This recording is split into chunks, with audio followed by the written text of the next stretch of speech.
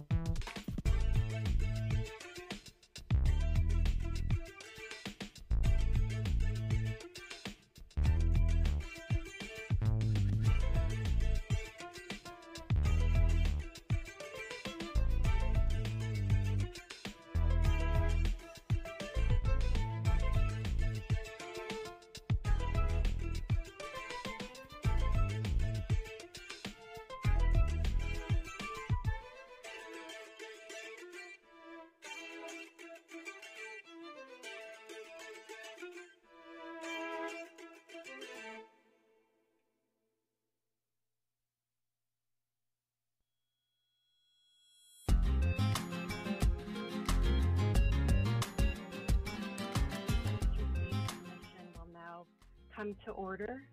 Will the clerk please call the roll? Jonathan Bruns. Lenka Wright, Here. BJ Fadem, Sylvia Alvarez, Freddie Sidbury, Here. Andrew Ditlevson, Present.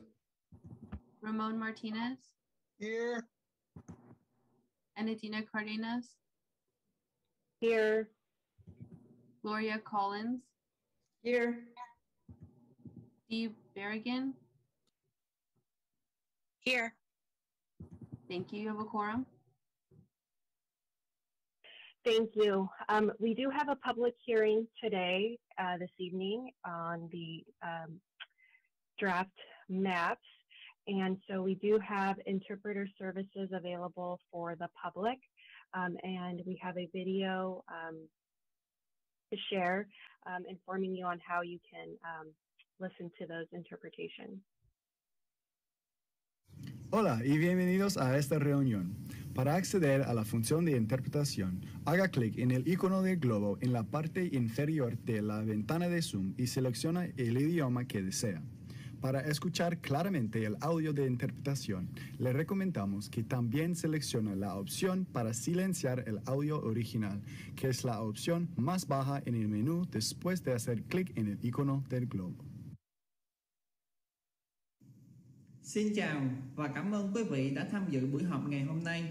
Để truy cập vào phần thông dịch của ứng dụng Zoom, xin nhấn vào biểu tượng hình quả địa cầu ở phía dưới của màn hình và chọn ngôn ngữ theo ý muốn của quý vị.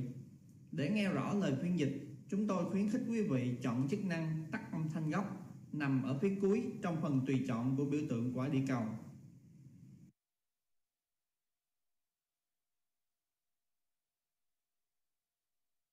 Okay, is there a motion to approve the orders of the day?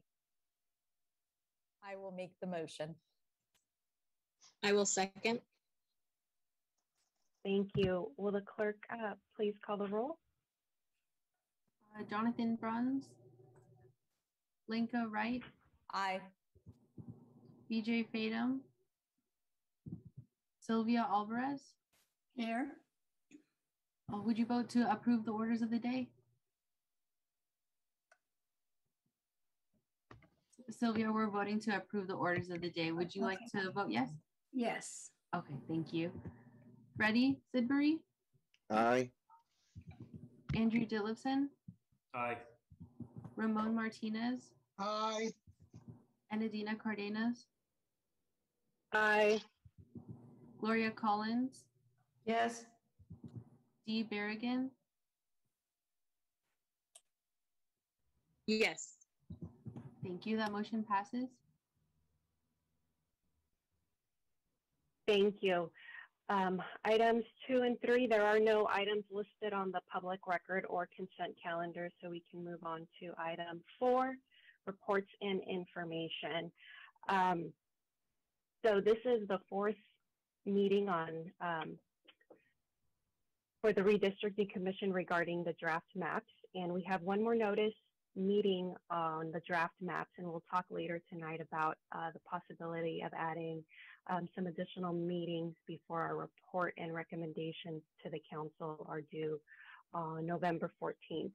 Um, so far, we have eight draft maps uh, by our uh, consultants, redistricting partners that have been drafted based on um, the new census data, community of interest testimony, as well as um, the commission suggestions for changes. Last week, we also had three presentations from the public on their um, own proposed maps, and we continue to get submittals of draft maps through the public mapping software Districtr. Um, last week, uh, we worked with uh, redistricting partners, our consultants, uh, to try and move some lines around in the proposed draft maps C3 and C4. And um, we gave the consultant some suggestions, um, which he will um, review uh, during his presentation um, later today. And I just um, want to take a moment to thank the community and members of the public for their attendance today, for submitting draft maps and community of interest testimony, as well as written public comment. We've received many letters from the public um, in the last several weeks, including for this meeting, um, which touch on process, concerns about district lines, and um, we want to uh, let the public know that the commission is receiving them and reading them. Um, and with that, I'll turn it over um, to the clerk for her report.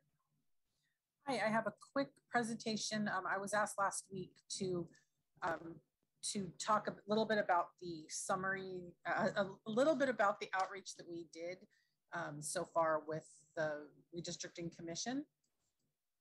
And so um, meetings of the redistricting commission were held the third Thursday of the month, starting from March through September. Um, many of those, and we also met in February, but not on the third Thursday. Um, February is when we established the regular meeting time. And those meetings, those Thursday meetings were all educational. Um, redistricting partners, our consultant, came in and talked about the laws, the, the best practices of redistricting. We had um, speakers from a variety of organizations come and talk about the importance of redistricting and what we need to look at and look for. Um, so those were very interesting. All of the videos for every previous meeting is available on YouTube. Um, on the redistricting playlist. So you can watch through every meeting, including all of the public hearings that we had for all the different districts. Um, we held community of interest public hearings in every district um, from August 7th through September 11th. And actually this is, this cuts off when I, when I did it. Um, it's actually went through September 21st was the, the final, um, I think the final meetings, but we held them in every district. Um, notices for all of the communities of interest public hearings were sent in English, Spanish, and Vietnamese to the neighborhood organization list that we received from the mayor's office. So it's um, neighborhood organizations in every district, and then also the community-based organizations that we deal with at the city. Notices in English, Spanish, and Vietnamese were also posted on the City of San Jose's Nextdoor um, targeting each district one to two weeks prior to the public hearings. Um, and then notices in um, English, Spanish, and Vietnamese were also posted on the City of San Jose's Facebook page in the same time frame. Um, and those were not city clerk pages, they were the city pages because they have the biggest outreach. Um, they have the, the largest number of followers. Um, and Nextdoor, you know, a lot of neighborhood organizations are also, of course, on Nextdoor, so they would have seen the notice on Nextdoor as well. Uh, do you guys have any questions about that? I mean, I know you guys were at every single one of those hearings, so we, we did have a lot of them. Um, and they were held over the summer. Oh, let me put my video on, sorry. They were held over the summer. Um, and uh, 10 years ago in 2010, our communities of interest public hearings did not have a, a ton of participation. Um, I think when people are happy with their council districts, they they probably aren't paying attention to that as much, especially in the summer. Um, but we did have members of the public attend via Zoom and in person at those particular public hearings. And Lenka? Yeah, thank you so much, Toni, our city clerk.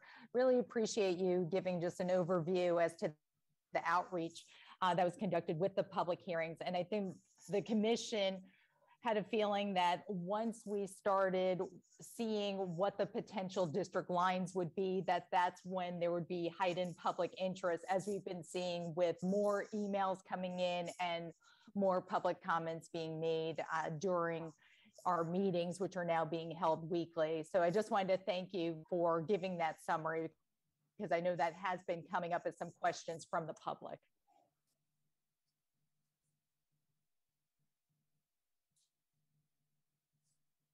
Okay, thank you. Um, we will now um, open this report section um, for public comment. Um, we do ask that um, we limit public comment at this time to address this report section. Um, if you would like to address the report section, please raise your hand and the uh, clerk will call on you. Do we have any members who wish to speak? Um, yeah, I have several hands up. Blair Beekman. Hi, thank you. Uh, thanks a lot for this meeting tonight. I've been looking forward to it. Um, I, am really uh, hopeful about the ideas of, uh, I like the East-West ideas of districting and the ideas of how to better address equity overall. Um, good luck how I think all the maps can be talked about and and adjustments be made. Um, I personally feel 3C is, is a good example and, and the unity Wait, example. Blair, Blair, sorry, this is Toni. We're talking about. Yeah, we're talking, we'll be talking about the draft maps next. Right now, we're talking about the report given by Enadina and by me. Oh, okay. I'm sorry. I will wait then. Thank you. Tam Nguyen. Oh, sorry, he put his hand down. Maria?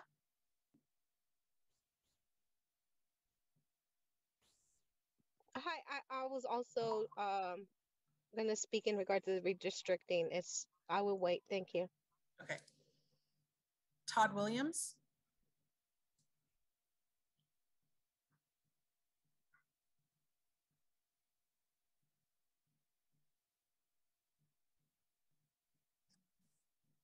Hi, good evening.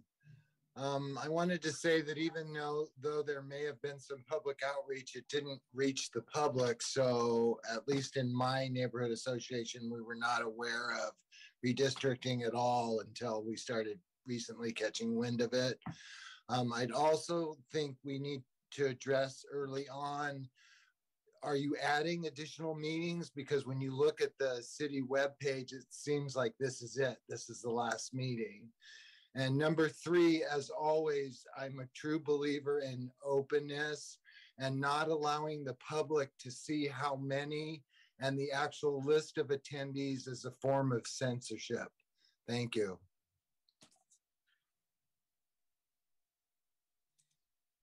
Rosa Vargas.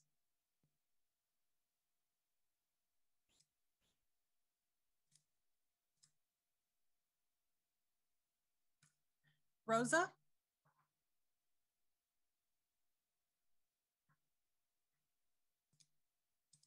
Okay, Rachel Daniels. Hi, I just have a quick question about um, what you just presented. Can you state again where um, we can find of the previous the meetings that were community of interest meetings and the meetings held over the summer? Yeah, those are all available on YouTube on the City of San Jose's um, YouTube channel. There are is a redistricting commission playlist. So that's where you can find um, all of the redistricting um, meetings that we have held. Thank you very much. I do believe one, the public hearing for District 10, the, the video file was corrupted. I don't think that one's available for that reason. Okay, thank you. You're welcome. Rosa Vargas.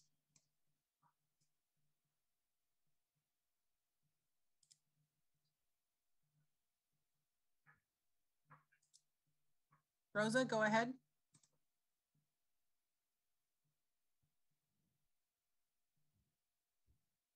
I see you're unmuted, but I can't hear you.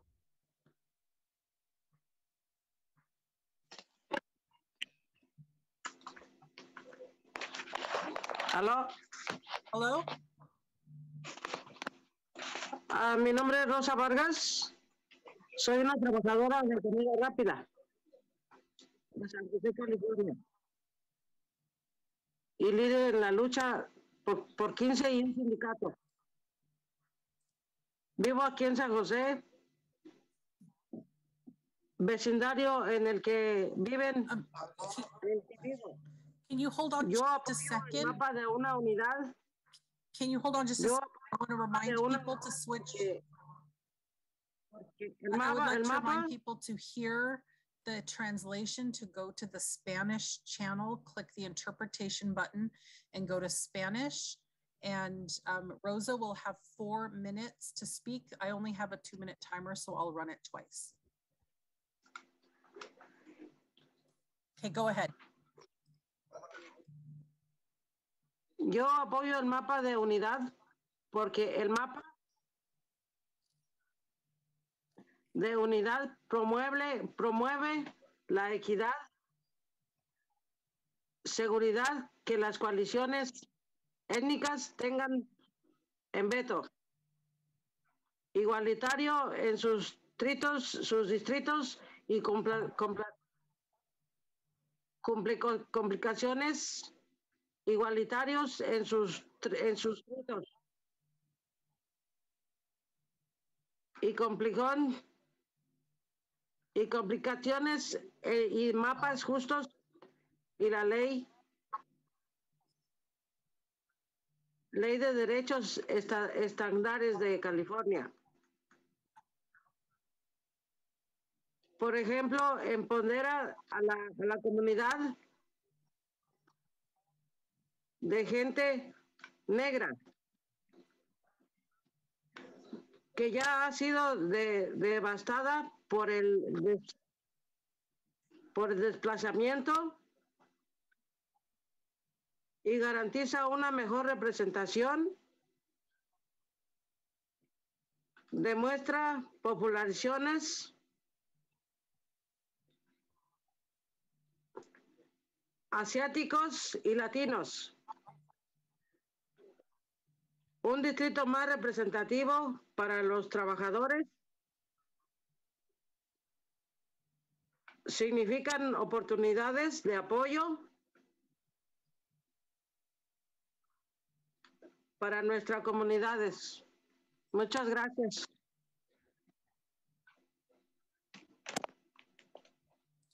Okay, I would like to remind people that this is for comment just on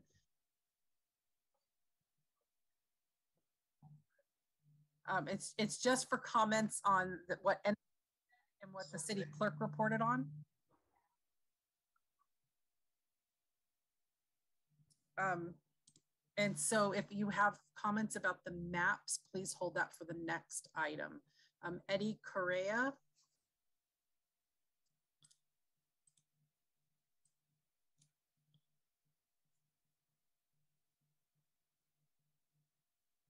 Eddie,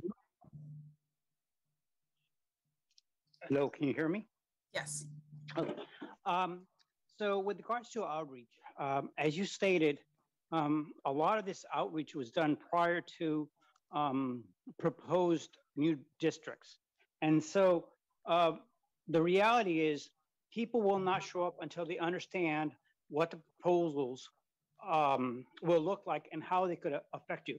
So there really is an interest to show up until you know how it's going to affect you.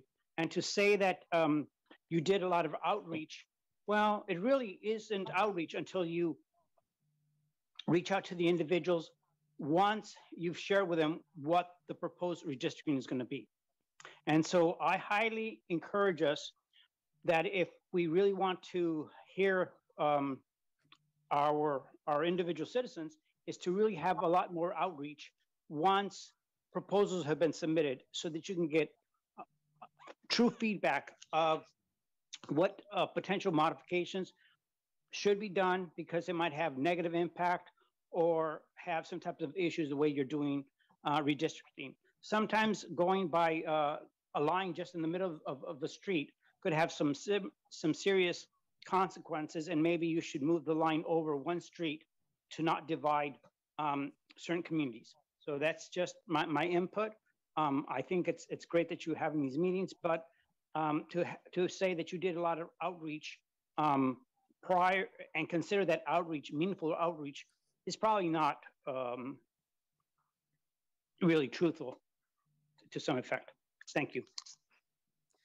Gabriela Zalea. Yes, hello. Thank you for having me today. Um, hopefully you can hear me okay. Hear yes, me? we can. Yes. So I'm in the Willow Glen community, and I do want to say that, you know, we are a community of interest and we should be considered that and safeguard the Willow Glen community and keep it unified um, redistricting to us means a lot of different things, especially where we're located on Almaden Road. We're facing a lot of issues and challenges after, you know, the pandemic, dealing with so many challenges, and now we're kind of waking up and steadily getting out of the pandemic, and now it facing issues on redistricting, facing issues on, you know, urban residential changes to, to different properties, single family homes and that's really impacting us. And, and we need a unified community. We need uh, Willow Glen to stay unified. Um, so we are very much against redistricting as proposed with the different maps. And we want to make that heard. Um, and, you know, these are working families that are here. Okay, ma'am, I'm, I'm sorry. The, the testimony that you're giving is really for the next item. The, the public comment for this particular item is specifically on my report of outreach and Enadina's report um, stating that we'll, we'll be, at the end of the meeting, we'll be having special meetings. So again, I want to tell people who have their hands up, the next item, we're going to have a map presentation. We're going to um, show you the, the revised maps, and then we're going to take public comment on that part. Okay, I'll reserve my comments till next. Okay. So anybody who has their hand up, if you want to talk about the redistricting of your area or the maps, please put your hands down. This is just to talk about the report I did on outreach and, and the chair's comments. Barbara?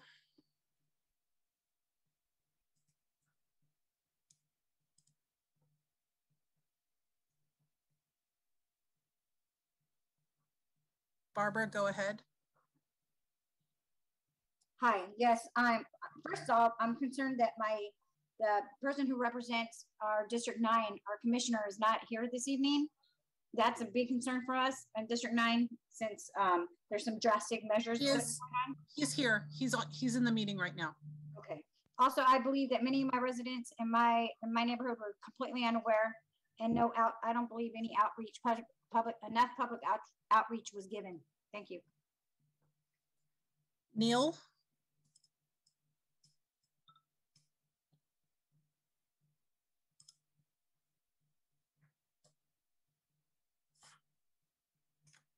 Neil, go ahead.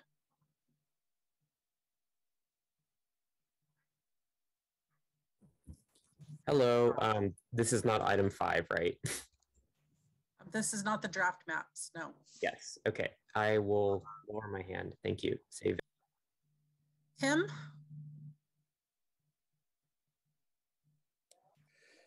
Yeah, I have a question regarding the process of becoming a member of the commission. Um, I'm just wondering right now if there is a conflict of interest, being that one of your commission members is on the board for La Raza, which is completely supporting and pushing the Unity map. If somebody could address that, that would be, be great. Thank you. Sandra? Yes, I think one of the most difficult things to do is public outreach. And I am sure that outreach was done, but I'd like to take note that perhaps we need to do it better. For example, I didn't see anything on Nextdoor. I didn't see anything on Facebook. I get texts regularly from the city of San Jose about vaccinations. Redistricting is as important as vaccinations and it's here for the next 10 years. So I think we need to look at additional methods in the future. We may not be able to do it now, but we need to look at additional methods to reach people. Anybody who is on the uh, council members email list could have gotten a separate email. Um, so I think that outreach may have been done, but I don't think it's an effective as we would have hoped for those of us who somehow did not get reached. But I do want to commend the city for making the effort, but we need to improve in the future. Thank you so much for your time, commissioners, and thank you to the city clerk who works so diligently for all of us. Yanni Choi. Yes, good, uh, good evening. Um, I just wanted to say that uh, the Thousand Oaks Neighborhood Association did not receive any outreach um, on this. So we we only heard a few days ago about this, this uh, process. And um, uh, you had mentioned that uh, you received a list, neighborhood organizations list, provided by the mayor's office, and that was what you used in terms of mailing um, uh, information and outreach out to the neighborhood groups. I was wondering who do we contact to make sure that our neighborhood associations and groups are on that list for this and future efforts to make sure that we don't get missed for very important things like this. Ramona? Yeah, hi. Um, I just wanted to agree with one of the previous callers about being able to see who is in attendance at this particular meeting or any of the meetings that you had regarding this issue. Normally, when I attend other commission meetings, you can see how many people are there watching the meeting. And I think that would be helpful to give us a better idea of like how many people are here right now. I'd also like to know how many people were reached at each of these engagement sessions that you did in the different districts, because we're talking about something that affects a million people. So these are just comments that I would like to um, bring up because I do think it's important as an audience member to know how many people are attending the meetings. Thank you. Brenda? Hi, yes, uh, thank you for allowing me to speak tonight. Um, I also have some concerns about the outreach. Um, I don't think there was enough outreach that was done. For example, um, I just heard about it by accident and somebody brought it up because they said that one of the maps was just crazy. Um, in any case, and, and that's how I became aware and got involved. Um, but I think more residents, especially in my district, need to find out what's going on and be aware of it in addition to that, the Unity map, from what I understand, there is a Unity map for almost every city or every town across America or every uh, uh, community or even county. Um, so whoever's doing the Unity maps um, is, you know, they're highly organized and they are definitely a special interest group um, and not necessarily residents with concerns about redistrict, redistricting. Um, and I think that their unity map should be ignored because it's, I don't think it's a fair um, assumption on residents' part for redistricting. So those are my comments. Have a good evening. Thank you. Back to the chair. Thank you. Moving on to item five, public hearing. Um, First, um, we will hear from redistricting partners on the uh, two additional draft maps that were posted this week. Um, we also have a few presentations of draft maps um, from various members of the public. So after we hear from redistricting partners, I will invite those uh, members of, of the public to raise their hand um, so that the city clerk can move you over as a panelist. Um, after each presentation, um, members of the commission will have an opportunity to ask questions of each presenter. After the last presentation is complete, we will open the lines um, for members of the public who would like to address the presentations of these additional draft map plans. So with that, we'll first get started with uh, Chris of Redistricting Partners. Good evening. Good evening, and thank you, thank you for having me back. Um, and I as the chair um, introduced, um, my name is Chris Chafee. I'm from Redistricting Partners, and I have two maps to present. Um, I just wanted to start like I have been um, in previous meetings with the current lines um, and reminding everyone the reason we're here is, well, other than the Fair Maps Act and having a redistricting um, advisory committee, it's looking at your current lines and seeing that your current deviation is 24.2%, with District 4 over by 17.1% and District 10 um, underpopulated by 7.1%. Um, we had a discussion um, last week about um, some some slight changes um, and the creation of this plan, draft plan D. Um, and what the, the two major sh shifts in this plan um, was to move Little Portugal whole into District 3, um, right in this area, um, and then to move o Ocala, this gray nub of District 5, from District 8 into District 5, from 8 into 5. Um, and that those were the major changes to district to this plan from C4. Um, and it resulted in a total deviation for this plan of 5.8%. Um, the the second um, the additional comment and the just the the this draft plan D2 um, comes from that draft D with Ocala in five and Little Portugal in three but it was requested to look at the borders of District 9 and District 10 um, and to try to move the District 9 northern border to Curtner um, and to try to move the District 10 um, line, northern line to Highway 85. Um, and and I could do, I could move it up to, to Curtner kind of on the northwest eastern side um, and keep most of the neighborhoods whole. But I couldn't, I, I couldn't go all the way across. Um, it would have vastly overpopulated District Nine and uh, underpopulated District Six. Um, and the same thing is true with with um, District 10. I was able to move it for um, a portion to the 85 um, to use that natural boundary of the highway, but um, I also had to. You can see kind of divide some neighborhoods up. And I have Maptitude ready so we can really dive in um, to looking at these lines, looking at how you shift, how you can or can't shift the lines around. Um, but I think one thing to realize um, with this shift is that this plan is now 9.9% has a has a 9.9% deviation. And you can see really the effects, right? District 10 now is 4.9% overpopulated. Um, District 9 is slightly underpopulated. So we could do some more shifting between 9 and 10.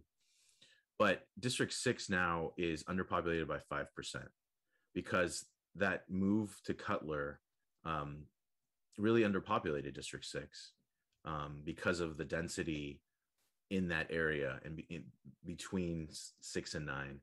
Um, so there was never a discussion of where else to go so i left it there um, but i think one of the things that needs to be discussed if d2 is um, a plan that the commission wants to go get into more detail with is kind of fixing district 6 adding population to it um, and then a question on um, on district 10 that it's it's really overpopulated. It's really almost a five percent.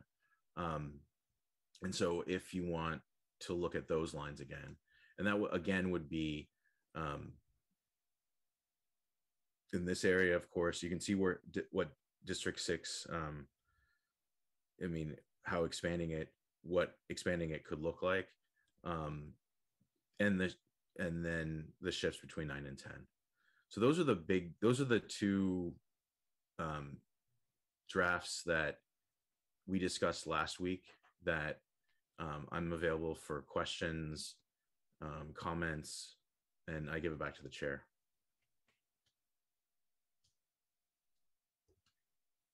Thanks, Chris. Are there any questions from the commission?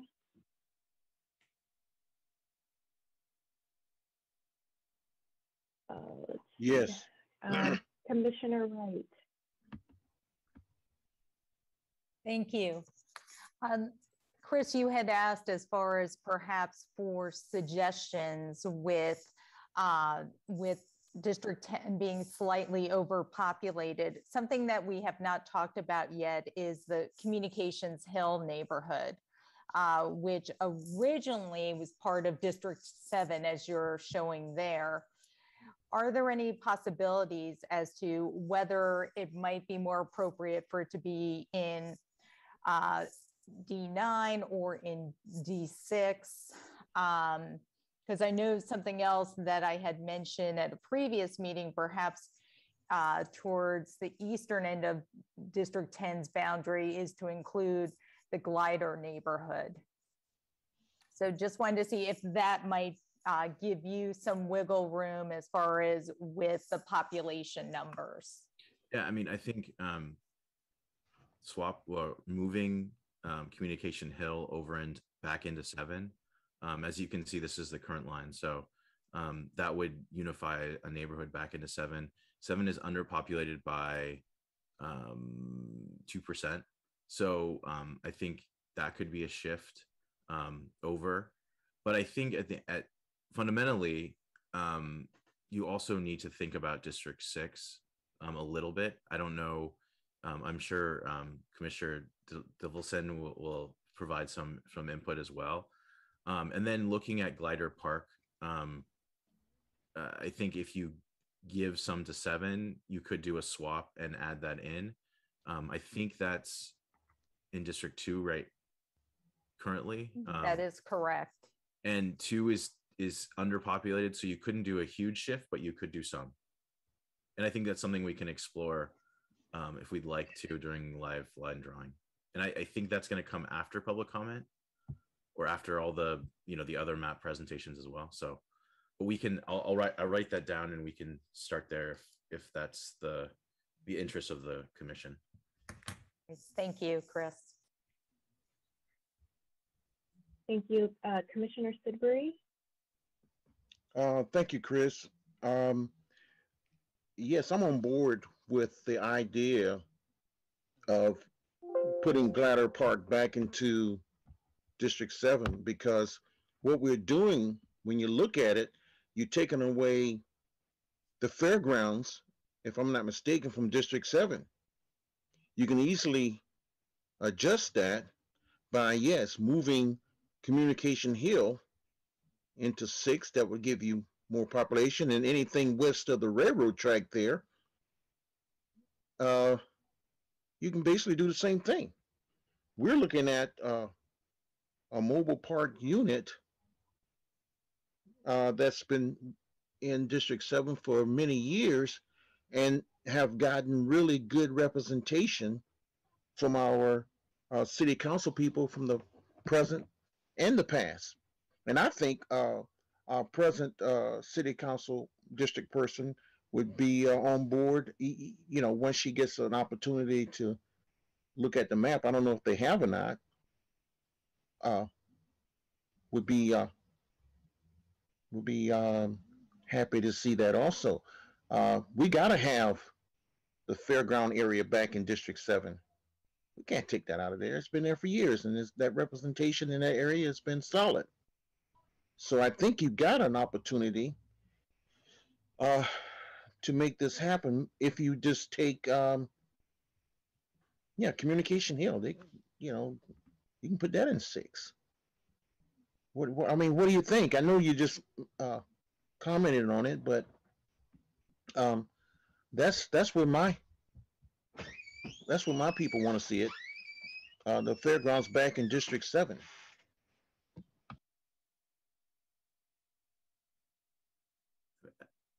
I, I will follow your guys' lead. I'm not, I, don't want to, you know, I think it, it's, it's a discussion point that we can, we can make. Um, and then the commission can um, kind of you know make a decision on where where they want to go you can also create you know two different options moving communication hill into six or into seven um, and glider park into 10 or into seven um, and see what it what it looks like um, and excuse me if I'm getting the districts wrong, the numbers wrong. Um, I I just I think when we get to the public mapping or the public drawing, live drawing, um, it'll become a lot more clear, um, and we can just go from there.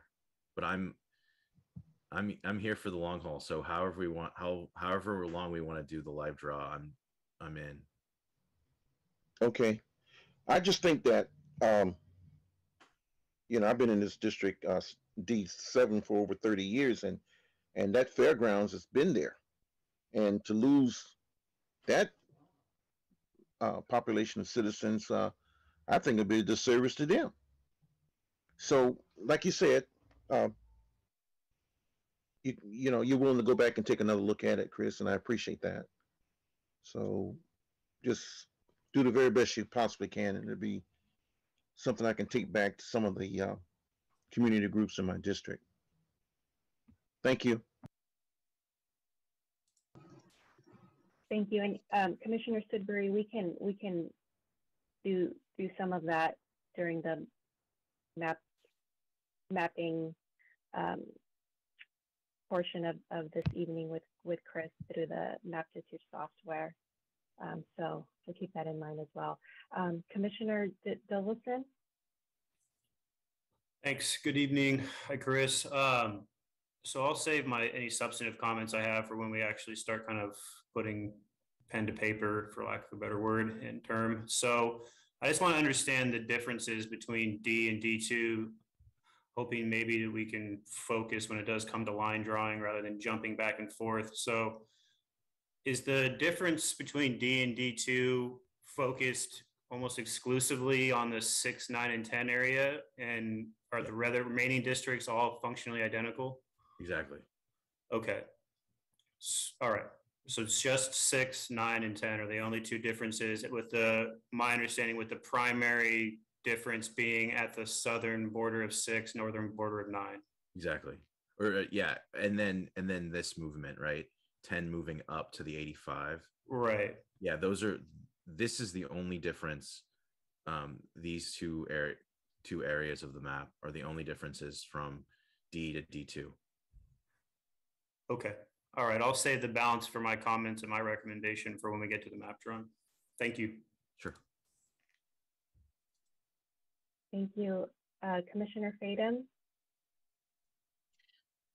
Thank you. Um, it's pretty much around what Andrew was saying too. Um, I am concerned on District 9.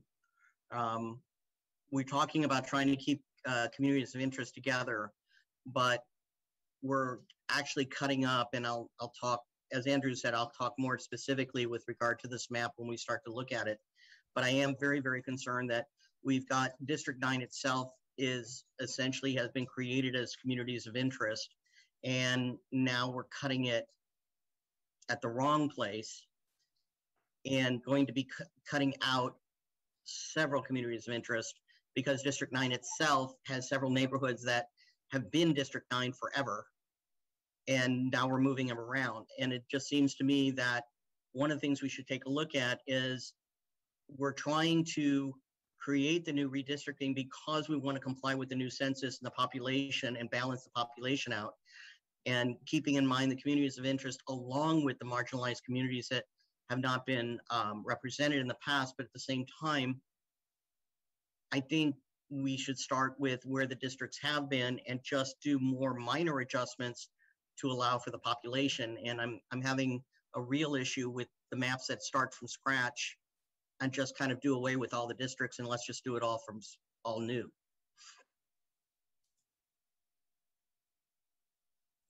Just just one one point of clar- clarification. Um, D this plan came from the from the Cs, which were built from the current lines, try, to try to minimize the current lines, and so this is probably like three derivations from there, um, or four, depending on your how you, you you count. But the idea was to try to keep try to do minimal change and follow neighborhood district neighborhood lines as much as possible. Um, but i just i wanted to flag that.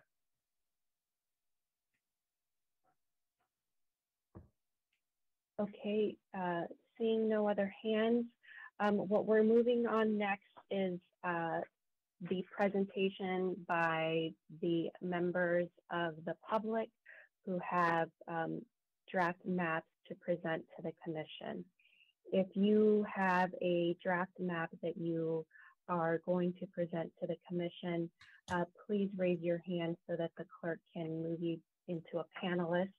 Um, if you have public comment regarding the district map, I would request that you please put your hand down um, until um, we open that up for public comment.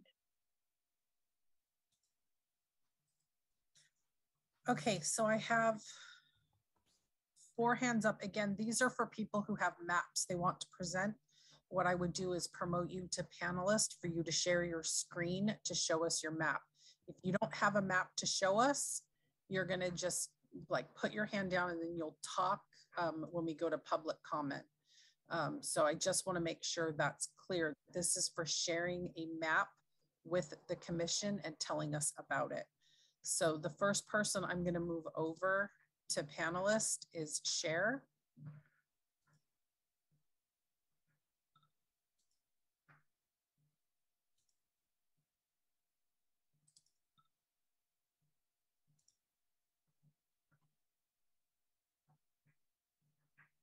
Okay, Sherry, you're in. Um, you're in as a panelist. You have the ability to share your screen.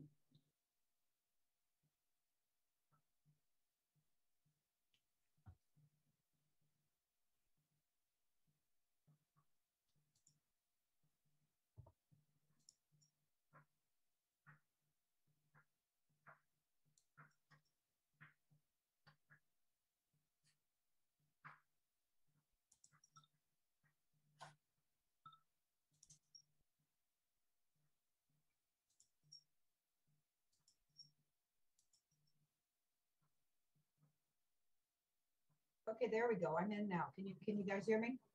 Yes. Okay, it's fun times in Zoom, right? Okay, and you can see this presentation, redistricting community map 2.0? Yes. Okay, so the first thing I would like to say is, I saw the new maps last night, the D and the D2, and I'm still very, very confused. I don't know if C4 is off the table now, or we still have C4 and we have D and we have D2. I would like that clarified at some point. I don't know what we're moving forward with. So um, what I'm presenting is a community map 2.0, which is a revision of last, last week's. This doesn't need to be said. That doesn't need to be said. Um, this is current districts. I think based on current conversation, that doesn't need to be said. Uh, draft plan C4, I don't know if that exists. I would like to know if this draft plan C4 is still on the table. Um, things are very confusing. So I'm looked at your draft plan D, okay? So I am basing my presentation on draft plan D that was uploaded last night, okay? So, and this is it here. So um, that's about our map. This is just numbers, don't need it. Okay, this is a map that shows um, the differences between our community 2.0 map. So you see the very kind of faint colors here that shows where we like basically do not agree with the draft plan um, D. So I can go into, let me see if it's easier to just go into, um, here you go, community map 2.0 versus San Jose draft plan D. Okay, if people can see it okay, I'm gonna stick on this. Um, if you can see my cursor, uh, can somebody tell me on the commission, does this, can you see my cursor up here by District 4 and District 5? Yes. Okay, so District 4 and District 5, Penitencia Creek, okay? The draft plan D maps have Penitencia Creek inside of, taken over by District 5. And we've heard from the very beginning for the past three weeks, the Penitencia Creek neighborhood wants to stay intact in District 4, okay? So we do not support that being District 5 moving up there. We've spoken to all of the four board members of their neighborhood association and they want to keep, so that is, whoops, what happened? So that is a big deal. We want to keep Penitencia Creek in District 4, the entire neighborhood, and keep District 5 boundary only up to Mabury here, okay? And extend District 5 a little bit to the west, back to District 4 used to be right here. So we want District Five to go there instead and take up that area. Okay, so that is like a big deal. Um, the other thing I want to point out, District Five, the airport down here. The airport is supposed to be part of District Five. It's always been, and now we've got it in District Eight. So that's a big deal. We want to move that airport and have it back originally where it was supposed to be. There's also a little correction here on Little Portugal. Okay, it's just not quite right. This little neighborhood on the bottom is supposed to be south. Um, I think that's called Shortridge. That needs to be fixed. Okay, and then we have moved district, because of all that, we've moved District Three a little bit further to compensate for the numbers up here into District Four. Okay, so I'm gonna move down to District Seven. You know, that stuff's fine. That's, I, I don't have any problem with that. One thing I wanna mention is Communication Hill, okay? Communication Hill, if you see my pointer down here, Communication Hill has an entrance over here, basically from Hillsdale, that goes to a separate part of the hill. Communication Hill can easily be split in half. There's separate entrances. The fairgrounds itself is still in District 7 on this map, by the way. But on Monterey Highway here, that mobile home park, the cemetery, uh, the um, flea market, that this has a separate entrance over here on Monterey Highway. That's so this can be split right in across here with then it's totally different areas. And this little neighborhood here comes in from Curtner. This mobile home park comes in from over here. So I would like to look deeper into splitting up Communication Hill so as not to have to just do some massive shifting around of everything. District six, I feel that we talk to people over here in this Goodyear Mastic and these three areas south of 280. They're a very tight knit community. And moving this Goodyear Mastic here across the freeway, across 87 into District 7 makes no sense to me. I want to investigate this Goodyear Mastic, keeping it over here in District 7, okay? And because those are a, a close knit community right there. So, and they're already getting pushed out of three, you know, because they're south of 280 because of this shift up here. So, in that regard, I think Santana Row over here should just be kept in District 6. That'll balance for this population shift that you're trying to put over here across 87. Santana Row should just be kept in District 6 like it already is because the numbers will still work out, okay, as far as population, small deviation. Um, the other pieces, I, I understand there's some juggling going on here on the 6-9, and I think that'll probably get hashed out, okay? Um, I think those, let me look at my notes super quick here and see based on the new stuff if there's anything else in particular. I think that covers, yeah, Little Portugal needs to get fixed, Reed Hillview Airport. Penitentiary Creek is a big deal, in my opinion, big deal. There's no reason that District 5 can't just come across Mabury, take up what used to be District 4 down here anyway. Why would you take District 5 into 4 here instead of just completing it across to the west? It doesn't make any sense. Okay. And um, aside from that, you know, maybe there's little tiny things, but those are like really the big deals that I that I would like to point out that needs some investigation. So checking out Communication Hill, it can be split. It's got lots of separate areas and you can maintain all that stuff by the fairgrounds and Monterey Highway. Uh, like I said, the Santana Row and these, these neighborhoods down here are very closely knit. Um, airport up there. And like I said, I know something's gonna get going on down here. Let me take a quick look. I think those are my main corrections. And I do know that there has been uh, some discussion among some groups about making some changes here around um, Diridon Station based on the San Jose vision plans and vision map and stuff like that. So I think that's something that needs to be investigated on the, the vision plans that have been, you know, voted in by the city council around Diridon Station. So I think, who knows? I think I covered my stuff. Thank you. Cheryl, um, are you able to share the close-up map of the Shortridge area? Yeah. Little Portugal? Shortridge is, um, there's that, there's that. Little Portugal is district, is it on five? Yeah, it's yeah. one slide, one slide after five.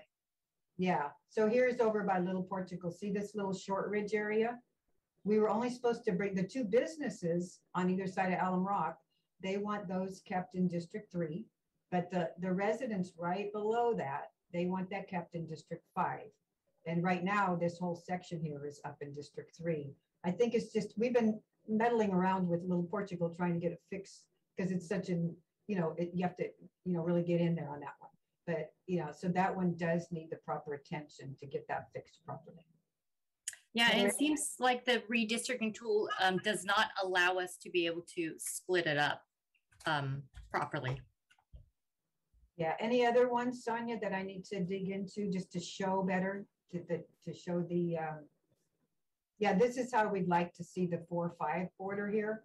Only five, see, because if you look at the, the, the white space is what's, you know, uh, up for, so to speak, different, you know, between the D2, uh, the D map and ours. So, or the, uh, sorry, this is the original versus our. So we just want to move District 5 only up to Mabury here and fill in this part that was District 4 over here and keep that like a nice uniform thing and not go because right now the DMAP has Penitentiary Creek just getting split in half here. And I don't see any reason to go in that direction instead of just filling in the population over here. Um, do we have anything else? That's our expansion into four. Um, there's one little thing. This is a Newhall area that we wanted to point out that's, that's been in District 3 but potentially was like an oversight that should go into District Six. Just wanted to point it out. Um, and then District Two, like you said, I think you guys took, I think maybe this wasn't congruent. So you took District Two out here and put it into seven. That's what I'm thinking. And Cheryl, can you show just the District 10 slide? Because there is a little piece that's been uh, missing in all the maps uh, as well. 10. Yeah, the little circle. Yes, yes, yes, yes, yes. Where District 10, very important, a little tiny piece, where is it? Um, can we see it on the map here? Yeah, on the far right over. Um, I moved my little thing. Yeah, I, I have it as a bullet point. Right here, this is super like easy to ignore. So on the current map down here by Branham and Monterey, District 10 goes down in this little arm here. And there's a neighborhood association right here that is needs to stay intact with this area here. So if somebody could look at Branham and Monterey, this, this is existing here, but in the new maps, that's been cut off, maybe because somebody just didn't notice on there. So D10, uh, if you can investigate and see, you know, put this little like finger piece back on here to keep the HOA together there. That would be good. Um, anything else, Sonia? Um, I think that's about it in terms of the feedback. And like you had mentioned earlier, over in the uh, D3 Dix, D6 boundary over the at the Diridon, um, yeah. because that's all newer information. And so um, that definitely needs closer attention and to be yeah. a little bit better. There's been some recent discussion about that and stuff. So I don't know. It, like I said, it's to do with the existing San Jose vision plan and all these things council has voted in. So, okay, anything else, Sonia? Thank God you're um, to help me remember this. uh, well, we're here for the community, so. yeah, yeah, and we, and just by the way, we have, we did have a meeting on Monday night and several of the leadership council people joined, so we were happy about that. And we've been able to, you know, and they gave their input and part of that, what we're saying is based on that, those, that meeting. And then we've been able to talk to several neighborhood associations. And so some of our input is based on that. You know, we were especially concerned down in District 9 when the, you know, the previous map, that C4, which I still don't know if it's valid or not anymore, was breaking up this whole area down here. That was very concerning down there. So, um, yeah, I think, is that it, Sonia, basically enough? yeah, I mean, if any of the commissioners um, have any questions, we'll gladly Thank you. Thank you. Any questions? Uh, Thank you, Sharon, Sonia, for, for this um, presentation and, and for the thought and time that um, went into um, just pointing out a lot of detail here. Um, thank you for that. Um, I had a couple of questions, and I'll just start while I wait for fellow commissioners to raise hands. Um, I was wondering, I think you guys are keeping Berryessa in D3, and I'm wondering what uh, um, what was the reasoning behind moving oh, that to three um, as opposed um, to, I believe, keeping it in four? Well, if you look at the District 3, I mean, because uh, District 4 has, I think, a 26,000 population higher than the lowest population. So in the city, which is District 9. So District 3 and District 5 have to move into District 4. There's no choice about that. we have to absorb, District Three, District Five have to absorb some of that population from District Four, because they're twenty-six thousand above everybody else. So, you know, so that's why the current map, District Three is, this is the boundaries for District Three, but we suggest that we move in a little bit further into four, keep the flea market area intact, because, you know, that's a big thing over there. And, but we needed to move somewhere up there. So this was just our suggestion. We can't go north because then we'll hit the, the boundary with, with the bay and then we'll dissect District Four and a half if we went straight north. So that was the only place we sought to go to absorb some of that population. Yeah, because District 4 and 3 have the highest population growth over the years, um, over the decade. And so the only um, districts without really doing drastic changes are the adjacent ones to absorb that, but it does have some domino effect.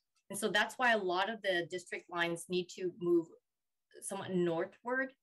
Um, and so that's what we're trying to capture while minimizing the amount of change within each district. And I do have a slide that shows, you know, the population balance with this with this map, if you want to see that. You can see the population per district, and I think the deviation is 2.8% across. For our map. Yeah, So so there- basically, to answer your question there as well, the, um, where's our population? Which- Somewhere. um, Population, yeah, so here's our population balance, right? Community map 2.0. So then you can see District 3, District 4, District 5, because District 4 was up at 120,000 without any changes, right? So here you can see District 4, we got it down from 120,000 down to 103,000. And the only things that border it is 3 and 5. So District 3, you know, we dropped it by 17,000, or 16,000. And now District 5 is at 102, District 3 is at 101. So we tried to balance out that area as the starting point and then shift things downward, upward from there for the other districts. And so I our see. map, I also thank want to point out, is 2.82% deviation. So it allows for flexibility also to make these, any type of um, adjustments within the borders. But again, yeah, I want to emphasize this clean border. I just have a real issue with that border there with 245, the boundary. Okay, thank you, Commissioner Martinez. Yes, I was going to um, um, thank Sheriff for this great detail she's looking at. I wanted uh, again to ask her to take a close look at the airport suggestion she was making regarding that little finger that, Oh, that up we spoke about. You're talking about the the Reed Hillview down at five. Oh, Reed Hillview. Yeah. Yeah. Uh, Just to like one summit, yeah. Yeah, again, I'm looking at a real small laptop, so I'm just trying to take a better look at the detail. Um, Yeah, go ahead. well, uh, personally, what I was, I went and took a ride because I, I made a suggestion about Reed Hillview last week. And then we got into a conversation that that had evergreen schools. And then I have people telling me that Alum Rock School, uh, Meyer School is, it sits right, it is next to the airport. But I was just trying to see, uh, the, the concern is, in other words, the suggestion is minimally placed in the airport in five, because the airport itself probably doesn't affect population very much. So, be, but but ju- just that the Meyer School touches the airport. It's right on the same block. I think it's Cunningham. Uh, so I was just gonna. I, I just was thinking. I don't know how much you can do to reduce population being taken from seven and eight. Or I mean, it's. Uh, I'm. I think it was affecting eight or something, but just the airport. Suggesting that some the map makers look at just the airport because the person who called me about this concern, not only were they talking about schools, but they said that three of the last crashes of the planes are landing on homes in five. So I'm going to look at that to verify that comment. But that was some of the concern that some people had when they called me about this. Wow. So yeah, I agree that, that, that the airport basically has no population there.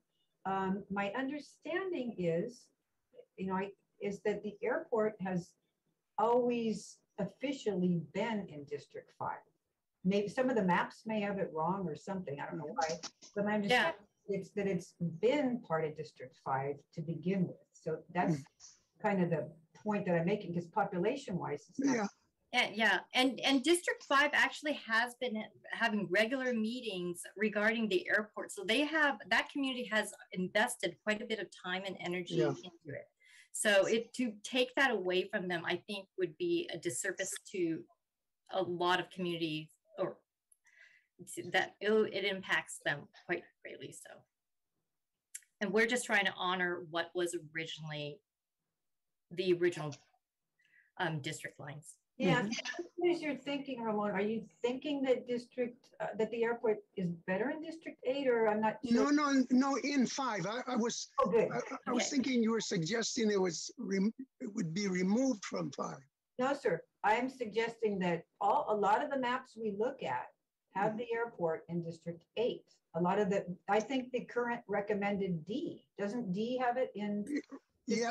eight? Yeah, and so I'm asking, they, they look at making sure that it's back in five and, and just trying to minimize the population change. That'll help some of that discussion that's going on about, you know, helping out seven and eight. Yeah there yeah there is not there isn't that much population there so that definitely there's no reason the population should not be a reason why it would not be there Yeah, because if you look at the community map versus the Plan D, you see why that's kind of a lighter color is because it's not where we think it should be.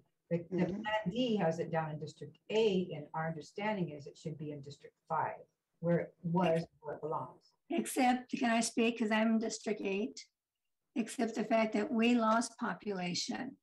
And that's why we moved forward, we moved north into District Five because we were under, we had under numbers. And we needed to, to adjust that, which barely made it so that we're now at least somewhat within the range. Well, there's no population at the airport. No, but this, the, the, the discussion about Ocala, this little section next to the airport. That's what we were wanting to go into sec, into District Eight. Right. I also saw that you guys are moving over here into uh, Valley Palms. And the D map has you moving into Valley Palms as well, District Eight. That was to, uh, that was to absorb some population, because like I said, we had lost considerable number of people. Yeah, I wonder what the, where's the population? Yeah, so this would put, um, as is, as our community map is, it would put District Eight it. It already, so our community map puts you guys up at hundred and three thousand, so it puts you way up. So this map here that you're looking at, without Ocala and with, I mean, with, with, uh, what is that? Uh, without the airport yeah, yeah, if you guys keep Ocala, because I think the D2 map, I mean, the D map has you guys losing Ocala is a problem, right? The um, Plan C4, the D map. Yeah, so the D map has you guys losing Ocala. And so we put Ocala back so you don't lose population. So I don't know why um, the D map moves Ocala from D8 when you want to increase your population, but instead they took away your population. Yeah. So uh, Ocala should, in, in my opinion, should stay in D8 and then you will have the population you want. And then the airport doesn't need to move over there because there is no population. And then you guys also took Valley Palms here. So I think one of the problems is why would you move Ocala into D5 instead of keep it in D8 and then you have your population and then as you can see, D8 is at 103, which is great. So if you keep Ocala like you had, and you just took Valley Fair, then you guys are at 103. Thank you. Yeah, I'm- May I speak? Thank you. Everyone? Um, I, I just wanted to clarify that I'm the source of the change of Ocala, I think, last week because some of the resident callers were asking about uh, Ocala School is uh, an Alum Rock school.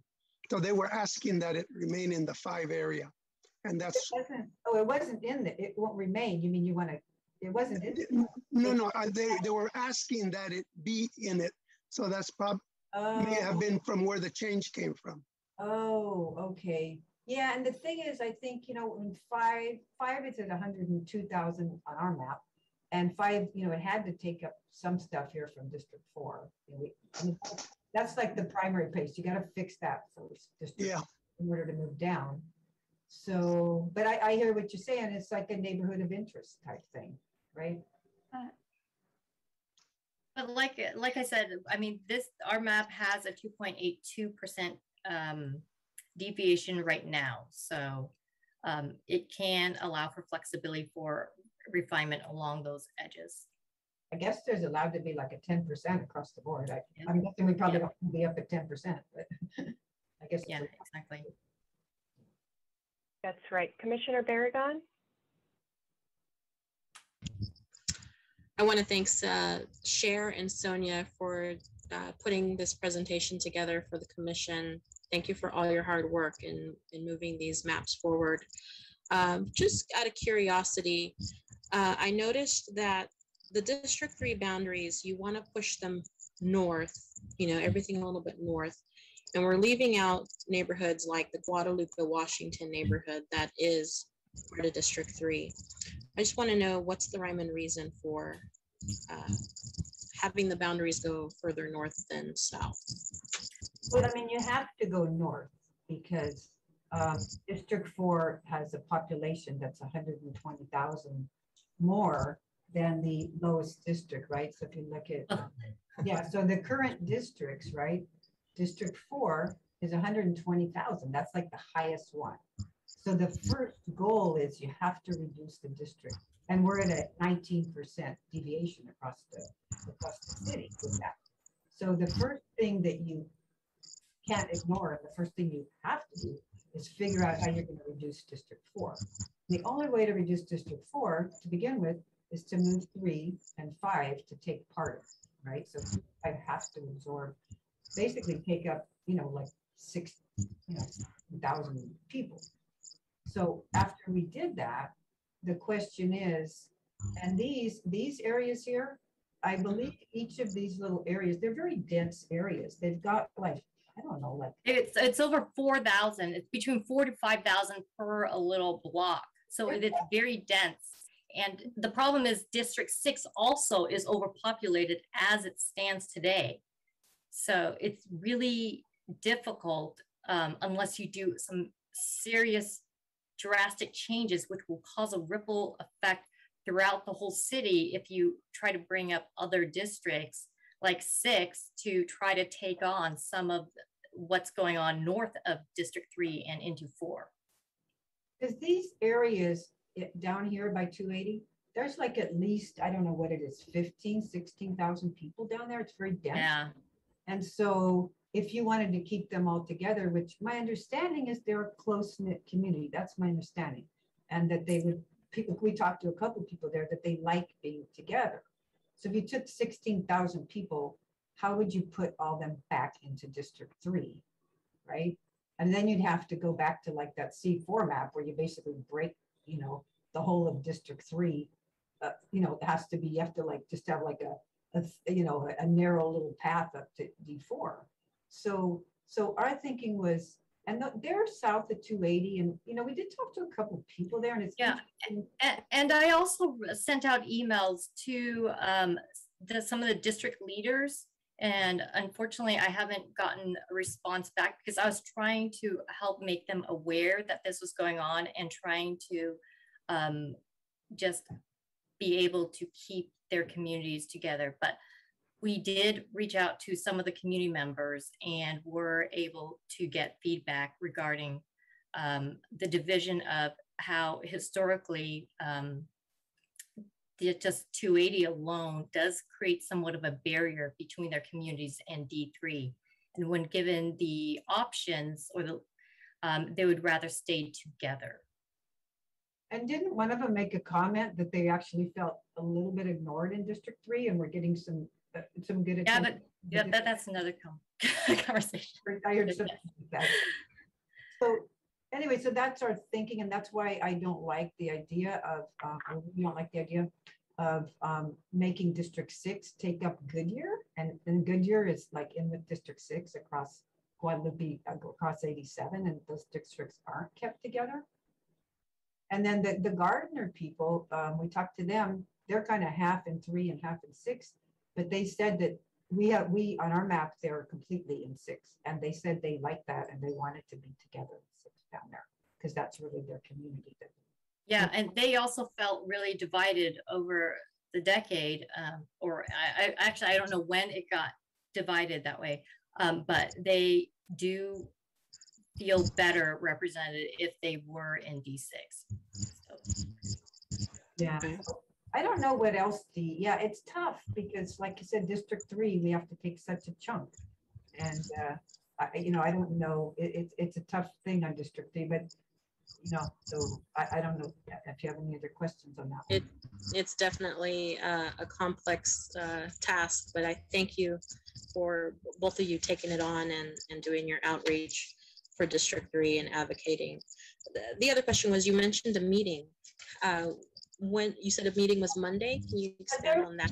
We got invited to a leadership meeting, uh, uh, on, on Monday night. that Yeah, all district a CLC meeting. Um, and so there was outreach uh, to all the leaders within the districts um, for their CLCs to get them up to speed and let them know, and also to gather feedback um, about the particulars of their communities. Okay, thank you for that, ladies. Commission. Thank you. Commissioner Collins? Yeah, I just wanted to uh, briefly thank Sharon and Sonia for the work they've done on this map and uh, appreciate the time and effort that you've put into this. So thank you. Thank you. Commissioner Fadem? Yeah, thank you. I, again, I think Sharon Sonia put a lot of work into the map. Can I ask you to go back um, to show me from what you guys show between District Six and Nine as deviating from the Plan D two map that you started with? Uh, Okay, 2.0 versus Plan D. Okay. Okay. So there, what I noticed is last night you guys uploaded a D and a D2, okay? And D2 has a lot more changes. It takes District 6 a lot further down into District 9. So we just stuck with the D to keep it more minimal because we don't really know that area as much. So what I see here is there was some feedback from the Willow Glen Neighborhood Association. This little part right here, they uh, they had submitted public input a couple weeks ago with some examples of what they would like to see with a little bit of expansion back to what they used to have a long time ago or something. So we we took kind of the minimal one of those and added this little section here that that they said they had discussed with the residents and they wanted that there. And so we left that. But on the D map, it goes even further down here. And so we just don't know that. I mean, it affects a lot of people and population wise, there's a trade-off on that versus the Canoas Gardens over here. So there's kind of a split. This is, is this Almaden or 87 or something right here? That this all be District Six, the Farm and Rubino and Canoas Right. Gardens District Six. But there's kind of a splitting line. I can't remember if that's Almaden or, I think it might be Almaden or 87. This should be Almaden, yeah, Yeah. Expressway right down there. Yeah, so I kind of thought, well, you know, we're already taking District Nine up into here, right? So I don't, it's kind of a trade-off if you leave District Six, you know, at like we have it, or if you move it down further, you know, because I don't know what that does down there. So there's like kind of a trade-off here between Canoas Garden and that area. I think, what did we have in our two point, in our map? Was it, um, yeah, we've got, um, yeah, we've got it further up. We just have Farm and Rubino and, and and this left here. So district, the D2 map. Cheryl, do you want to show the nine map that we have of what was a shift from the original current um, district lines? Okay, so this is nine. Uh, this one? Yeah. So these are the only changes from the existing districts that our map does. It moves a little bit of um, the Willow Valley, is it Willowville? Sorry, Willowville. down. Yeah. For, and for input from the Willow Glen uh, uh, Neighborhood Association. And then it moves nine up here because nine needs to grow a little bit, a bit, you know, because they were the lowest. So we took this farm in Rubino area here, and expanded nine up to here. So yeah, that- and that's the only difference between what the current existing boundaries are versus our map. Yeah. Okay, yeah, thank you. Uh, that, that clarifies it. Yeah, that's what we have on there. Yeah, kept it kind of you. simpler than because that, that boundary up there on six and nine, it's already so up and down anyway, right? And then there was like shifted down and more up and down, and I was like, you know, it was- Right, and the problem is, is that boundary has established the communities between those two boundaries and you got to be careful where you're going to shift that boundary because then you're going to split up the communities. yeah, it was a lot. Exactly. It was a lot of up and down going on there with that. Uh, Yeah. with that. But yeah, unfortunately, that's the boundary that for some reason they believe can be moved so easily and, and really it's, it's, that's not true. Because it's a lot. are- When you go across there, it's the Bagby, it's the Willow Vale, it's this one, it's that one. It's a lot of stuff, right? Exactly. And it's a community that's, that's used to being in District Nine and to all of a sudden flip them is going to be pretty upsetting. Yeah. Okay, thank you. Huh? Thanks. Commissioner Sidbury? Okay, Commissioner Uh, No, I dropped, I dropped Oh, my, I'm uh, sorry. hand. I dropped my hand. Okay, thank you. Uh, Commissioner Martinez? No, that's from last time. Okay. Well, ladies, thank you very much for your presentation. Um, it was certainly Yeah. informative. Um, thank you, and I would still love to know if we're just at the D and the D2, is the C4 off the table, or is that still something that, that's on the table? Like, at some point, I would love to get that answered. Yes, I think that's a that's an appropriate question. So all of the draft maps that are on the agenda today, so that uh, are are are still, I guess, in the running, if you will.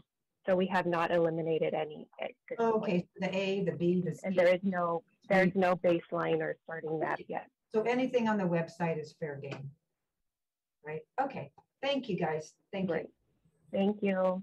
Thank you. Um, City Clerk, do we have any other presentations um, from any members of the public today? Jeffrey Buchanan is next. Hi, members of the commission. Let me- what do you let think? Oh, sorry, I don't know, someone's on mute. Sorry. Oh, okay. Uh, Yep, Jeffrey Buchanan uh, with uh, uh, Silicon Valley Rising Action. Uh, And just to say, I think there's been some comments about, you know, who our organization and the different civil rights organizations are. Um, I'm a, I'm a community member. I'm a trustee representing the Luther Burbank School District, a school district that includes District Six. Um, My, my colleague here today, Andres Quintero, you know, is a, is a school board member in Alum Rock. I think there's been a lot of accusations made by some folks in the public and, you know, it's fine to disagree, but I think um, trying to paint members of our community in different ways and to dis, you know, play these kinds of games is not really helpful for the conversation. So I, I hope that we can uh, remember we're all here just trying to figure out what's best for, for our community here. We're all community members.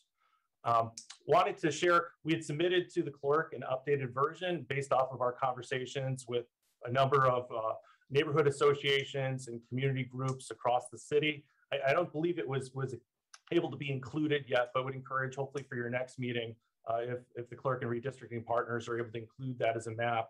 Um, wanted to walk through a couple of the, the changes that were made.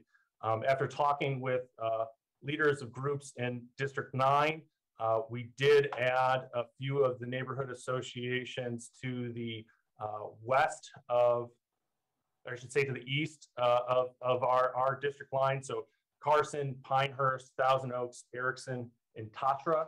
Uh, now are, are, are remaining in District 9. We, we heard from some community leaders that those neighborhoods have been working together for a long time and would like to keep in District 9. So we want to be respectful of that.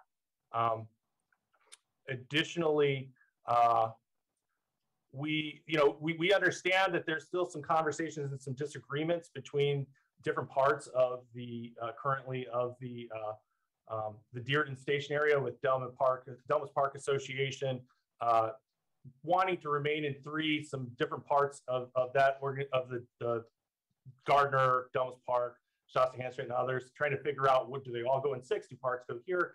I, I think we'd be amenable in our map to trying to figure out what those those organizations finally agree on. But for now, we're, we're keeping Delmas Park uh, within our map. Um, I did want to, and then again, we, we had, even though our map shows part of Reed Hillview outside, we had asked to keep the remaining line in Reed Hillview.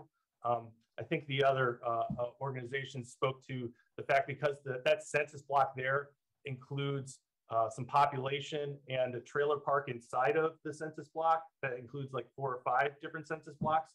You you can't actually just have the the airport in five and the residential in eight uh, going by census blocks. And so, you know, we encourage that line. I think you've heard other commenters talk about that tonight. Um, I would like to, to take a moment just quickly. And again, I know there's a lot of folks who are waiting to comment, so I'll try to be very brief about the differences between our map and some of the maps being presented here tonight and by the commissioners, um, because I think it's really important. Um, I think when we're talking about just moving lines on a board, um, sometimes we forget, you know, redistricting is about people. It's not about the straightness of lines. And sometimes in talking about moving lines and moving dots on a board, it, it may seem like a little bit like a game of Monopoly, but you know, in the end, it's going to have real implications for communities across across the city. And looking at first starting with the community map, um, there is a substantial decrease in the voice of Asian, Latino, and Black voters across districts if the city were to rep, were to implement the community map, for instance. Across districts one through eight, there's about a 1.2% reduction in population district by, on average in districts uh, for AAPI, Latino and Black uh, voice uh, compared to the unity map. Uh, this is most substantial when we look at District 3. Uh, by choosing to move uh, the neighborhoods that were discussed, um, and I would disagree, I think you should, you know, hopefully get some more comment from these neighborhood associations. It sounded like the, the, the, the, the folks who presented before talked to one or two people. I've heard from a lot of folks in Washington, Guadalupe, and Spartan Keyes that do not want to leave District 3. And by moving those communities out of District 3, by moving Delmas Park uh, and Gardner out of District 3, you are leading to something like a 7.8% reduction in the Latino population of District 3 you know, the kind of move that really starts to sound like voter suppression uh, in terms of how the decisions are made with these maps. Um, similarly, in the community maps District 5, they reduced our, in our Latino uh, uh, majority minority district as a city, they reduced the Latino population by four. While the speakers before us did say, you know, there's a lot of northern pressure and you got to move north, our map shows how you can still keep the core of downtown together, keep the core of District 5 and East San Jose together, while continuing to keep those cultural communities that have linkages together and to keep very similar uh, levels of, of, of, of demographics here in these communities instead of really engaging the kind of voter suppression that could have not only bring the possibility of, of challenges to these maps, but really change the fabric of, of our community. Um, similarly, across both the community map, uh, C3, and I think the new D maps, we've seen, I guess across the D maps and the community map, the movements to the south of, of District 6, uh, taking out the neighborhoods, uh, the multifamily neighborhoods in the southeastern corner of the, the Willow Glen Association. And, you know, they also have their own association, taking that, that multifamily corner out uh, of District 6 would also have Willow Creek, it's, it's known by, it would have big implications for the demographics of District 6 in terms of reducing the Black population, the Latino population, and even the Asian population. similarly, moving the Willow Glen line south, which happens in the community line, in the community map in C3 in D and D2, uh, you know, that is significantly reducing the voices of a pretty large Latino population in District 6 uh, and of the renter population by bringing largely white single family homeowners into greater proportion into District 6, really watering down those voices. Um, there, there are a number of, when we, when we talk about uh, the, uh, in the DMAP, the inclusion of uh, Communications Hill, and talking with D7 residents, there's a feeling that Communications Hill is really an essential part of that, that district. And so to lose that um, is not something that we should engage in willy-nilly or, you know, divide it in half, slice it up. Um, that's a that's a that's a neighborhood that you know is a community of interest, deserves to remain whole. Uh, additionally, by taking the moves of moving uh, those neighborhoods that have you know large numbers of Chicano homeowners that have been there for generations in terms of you know Goodyear Mastic, uh, Guadalupe, Spartan Keyes, moving that into District 7, uh, you're substantially diluting the Asian vote within District 7. Again, you know, raising the possibility of some challenges of these maps. And so I would just encourage, I think in this process, it's really easy uh, looking at the Zoom screen and, and trying to look at lines move to not think about the makeup of these neighborhoods and what it looks like when we make these moves. Uh, would certainly encourage the, uh, the, the commissioners here tonight to think about, you know, while maybe presenting multiple maps to the council, thinking about trying to keep at least one map in the mix that does maintain these particular communities of interest, uh, maintains our majority minority districts and our Asian and Latino influence districts, and tries to undo some of these historic wrongs when it comes to creating lines that actually increase instead of decrease the political voice of Latino, uh, Asian, and Black voters uh, here in the city of San Jose. Um, Andres, did you want to share any additional comments? Oh, I don't know if he was able to get in. I may have made a mistake there that he's not on. Hi there. Oh, Hello. There yeah. Um, yes. So uh, re really, uh, I encourage you to kind of think beyond been presented. There are options that allow you to be able to achieve um, those numbers that you're looking for while still keeping communities of interest together. The Unity map is an example of that. And I know that there are certain areas of contention. Um, those obviously, as Jeff has mentioned, can be worked out through dialogue, through through continued uh, uh, input. Um, but uh, the Unity map does does provide you an example of what you can do if you go out there, you get some input, uh, like the the hard work that we that we have engaged in um, over the course of a significantly long time. Uh, I would just encourage you to really consider it. And please, um, I, I, I don't want to continue to repeat what my colleagues said here. We are from the community, and these allegations uh, that have been raised in, by previous commenters about outside folks, I'm, I'm, i represent 100,000 people. I was a, a, commissioner just like you in the city of San Jose before I went to, to represent those people. Uh, I know what it is. I, you, I know you have a thankless job. It's a very difficult time. You're very, very condensed time that you're working in, the constraints and the pressures that you're receiving. So I, I thank you for the work that you're doing and the and the effort that you're putting into it. But I also want to stand up for those of us who have been on the other side right now, uh, gathering input and doing the work that I know benefits you because you are getting the the benefit of the information that we're bringing from the groups that we've been working with, from the community that's been providing us input. So thank you for the work that you've done thus far. And I would hope that we continue to engage in dialogue that allows us to, to come up with maps that keep these communities of interest together um, and, uh, and still, and still abide by the law. Yeah, I'd just say, you know, while the community map perhaps has the highest level of dilution of Latino voices, you know, we see similar in the D and D2 and C3 maps, significant drops in, in East San Jose uh, and in downtown San Jose in the Latino population. And so um, we just need to be thoughtful about when we're making choices about who's in and who's out of some of these districts. It, while it may not be anyone's intention, um, some of these choices that have been discussed have pretty significant consequences to communities across the city. Uh, thank you for your presentation. Um, are there any uh, questions for the presenters from the commission? Okay, I don't see any. Um, oh, Commissioner Bar- Barragan, Barragan, I'm sorry. Go ahead. Barragan.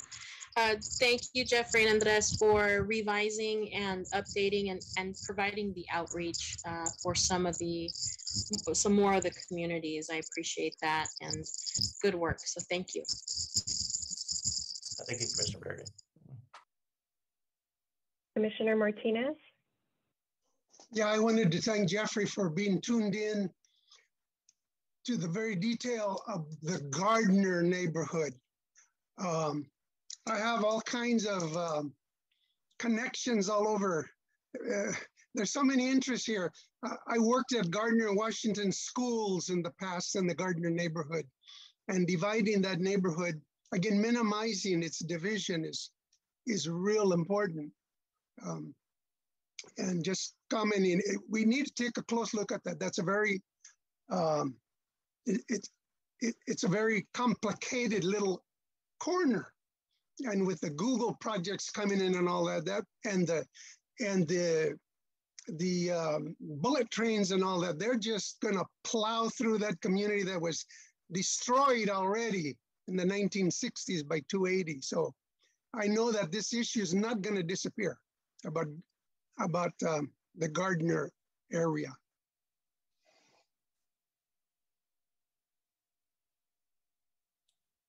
Commissioner Alvarez? Yes, I have a question. In District 8, is that that we have a minus 1.72 in population? Uh, so that that's the that's the deviation uh, from the ideal. Okay, because that's really brings us below. We were before 0.4. We weren't we we needed population, but this really cuts us some people. I So- understand why you did that. Oh, yeah, so the only, the only changes that we had, let me bring up the old district line. Um, So we added population. We added population up here. Uh, This is part of, uh, I believe it's the Mount Pleasant School District that uh, is still in five. Um, And so we added that to District Eight. Um, we, you know, kept the same lines as before for uh, around Reed Hillview, uh, but that area that uh, I believe uh, uh, Commissioner, um, I don't have my names up, that that um, one of the earlier commissioners, I'm sorry, I'm, I'm forgetting names of all everyone on the commission, uh, had mentioned around Ocala Middle School. We did add that neighborhood around Ocala Middle School. Otherwise, the, the lines of District 8 are are the same. Uh, we did, I think in previous uh, commission, uh, we had the conversation, Commissioner uh, Alvarez, around the city attorney uh, not allowing us to include as contiguous this part that used to be of District 8 uh, further into Coyote Valley. We would like to include that uh, if the uh, if the city attorney uh, would say that that is something we could do under the Fair Maps Act. So we would love to be able to do that, but have been advised otherwise. No, I know you can't do it. I looked Yeah. into it myself. Uh, But I'm still, I'm still, I'm still concerned that we lost population. We had already lost population and this uh, negative 1.72%. Um, I, I think also the data set in, in this mapping, uh, the, what I have up right now, while we're, we're quoting uh, data from elsewhere, it it may, it, there may be some differences uh, uh, there with that, that maybe that's popping up. I'm not sure. Um, it's really just that Ocala Middle School uh, that we are, are taking off, which is only a couple of hundred residents. And then we're adding, I think it's like a little bit north of a thousand residents in the foothills. So I'm not sure there's a major population loss but but I understand the, the the concern if that was the case. So yeah. Commissioner Dilveson? Thank you. Good evening, Mr. Buchanan. Nice to see you again. Thanks for the follow-up presentation. Uh, A few questions. One, um, I have a letter that I read today from the Willow Glen Neighborhood Association that indicated no outreach has been made to them. Uh, I believe I asked you that question last time, and I just wanted to confirm whether or not that, that had been done and since the last time we met. And the Yeah. same question with Vendome, please. Yeah, so uh, I reached out to the Vendome Association right after our meeting um, and got an email this, I guess this morning from their association leader, you know, with making some strange accusations and saying that they didn't want to have a conversation. Um, so, so that was unfortunate. Um, but you know, we would still obviously be open to, to having a conversation. Uh, we, we reached out to some Willow Glen residents. I wasn't able to get a hold of anyone from the association. We have talked to a lot of District 6 residents, I would say, in, in recent weeks. Uh, the North Willow Glen uh, Association uh, supports the C4 map, uh, which is a version of our map. I was able to get a hold of some membership there. Um, and, you know, we've been having conversations with Shasta-Hanchett and other parts of folks in the Rose Garden, other parts of the district. I just haven't gotten a hold of the Willow Glen Association. So um, I mean, I'm glad to have a conversation with anybody uh, about things. I understand that they have a difference of perspective. They want to move the line further south uh, than exists today. We think it may make sense to move it a little further north. Um, regardless, it's Willow Glen's going to be divided, and so where are we dividing it? Well, okay, that's an interesting point, and it kind of dovetails nicely because you, you, I was listening very carefully to your presentation, and you made the comment that we shouldn't split up Communications Hill because that's a community of interest, and that's not what we should do. Well, I mean, I've got I've got 200 pages of email correspondence from District 6 residents telling me and the commission they do not want us to split up Willow Glen. And in fact, what they want is basically for the southern boundary to remain intact, which as far as I can tell, is basically my duty to try to effectuate, given they're the community of interest. And this is the testimony that I've received now over a period of months. So I'm curious how you reconcile not splitting up Communications Hill, but being able to basically split up this very sizable area of Willow Glen that has been intact for years. I mean, decades. Willow Glen was its own city for you know for Pete's sake. So I'm, I'm interested to hear how you reconcile those two things. I, appreciate the comment. Um, so I think it's important to remember that today Willow Glen is divided. The Willow Glen Neighborhood Association currently sits between District 9 and District 6. It sits between District 9 and District 6. It's not united. It, it hasn't been united. I'm not sure if in uh, going back when it may have been united, but it's not united. And so arbitrarily where we move that line any way you slice it, that community is is is. I don't believe there's a way to include the entirety of the neighborhood association into one district. And so, if it's going to be divided, it's a question of where the line is. So we're not dividing that community; it's already divided.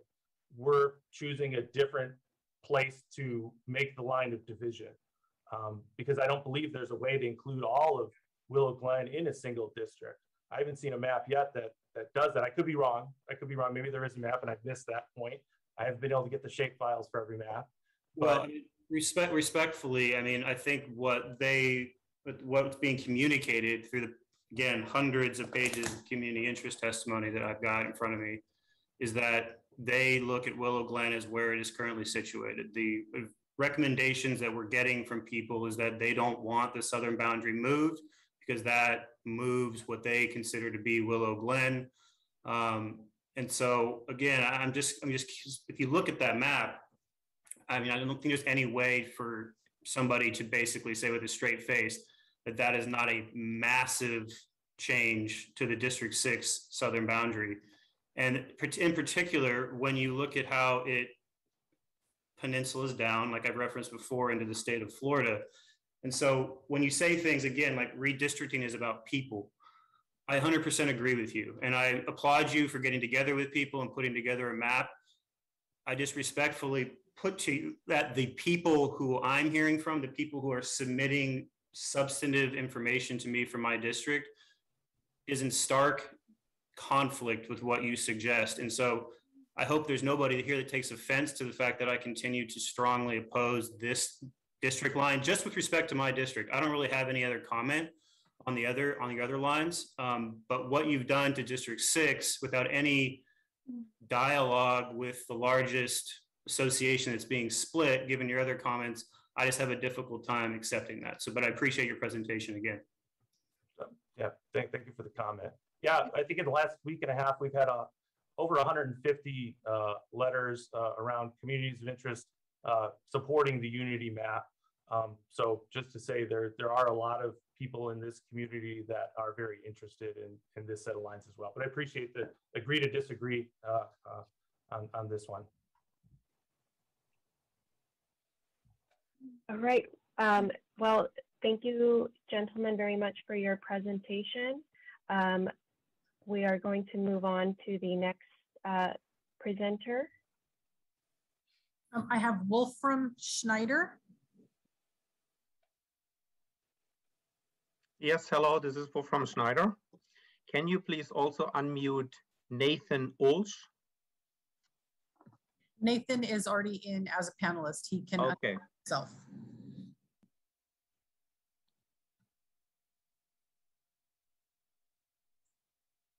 And so both of you have the ability to share screen and unmute.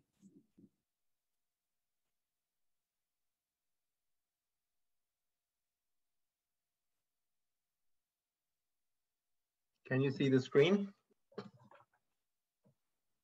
Yes.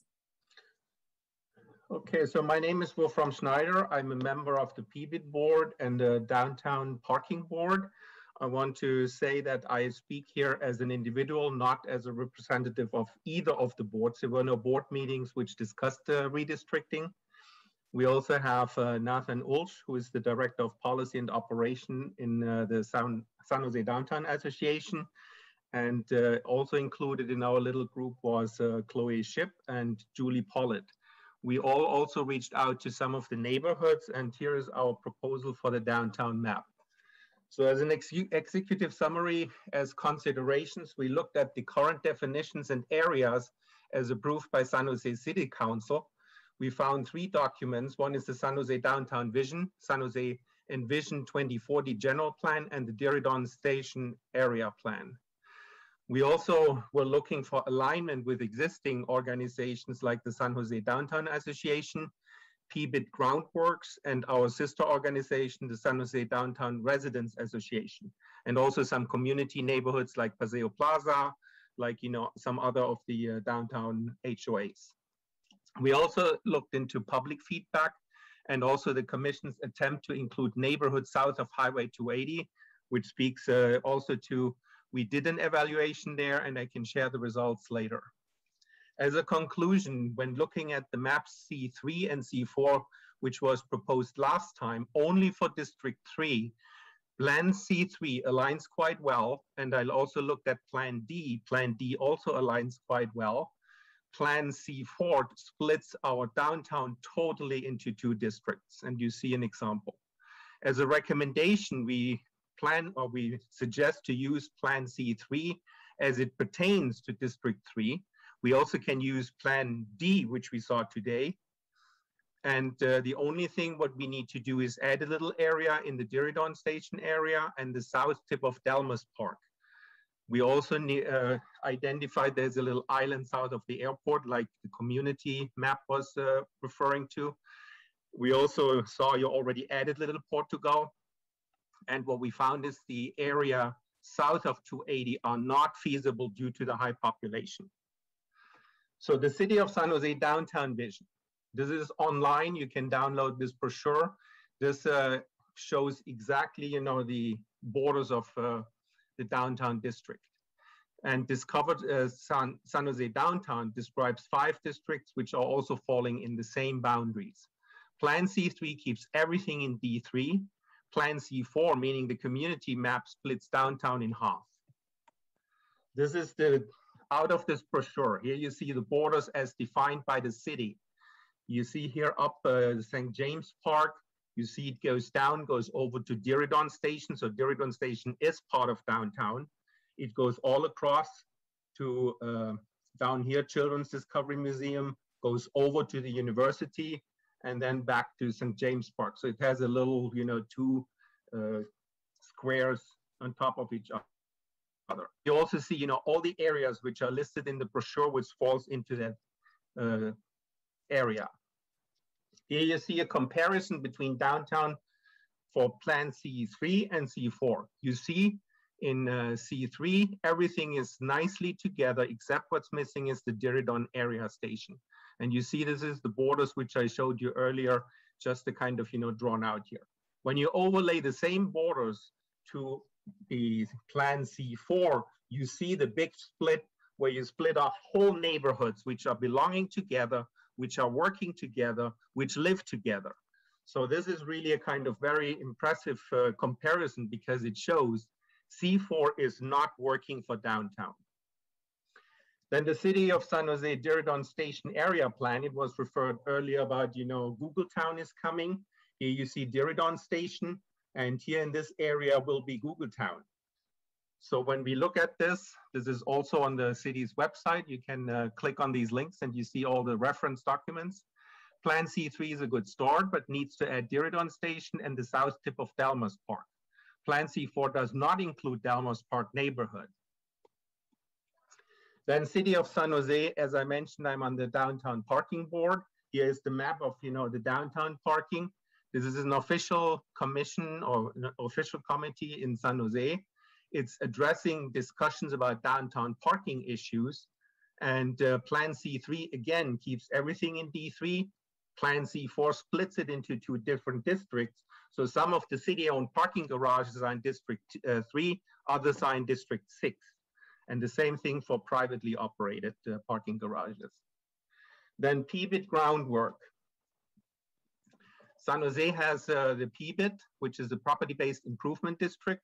This is, you know, from their website. You can look into it again in more detail.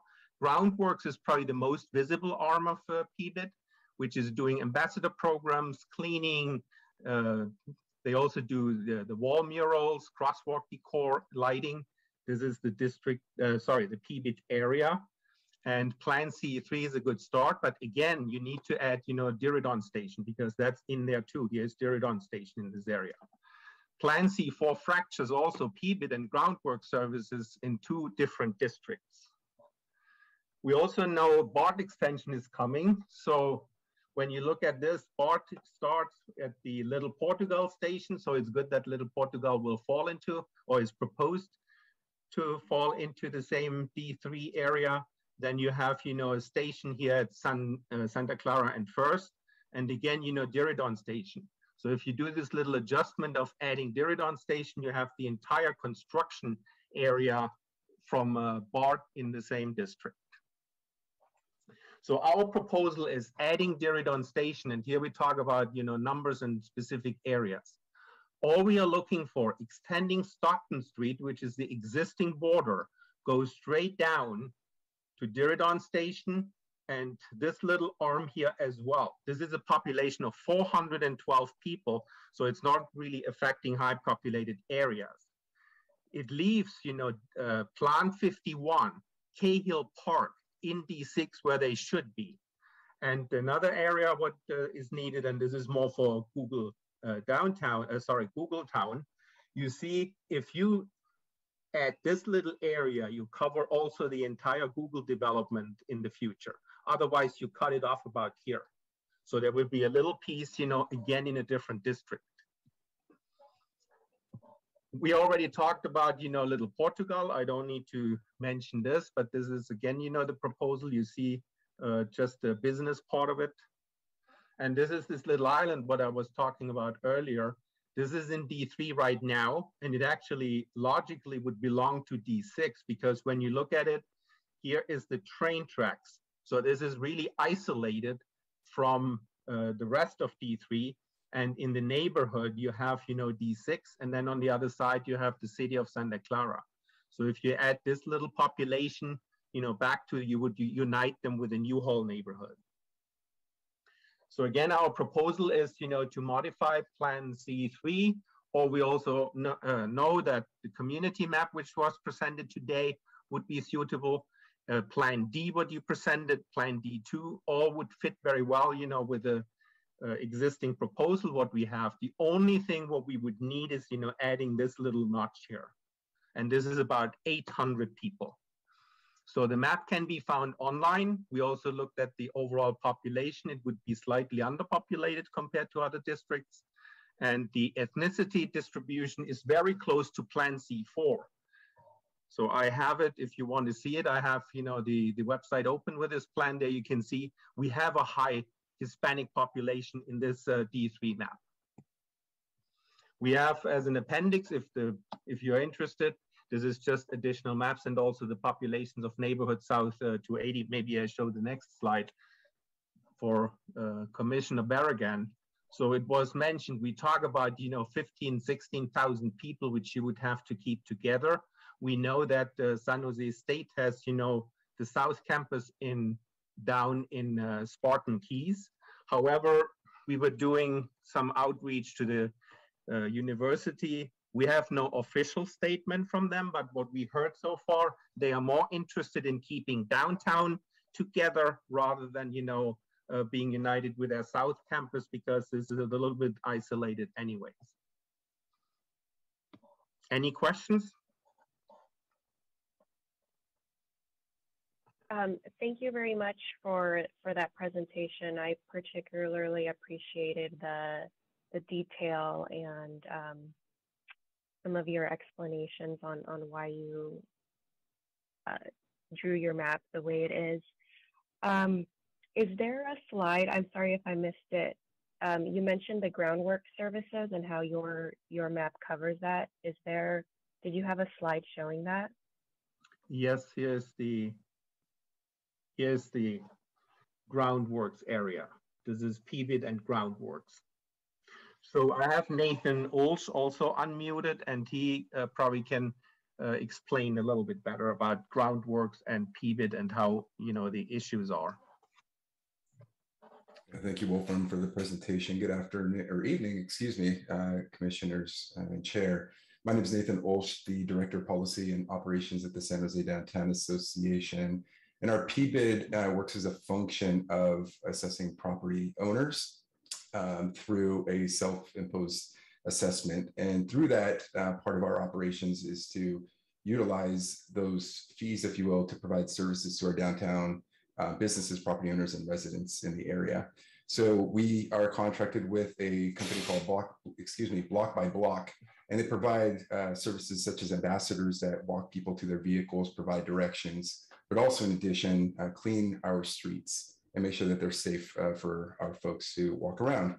And part of that is keeping um, the businesses uh, as well as the residents uh, together in this sense. And as we are talking with our council member, uh, this is one of the components that, that we really are cognizant of as we're moving through this trajectory of the next 10 years is there's going to be massive growth coming in to downtown. Theoretically, nothing's, uh, we, we all know once things go towards development, it may or may not happen. However, if we're looking at uh, C4 and C3, uh, what we don't want to do is go through a, a divisive downtown. And there's some maps that actually cut our downtown in half, like the SOFA district and so forth that uh, represents uh, our, our, business and property owners, but also our residents in the area. So, in you know, theoretically, in ten years, we're going to see a massive increase in influx of, of residents in the area. What we don't want is to create uh, boundaries that might not reflect what would be in ten years uh, by virtue of growth in in the downtown. So, I will pause there for the time being, but happy to answer questions. So let me just add to what Nathan is saying. When you look here, Stockton, this is D6 and here is D3. And you see, you know, the PBID area ranges over, over here. It goes into City Hall. So, you know, of course, here is SOFA district. So again, you know, what you saw earlier about, you know, fracturing downtown, you know, you, you, you totally take off, you know, uh, SOFA district, which is part of PBID. And of course, you take off City Hall, which is also, you know, part of uh, the PBID district. So what we found when we looked at this analysis, you know, even official city documents and publications on the website, they clearly define what downtown is and clearly define certain areas. And we are very, very concerned that, you know, the plan C4 is totally fracturing our downtown. So you have to have that definitely in consideration when you move forward. And it would be nice if you also could, you know, add, you know, this little area because this would complete, you know, what's already published. And of course, as I said, it's only a few residents, so it's not really high populated areas. Uh, commissioners, any questions on this presentation? I see no hands. Thank you very much. Thank you for your time. For your time. Okay, I have, a- Madam Clerk, do we have any other? yeah, I have two more um, who are sharing maps that I know of.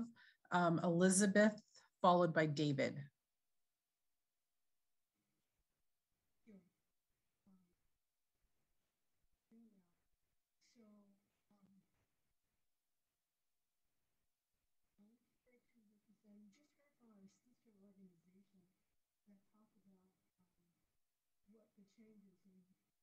some of the maps will do to us. And uh, because, and because we have a small boundary. Okay, Elizabeth, I hear, I think I hear you faintly, but it's, it's, you're barely audible and I have my volume at maximum. Okay, let's see. Is this any better? Barely better. Barely better. Oh, I mean, we can hear you, but I, again, I'm at maximum. uh, okay. Can you hold on one second? See if I can- With a, a microphone. Hello, is this any better? Very much. Thank you. Okay, so, um, yes, I'm here speaking for the San Jose Downtown Residents Association. And, uh, you heard from our sister organization, the Downtown Association, which represents the business side of things. And you will see that, uh, some of the maps by the under proposal will have an even more dramatic effect for the resident side, at least for our residents association.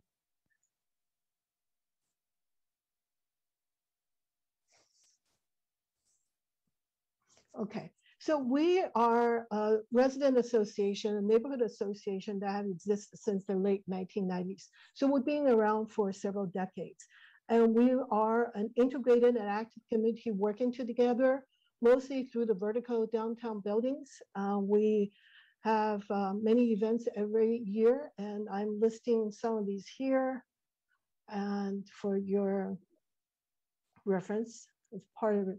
So we, our boundary to the north is Julian.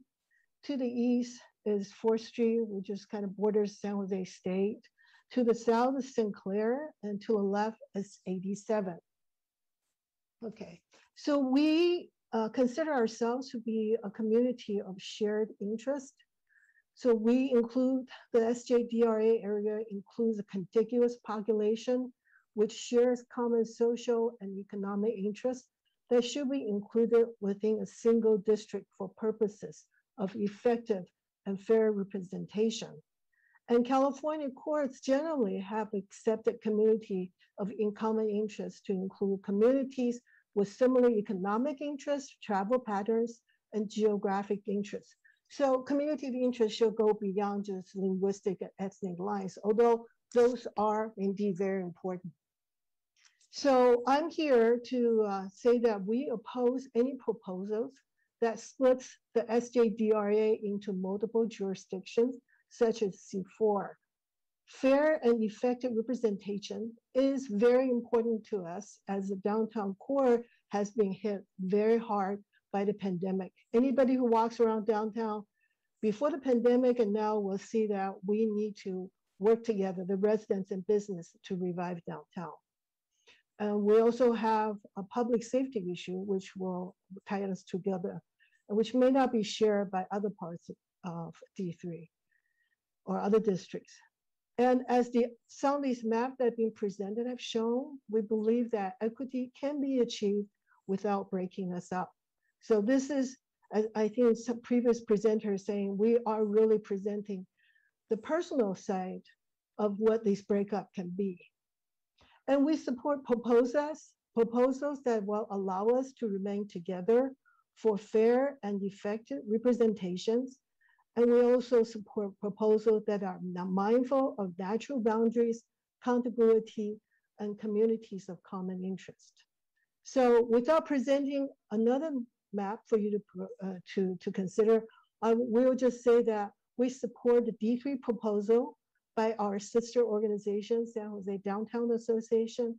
We also welcome other maps, such as the community map, which will address our concerns.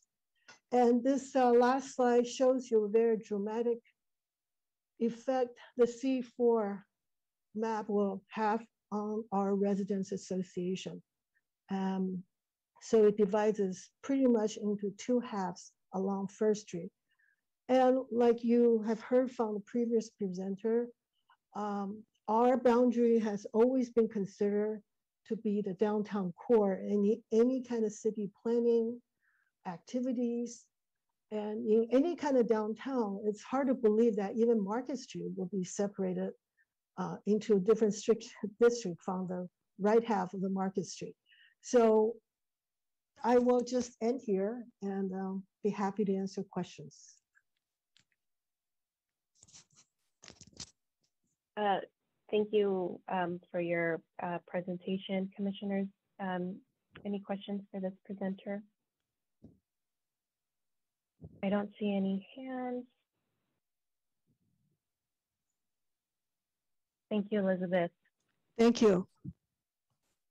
We, we have David Knoll.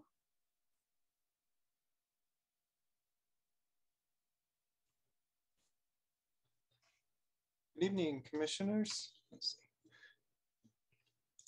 I'll try to share my screen. You can hear me, right? Yes.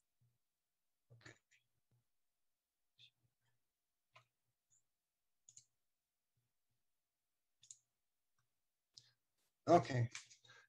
So I'm here to talk about the south and um, eastern border of District 9 and the interface with District 10. And um, I wanted to start by thanking some people. Um, first of all, thanks to uh, Lenka for sharing news about this process on Nextdoor last week. That's when most of us first learned about this process. It's been quite a, uh, a hill to climb to, to get up to speed. And I wanted to thank uh, Cheryl and Sonia. They taught me a lot. Um, and I wanted to um, say that I agree with their map. And I also like the fact that they've reached out to all the neighborhood association or to all the districts leaderships and, um, you know, really tried to find out what um, works best for everybody. Um, and I wanted to thank our commissioner, um, BJ Fadem, for his comments too about um, trying to keep District 9 um, similar to the way it is now and preserving our neighborhoods. So I've presented a, I'm presenting a, uh, a couple of micro COIs and then a little bit larger COI. Um, in particular, on in my area, there's four neighborhoods that we want to keep together. We're one contiguous uh, residential area. And then there's also another similar neighborhood next to us called VEP Community Association. And then I would like to consider us as part of a little bit broader COI called um, Almaden Blossom Hill, um, you know, the greater Almaden Blossom Hill area. So this shows you the current District 9 and the four neighborhoods that we've decided to call uh, Four Corners, um, Branham, Pearl, uh, Branham and Pearl Four Corners, which is Pearl here, Branham here. We have Thousand Oaks, Pinehurst, Erickson, and uh, Tatra and Tanglewood are in this green section here. Um, it's actually, the, the mapping software actually combines us with Erickson, but it's, it's really not.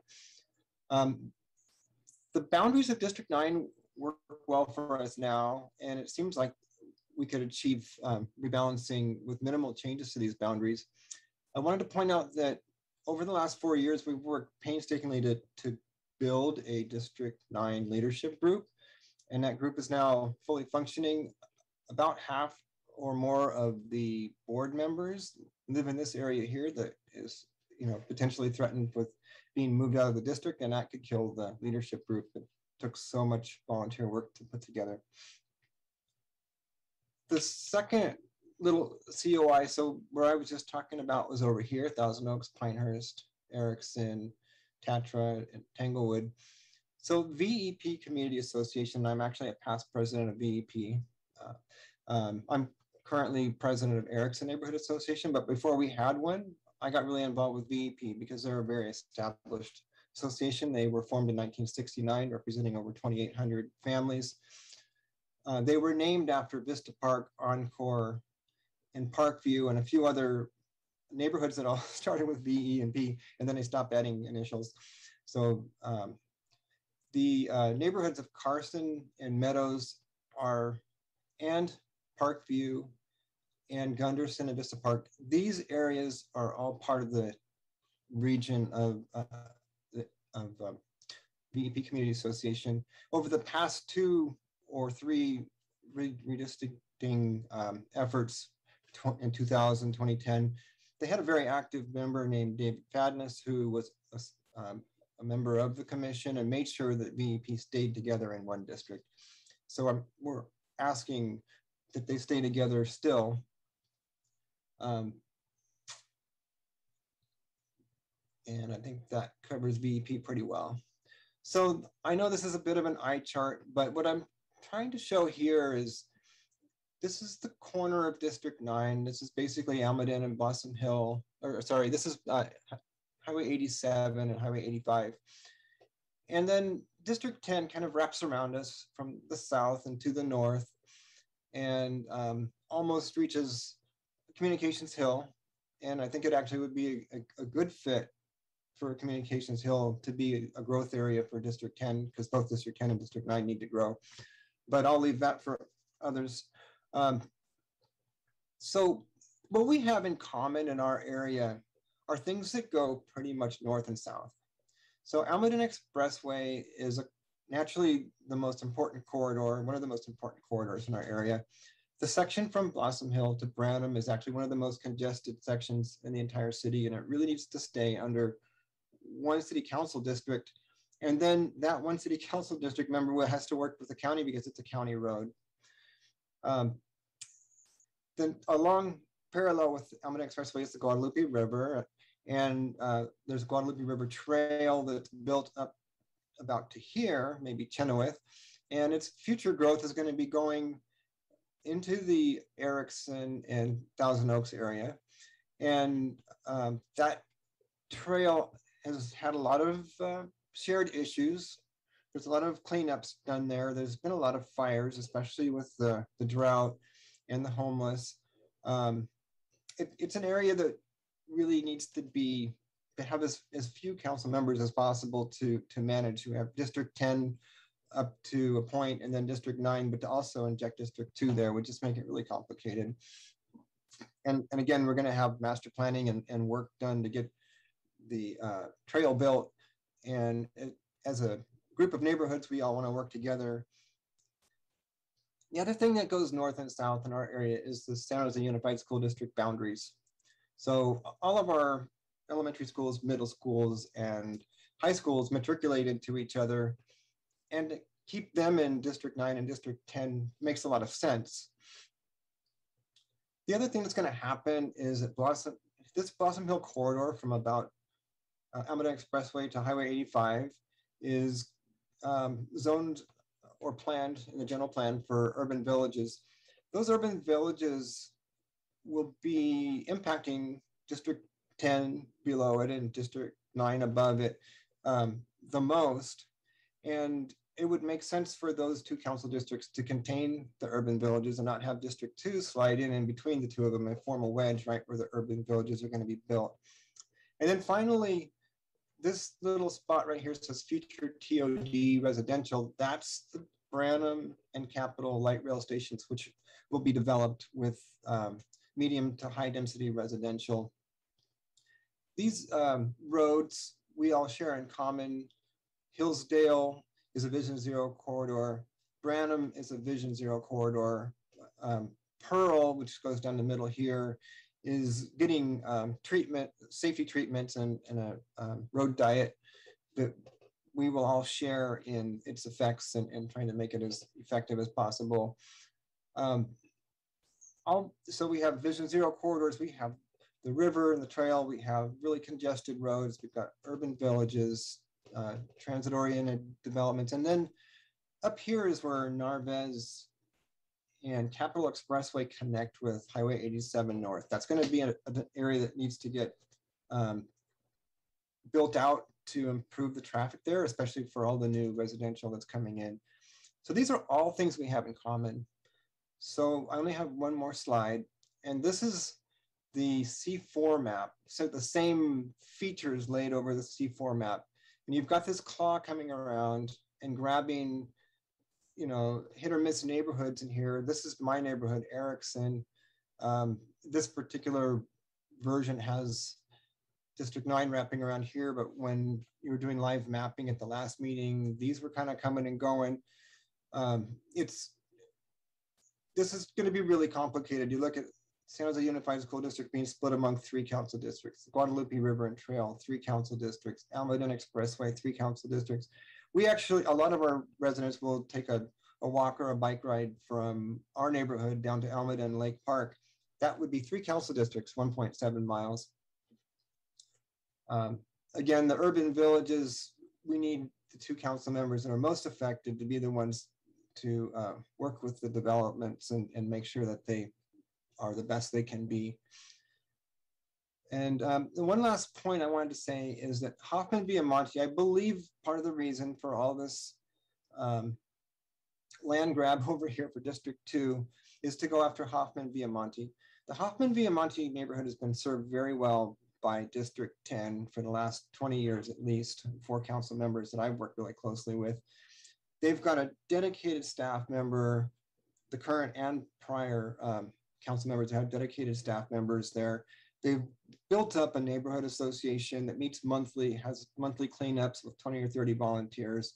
I believe they had a, a child care center built, but I'm not sure. There's another medium density development coming on board soon that will uh, provide um, housing for foster children or post foster children and um, have a thousand foot community center that's available to the whole neighborhood. So I don't think it would be fair to say that that neighborhood has been underrepresented or not had a voice. In fact, the council members have worked their best to create that voice and to form those neighborhood associations and keep them going.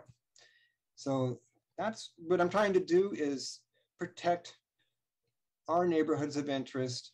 I would like to keep District 9 changes to a minimum. I'd like to preserve our leadership group. I'd like to keep our four neighborhoods together. I'd like to let VEP continue to stay together and not be separated. And again, Carson and Meadows are part of VEP and a part of District 10, not District 9, as was shown in a different slide deck earlier today. And then recognize that District 10's current boundaries are pretty good and they could move north towards Communications Hill. It would make a lot of sense because a lot of the traffic from Communications Hill also has to use the same roads that we're using, the same uh, Highway 87 entrance at Capitol and Narvaez, um, the same roads that are having um, sideshow activity down at uh, the bottom of Communication Hill and Hillsdale and uh, Communications Hill Boulevard. It's getting pilot project for um, traffic circles. All these things we, we share in common. So um, I'll stop there. And if anybody has any questions, I'd be happy to address them.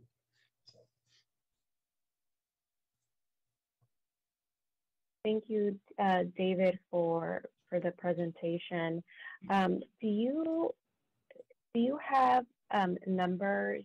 Like, do you know what the population is in those um, neighborhoods that you're highlighting? I don't have those numbers on the maps here. Um, I bet Cheryl could show some numbers, but um, or we could show live if we went on district or. Um, you do have a map on Districtr. Um, I I have some. I have several maps on Districtr. Well, if you want me to pop something. No, up. that's fine. We can do that later. We can do that later with with Chris and you know to look at the numbers. I just was wondering if you had that. Um, No, handy. in general, Thanks. the community map that Cheryl has, Cheryl and Sonia have, um, map balance out quite nicely, and they treat this whole area very well. So the, the population seems to work fine. Okay, thank you. Um, Commissioner Fadem? Just briefly, because uh, Anadina asked my question, but I still wanted to let David know, I, I did read your uh, letter. It was very good. And I appreciate actually the maps um, because a lot of people don't understand when you talk about these um, communities, where they really are. So this map really helps to show why that portion of the uh, District 9 really needs to stay together. Um, we just need a little bit more growth. We don't need to take away from District 9. We just need to add a little bit. Yeah, thank you so much. Commissioner Wright? I also wanted to echo Commissioner Fadem's sentiments. Uh, thank you, David, for tonight's presentation. I also read your letter as well and appreciated the points that you made. I wanted to ask you if you've had a chance to look at the new maps of D as well as D2 that came out this week, and if you had any thoughts about how the boundaries were represented for District 9 and District 10. I saw them. Um, frankly, there's so many maps, and you never know. I don't. I haven't invested a lot into each one of them, but one of the D maps looked pretty good. Um, I think that was the D, not D2, and in, in, our area, I think it was good. And in, in District Nine, I think it had a pretty good northern border and southern border. Um, and then the other one that had District Six moving a few blocks south into District Nine, that's pushing that proverbial water balloon that's going to cause um, the only direction District 9 could grow is either into our neighborhood, which, uh, you know, into spill into this um, traditional VEP neighborhood, or to um, go south um, of Blossom Hill into the Almaden Winery area, which is, as far as I know, has been served quite well by uh, District 10 for all these years. The, I think the current border is Highway 85. I, I think the current borders are working um, at the southern interface of District 9. I think the proposed borders with a minor tweak at, at the um, District 6, District 9 interface look good if, if you don't push too far south. Um, as far as the rest of the map, uh, I, I really speak for my area. Great. Well, thank you so much. Any other questions, commissioners? All right, thank you very much, David. Madam Clerk, was that our last presenter? I think so. Um, I'd like to go to, I'd like to allow Aurelia Sanchez to talk. Her hand was raised. She didn't let me know ahead of time she wanted to present a map, but I'm gonna allow her to talk and she can tell us if she has a map to present or if she just wanted to make public comment. So Aurelia, are you there? Are you there?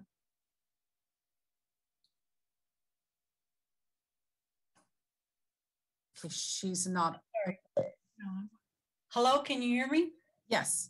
Okay, uh, my name's Aurelia Sanchez and I live in District 3 and I'm in the Spartan Keyes neighborhood. Wait, hold, hold on, Aurelia. Are you, did you want to prevent, present a map or just a public comment? I just want to make a public comment. Okay. Okay, hold on just a second. You'll be next. Uh, okay. Uh, just want to let the chair um, do her thing. Yes, okay, thank you. Um, with the presentations completed, we'll, we'll now turn to receive public comment on item five, the draft maps. Um, so if you would uh, like to speak, please raise your hand. Um, you will have two minutes and the clerk will call on you. Okay, Aurelia, go ahead. Uh, can you hear me? Yes. Okay. Um, you know, I'm kind of, I just jumped into this redistricting plan and um, I'm really surprised because Sonia Liu and Cher said that they reached out to my community, Spartan Keyes. We do have a Spartan Keyes Association. Rita Torres is the president, and they never communicated communicated to the uh, community either through email or through Nextdoor that uh, they were contacted and that if you know we anybody had any comments i'm i'm really really surprised by what uh, sonia Liu said. Uh, another thing i want to say is that i want i agreed with what eddie correa said earlier. When you start this process it's kind of hard to comment because you don't there's so much going on you don't know what to comment because there's all these different plans and I just want to also say that I prefer staying in District 3. Uh, I do not want Spartan Keyes to be divided. Um, and if we are going to go to District 7, you need to keep Spartan Keyes intact. You cannot divide us. As it is, we're going to go to a new district with established associations. We're kind of out in the corner. We're kind of like in the light industrial area. So you would be doing a huge harm to a large Hispanic working class neighborhood. So I want you to consider those factors. And I'm also concerned whether or not we could still be in the San Jose Unified School District. So again, um, I just want to comment, I'm really confused about the outreach. I'm going to be sending emails today uh, out to our association and to Dee Berrigan and to Sonia Liu. And I want the list, I, I want the names of who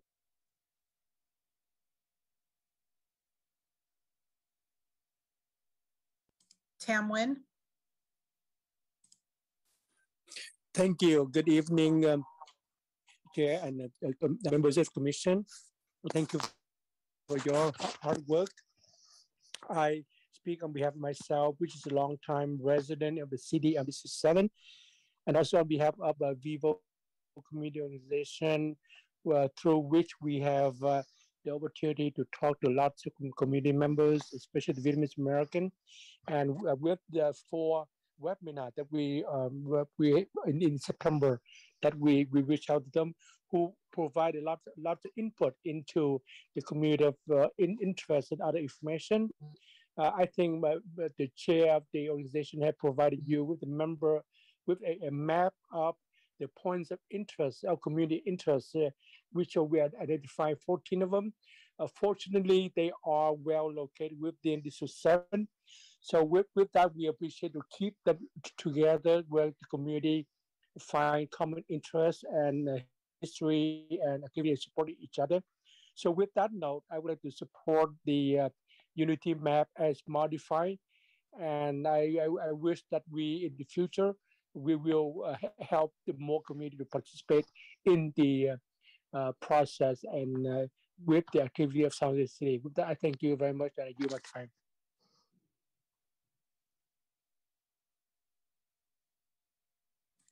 Rosie Zapeta. Hi, can you all hear me? Yes. Hi, I just want to, I really want to support Silicon um, Rising uh, map and, and just very briefly just share with all of you that the redistricting that you all have presented, I, I want to be more in support of Silicon Valley Rising because one, I think it splits uh, Latino uh, neighborhoods. It really disempowers them. Also on the Willow Glen side, it is really atrocious to not include the, the southern side and to really just leave a lot of those, those folks off. I, I know that Andrew spoke of what he's hearing, but I really, I really do think that we need to look at the map that Silicon Valley Rising has presented, which basically they spent a lot of time, a lot of data uh, went into creating these maps. Um, you know, they're, they are a very respected institution and I'm very quite concerned about the representation and really uh, oppressive and really suppressing voting for a lot of our Latinx and for our uh, Asian communities. So that's all I have to say, and I yield my time.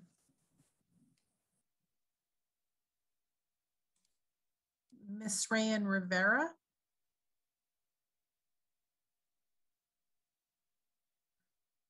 Okay, that hand went down. Um, and by the way, we have 35 hands up. Um, Todd Williams. Good evening. I wanted to um, speak out for the Vendome Neighborhood Association. I'm just a resident of that, but I don't think it's clear that the Vendome neighborhood is attached to the downtown on the east side, it is First Street, which is a planned urban village. On the west side is the freeway, the Guadalupe River, Guadalupe Park, and a shopping mall. So we're very disconnected from from uh, D6 that some maps are trying to push us into. Um, I think as far as the Unity map, it would be very helpful if they did a current versus proposed because there's so many fingers and weird shapes that it would be interesting to see you know what has changed from what we have going and the guy that presented said he took offense to the public comment but then he started accusing others of something. And I, I don't even want to go there, but I, I found all of that odd. Um, of all the maps, I was leaning towards the redistricting partners and the community map. But after tonight's presentation, I'd have to say that the community map explained the reasoning behind their need for the little changes they did. And I'd have to throw my support behind them. They adjust from current districting. They don't split existing neighborhoods into different districts. They achieve an appropriate racial balancing and they maintain neighborhoods with common interests and especially keep the downtown core with surrounding neighborhoods, including the Vendome. Thank you very much. Barbara? Hi, thank you. Um, my name is Barbara Tack. I am the District 9 Leadership Group um, interim chair. I'm also a board member of the All Districts Leadership Group and also the president of the Tatra uh, Community Association.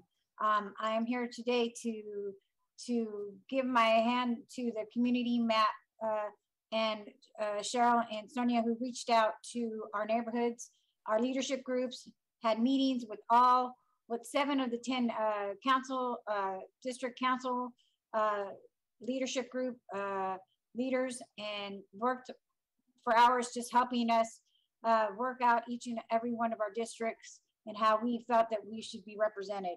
Um, I am here to say that we would like to keep Tanglewood, Tatra, Erickson and Pinehurst, and Thousand Oaks intact in D9. I am on the leadership group. Um, I've been serving on the board for three years. It took three years to create the board. And if we were not to be in D9, then our board would not exist because three of our six mem uh, executive board members are represented in these four, four neighborhoods. Um, we, uh, I am putting my support on the community map too, uh, and I appreciate your time. Thank you. Rachel Daniels. Is it possible for me to, or for someone to pull up the D2 map or can I share that before I start my time? Um, do you have it ready to share on your screen? Yes. I'm, I'm going to promote you to panelist. Okay. And I'll still run the timer. Well, if I'll still run the timer, but it'll be in the background. I didn't hear what you said. Something happened. okay. Um, share my screen. So hopefully, okay. Can you see that? Yes. Okay, so in district, we're in district nine here. The this is the south border of district or the border of district six and district nine.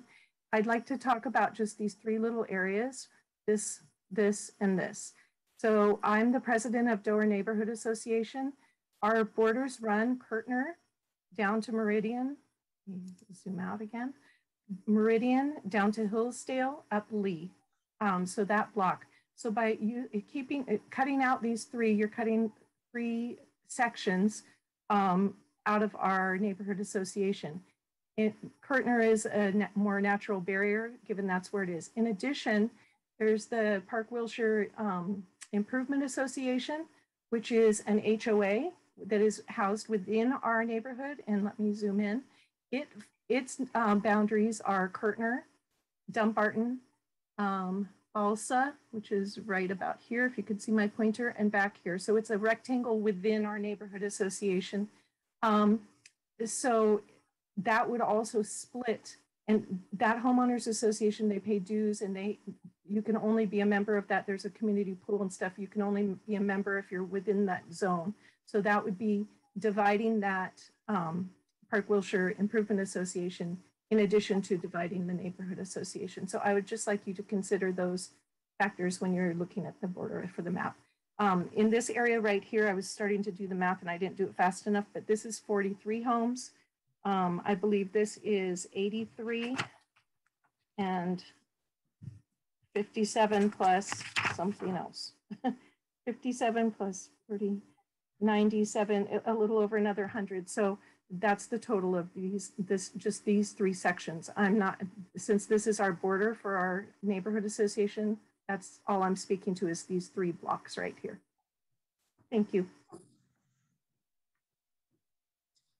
Sandra Delvin. Yes, thank you, commissioners, and I really do appreciate all your time. Um, I do have a few comments. Uh, community map two, they do have a racial uh, breakdown. And on my initial look, I did not see any voter suppression as was implied by one of the speakers. It would be great if we can have them also show that because they didn't show it when their presentation. If I'd been presenting it, I would have been very nervous too. Second, uh, during the meeting, it was implied that uh, efforts had been made to contact people in Willow Glen. I personally texted an officer of the Willow Glen Neighborhood Association. They say they have not been contacted by people in the Unity map. So that still needs to be done. I believe the uh, that was mentioned by Andrew. That question was answered or asked. So I want you to know they have not reached out. Um, I am concerned about um, all the things you guys have to balance. And I want to wish you well in balancing all these items and, and taking all these inputs. I do feel that we need to be listening to people in the community. They may not have all the advantages of some of the other organizations presenting, but they do have passion for their communities. Uh, the other I'm going to mention was I believe that Cheryl said that she contacted San Jose State and had an unofficial answer that it was more important for San Jose State North Campus to be in there versus their um, South Campus um, being, uh, they would be okay if that might be in another district, but they felt that North Campus needed to stay within and be combined with everything in the community around that. That was my what I heard. Thank you again. Good luck, guys. Rah, rah.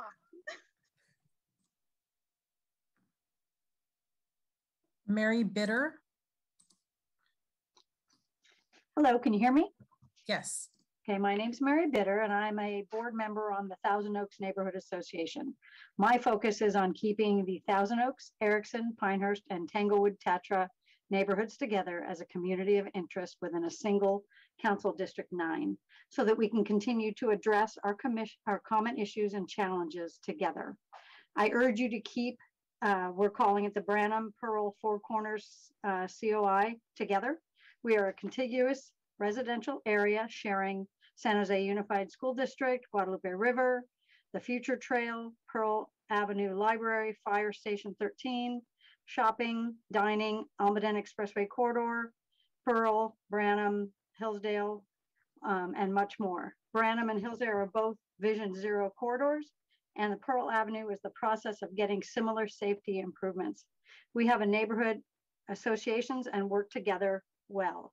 Some of our common issues are health and safety of the Guadalupe Creek, the traffic congestion on Almaden corridor between Branham and Blossom Hill, proposed safety improvements to Pearl, the road diet, and proposed urban villages on Branham, Narvaez, and Blossom Hill. We need to minimally disrupt, we need minimal disruption to current maps that emphasize contiguous geographic areas that allow efficient and logical representation by local governments. Please don't assume that well-organized groups who are able to get high degree of participation in last meeting's public comments period represent the majority of residents who aren't even aware that the redistricting um, is happening due to lack of or minimal outreach. Um, districts with simple, compact, logical boundaries and minimal sprawl will generally be more efficient for council members and their staff to manage and result in higher constituent satisfaction and ability to serve increasing populations. And then lastly, minimize the disruption to ongoing work currently being done by the neighborhood association.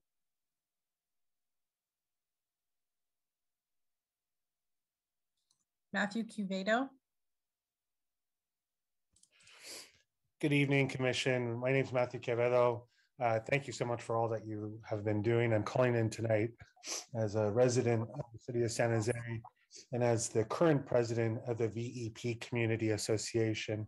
Uh, your first ask is, of course, to encourage this commission to keep the VEP community whole. Really appreciate former President Dave Noel stepping in with his presentation and providing the background that is so important to the history of our neighborhood since its founding in 1969. Keeping together Carson, Vista Park, and Parkview is critical, uh, not only because of our history, but because of our future and the work we'll continue to do as a neighborhood, improving our parks, our infrastructure, and working with our neighbors and leadership coalitions and connecting with our council members and elected officials. You know, there's a long-standing history of many neighborhood associations, whether it's in District 10, District 3, or District 4, in that we've built up rapport with one another. We've built up neighborhood associations. We've been able to connect with one another in national night out events and community events um, that uh, many have dedicated their lives, such as uh, Mr. Fadness, who I dedicate these comments to, who is so focused on keeping our neighborhood together as we came together as one community. So really encourage this commission to continue the great work you're doing, continue reaching out to the neighborhood associations and the neighborhood leaders, walk the neighborhoods, get out there and kind of understand the communities that you're representing and kind of going to be calling for uh, the redistricting of these, these maps. So really appreciate you all again. And thanks so much uh, for the opportunity to speak. Well, Melissa Willett. Uh, note we have 35 hands up. Um, hi, thank you. My name is Melissa, and um, I'm a resident of District 7. Uh, thank you for representing District 7, Mr. Sidbury there. And um, I'm just keep it real. Like, we're maybe not as sophisticated, and you may not going to hear as many like neighborhood associations from District 7, but that doesn't mean our voices don't matter. We're a working class um, neighborhood. And so I'm here to support the unity map because, you know, when we are working class, it means that we have to keep in mind the fact that we have renters as a community of interest um, and we also have to be honest about the fact that in our city, the voice of Black voters um, has grown, and you know our maps have to reflect that, and we have to kind of take back our um, city of San Jose from like the long history of redlining and racism um, and displacement. And I think the Unity map is the only map that does that. I also want to zoom in a little bit to my neighborhood. I'm on South Side in Monterey.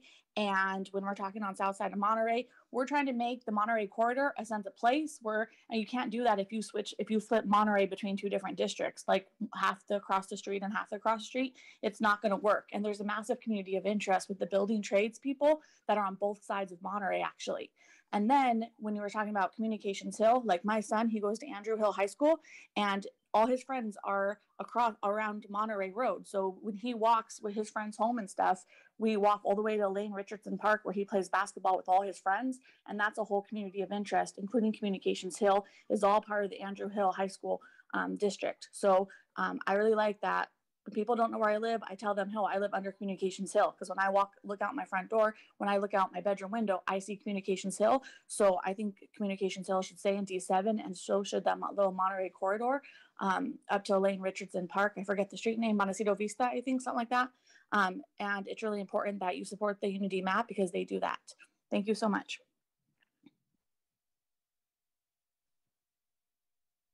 Bob Brownstein. Good evening. Uh, my name is Bob Brownstein. I live in the Vendome neighborhood.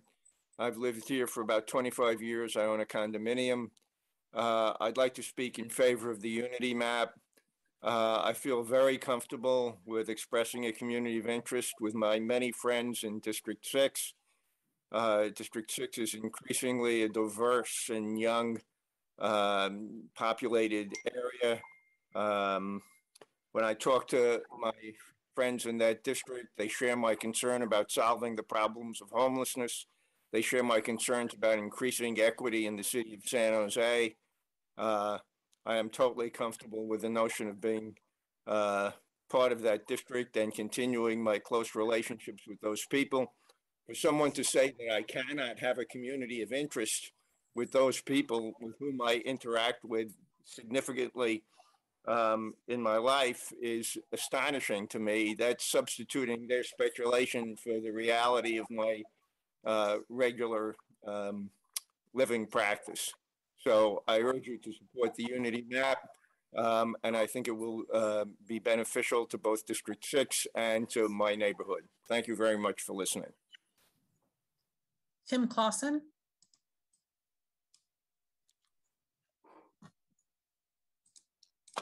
Okay, um, can you hear me? Yes.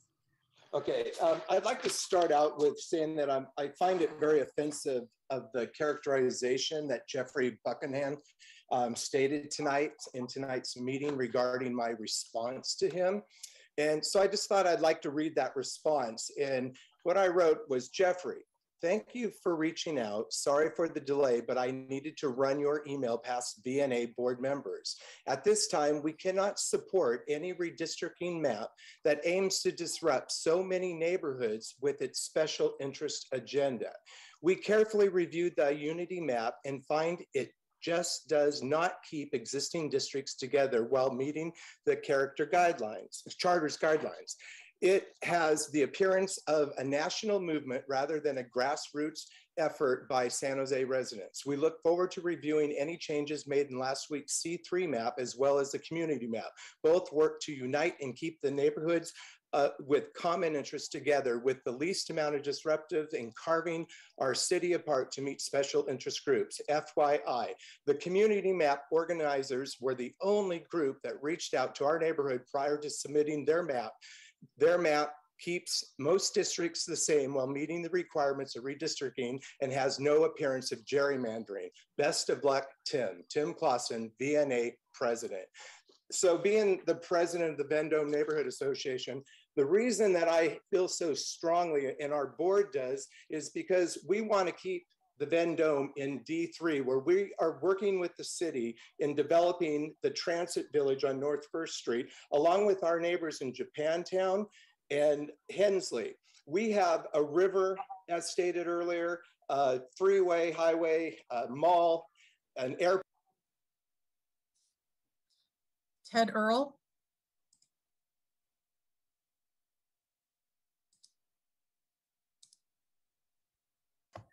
Yes, good evening. Can you hear me? Yes.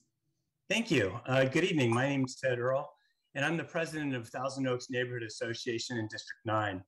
I'm speaking to ask that you keep the Erickson, Thousand Oaks, Pinehurst, and Tanglewood Tatra neighborhoods together in District 9 as requested in the Branham Pearl Four Corners community interest maps. Uh, I support the community map uh, in the way that it treats my neighborhood and its objectives for minimizing the number of disrupted neighborhoods forming compact, manageable districts with logical borders, and collaborating with neighborhood leaders throughout the city. Um, our four neighborhoods have many issues in common, and we've built strong relationships together over the many years um, and, our council, and our council office to address them. Uh, we've also helped build the District 9 leadership group that people have mentioned previously, which may not survive if our neighborhoods are moved out of D9. I want to put my weight behind and support everything that David Noel presented today. He did a fantastic job on outlining the issues um, and, and challenges as, as we see them. So I don't want to go through and, and you know rehash what he said, but um, I just want to make sure that uh, it's noted that I put 100% behind Dave. And I, I do have to comment that you know folks shouldn't assume that well-organized groups who are stacking public comment you know, periods um, represent the majority of residents uh, who aren't even aware of redistricting lack to and lack of uh, outreach. Uh, I just say that districts with simple, compact, logical boundaries and minimum sprawl will generally be more efficient for council members and their staff to manage and result in higher constituent participation. Thank you very much. I yield back the rest of my time. Annabelle Leva. Good evening, commissioners. Uh, my name is Annabelle Leva, and I'm a lifelong East San Jose resident. I also serve my community through San Jose Bridge Communities, the grassroots organization where I work. And I just want to say that I appreciate all of the work that has gone into this process, bringing in most of East San Jose. And I especially appreciate that the commission hears the community. And just like many others who have spoken in favor and advocating for their communities to stay together, I also want to reiterate that it is very important to keep all of East San Jose together. Thank you so much for your time and all the work that you do, and I yield to the rest of my time. Serene Kim. Uh, good evening, everyone. My name is Serene Kim, and I am the Community Outreach Coordinator at Korean American Community Services, otherwise known as KACS. which is located in West San Jose in District 6 of the City of San Jose. And KACS have been serving SJ residents for more than 42 years. And I would just like to say that I am in support of the Unity Map because it identifies fair representation for people of color, especially the API community. The Unity Map promotes fairness, ensuring that ethnic coalitions have an equal vote in their district and conforming to the Fair Maps Act and the California Voting Rights Act. The number of API populations grows rapidly within the city. However, the voices of API voters are not strong enough to represent, to represent themselves fairly. And so keeping and bringing communities and neighborhoods together that have similar communities of interest are very important. This map also keeps Asian American communities together and is mindful of each community with the broader API label. Thank you so much for giving me the opportunity to speak. Ben Vo. Hi, good evening, everybody. Um, thank you, commissioners, um, city staff, city clerk. Um, my name is Ben Vo. I am a San Jose resident. Um, I grew up in the Silver Creek area, went to Silver Creek High, go Raiders, um, and I'm here in support of the San Jose Redistricting uh, Unity Map, which will ensure that all of our votes have equal weight, each of our voices equal stature, and each of our communities equal resources. In our communities, we know that there are significant disparities and barriers preventing access to not just vital services, but also access to representation and power. Keeping neighborhoods together, conducting health assessments like the Vietnamese American one in 2011, and redressing the history of racist redlining in San Jose are some ways to promote equity and address the overall needs of our communities. I strongly support the Unity Map because it keeps the neighborhoods and communities of San Jose whole. To create a more just city for our Black, Latino, Asian, and Indigenous neighbors, I urge you to support the Unity Map, like Supervisors Chavez and Cortese did for the newly opened Vietnamese American Service Center, a resource hub in East San Jose that offers a wide range of services in Vietnamese and Spanish, after studying that health assessment. To fully represent our unique communities, we need to bring them together. And our tight-knit communities lack the social cultural borders that distinguish other cities. And we need to do more than just balance populations. That is why I'm in support of the Unity Map. Thank you for your time, and I really guess my time. Maria.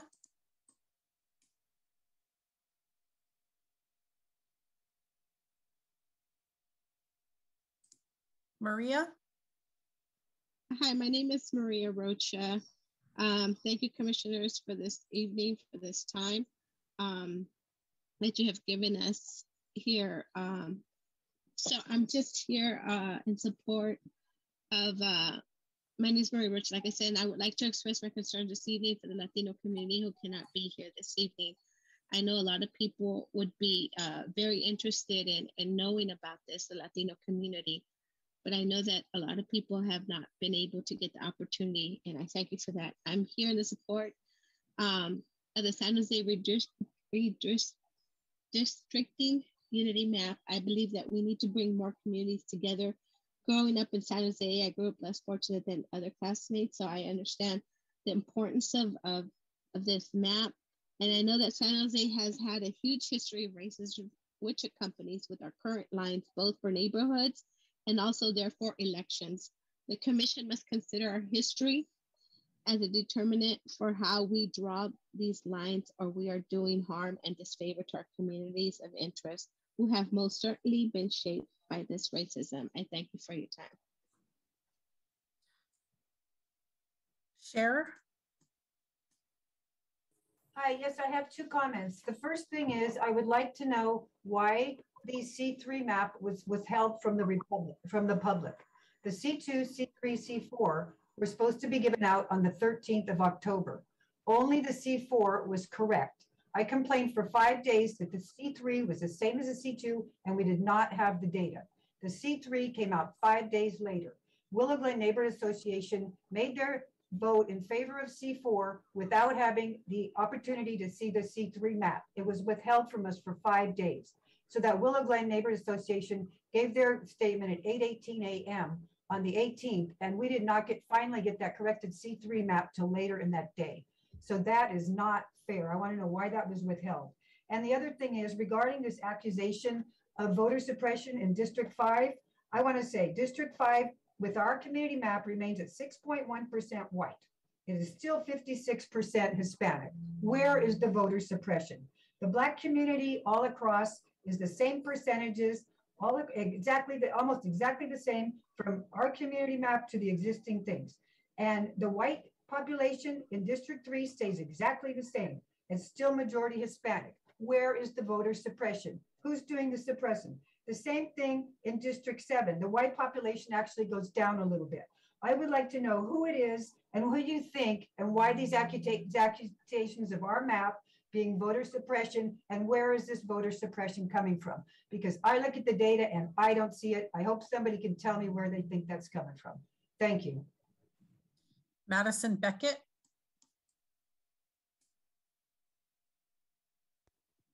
Hi, yeah, good evening. My name is Madison Beckett. I'm a resident of District 4 and am in support of the Unity Map.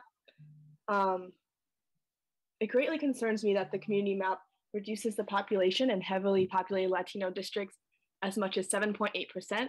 There's some previous comments that spoke in support of the community map, you know, saying it maintained neighborhood, it was traditional, efficient, and logical. I think that's an extremely problematic way of thinking that blatantly and obviously ignores the history of redlining, displacement, and inequality in San Jose. I believe there needs to be an intentional effort at restoring equity. And that should be a vastly higher priority than maintaining um, neighborhoods out of tradition and efficiency. Um, you know, there should not be any attempts to dilute the community vote that's already historically and currently under, underrepresented. The Unity Map was drafted by civil rights and community leaders who have years of experience living in San Jose. There's, we're at a time where there's such deliberate voter suppression, and San Jose needs to make the effort to promote equity to its residents. You know, I'm a resident of San Jose District 4, currently District 1, and I'm strongly in support of the Unity Map. Bob Jamello. Thank you. Can you hear me? Yes. Thank you. Um, I am co-vice president of Thousand Oaks Neighborhood Association. I've lived in the neighborhood for 41 years and you are tasked with a huge job here and you have a lot of respect from me and from from I think all of these people. Um, but um, I want to support Dave Noel in what he represented it, and his maps and his presentation were great.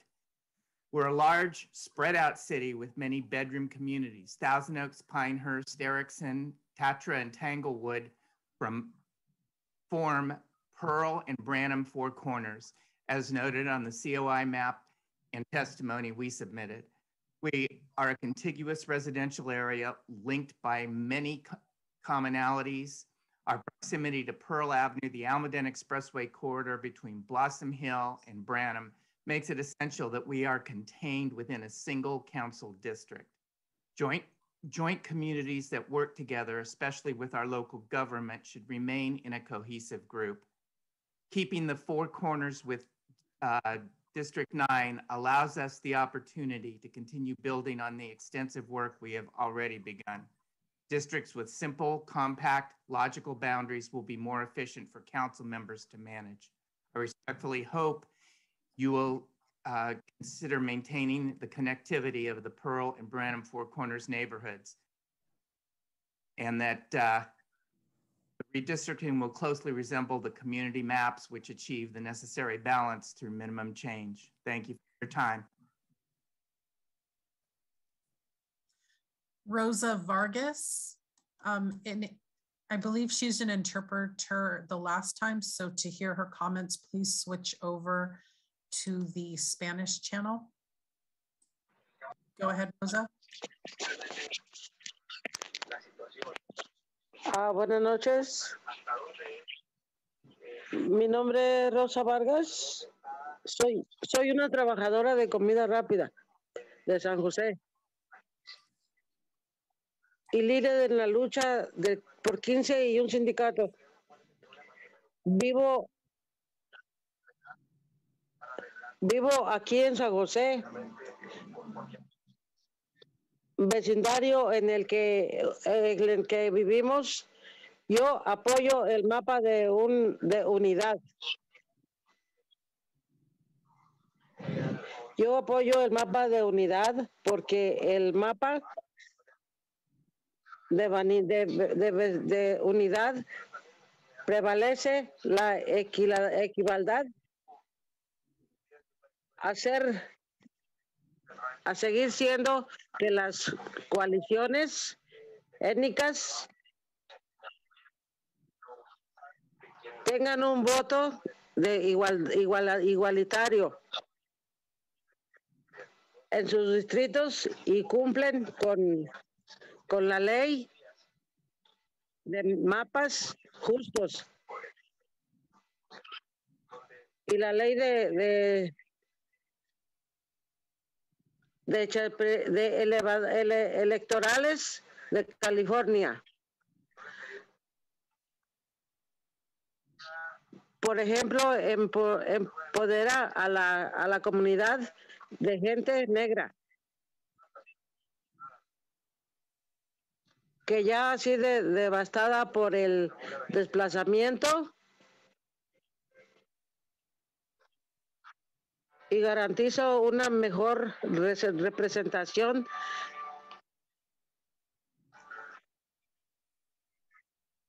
de nuestras pu- publicaciones asiáticas y latinas.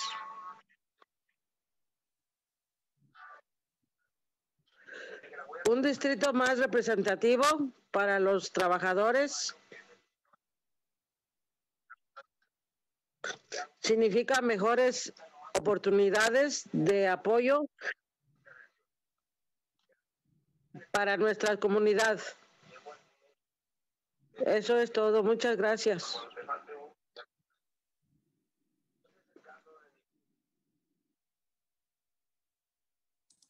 Irene Smith. Hi, I don't know why um, my name is showing up as Irene. That's, um, this is Marnie Camson. And I want to thank you um, to the commissioners for your time and to all the presenters. And I can't see the clock, and that's a problem. Um, the classic definition of gerrymandering is to manipulate the boundaries of an electrical, of an electoral constituency so as to favor one party or class. Another definition is a practice of dividing or arranging a territorial unit into election districts in a way that gives one political party, party an unfair advantage in elections. The initial unity letter to the commission said, and this is a quote, we decided it was important as groups representing the diversity of the city to try to work together to produce a unity map as a way to bring together communities of interest and build a consensus. They then produced a map that had little continuity and contiguity and dissected existing communities of interest. So the stated goal was to bring communities together, but the priority of the redistricting process is to keep communities together if they have history and relationships together. Community relationships take years to build and should not be separated. Any changes to districts needs to adhere to the legal requirements of dis, of redistricting. I was also very upset by the accusations accus- accusing another presenter of voter present, uh, sorry, accusing another presenter of voter suppression is a great illustration of the adage that the best defense is a good offense. In my opinion, the presenters really did their cause a disservice with that sort of aggressive and unfounded accusation. I support the community map. I also commend the commissioners for putting in so much time and energy and working so late at night George Sanchez.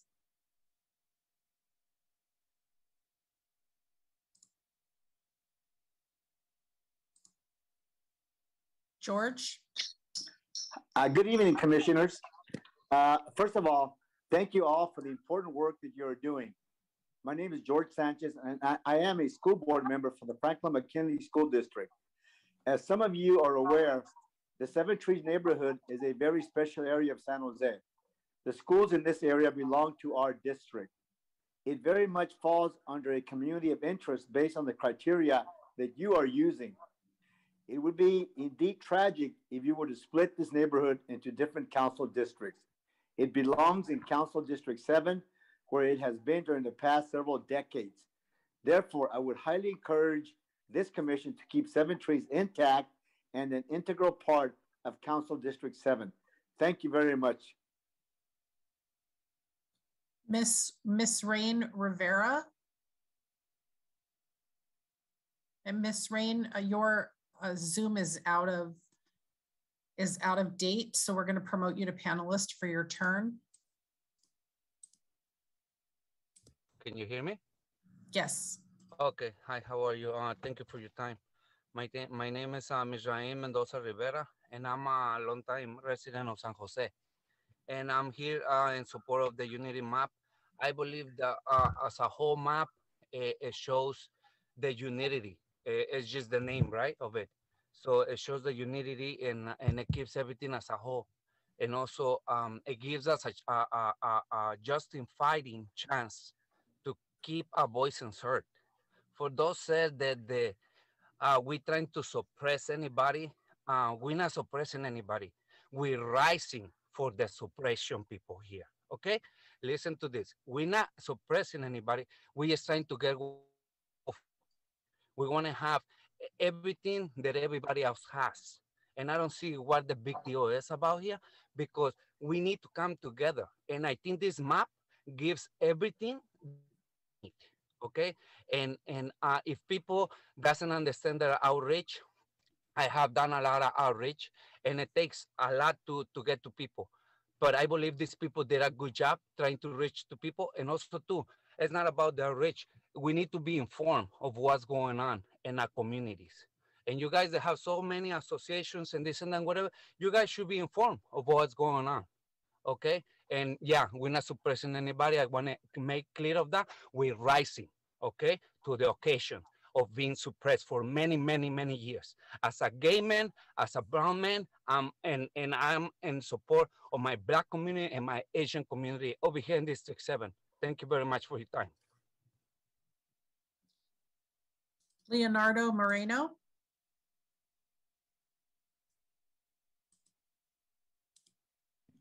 Uh, hi, good evening. Uh, just want to say we're interested in keeping East San Jose together. I saw a good job at bringing in most of East San Jose in the draft maps that were presented tonight. And we appreciate that the commission heard the community. And just want to reiterate, keep East San Jose together and please support the Unity map. That's all I, I yield my time. Maria Canito.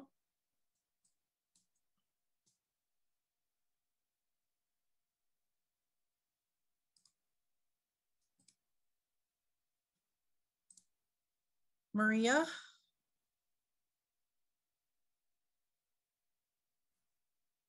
You're unmuted, but we can't hear you.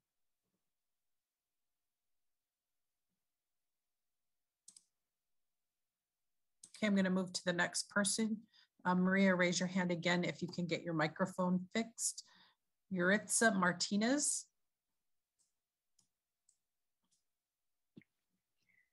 Hi, my name is Yuritsa. Um, I'm a West San Jose resident. I'm here also to support uh, of the San Jose redistricting unity map, which will ensure all of our votes have equal weight, um, equal stature in our voices also, and even equal resources in each of our uh, communities.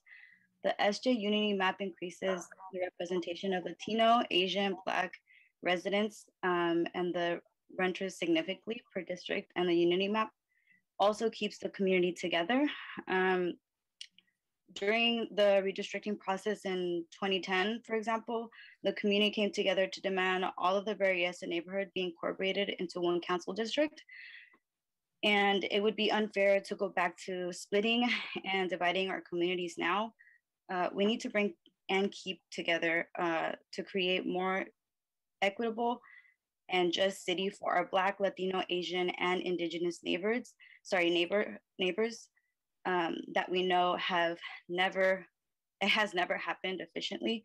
Um, the Unity Map is more than balancing populations. Um, it is uniting communities and families, and we should step up to make that happen.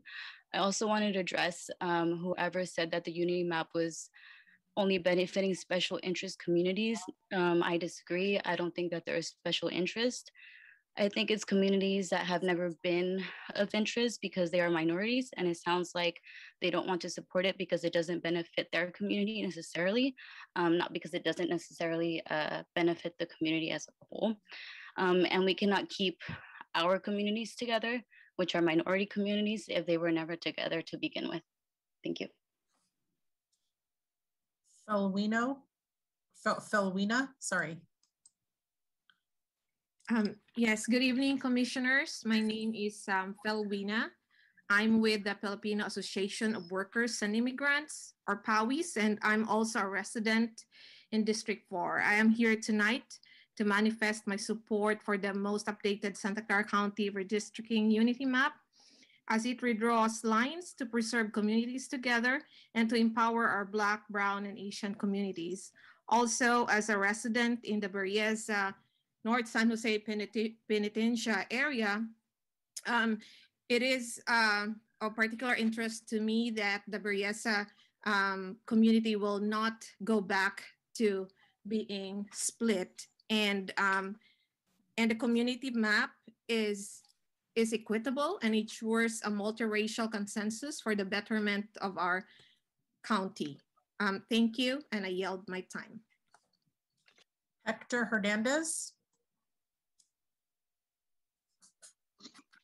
Yes, hello, hi. Uh, I'm a District 5 resident uh, of East San Jose, and I would like to show my support for the Unity Map.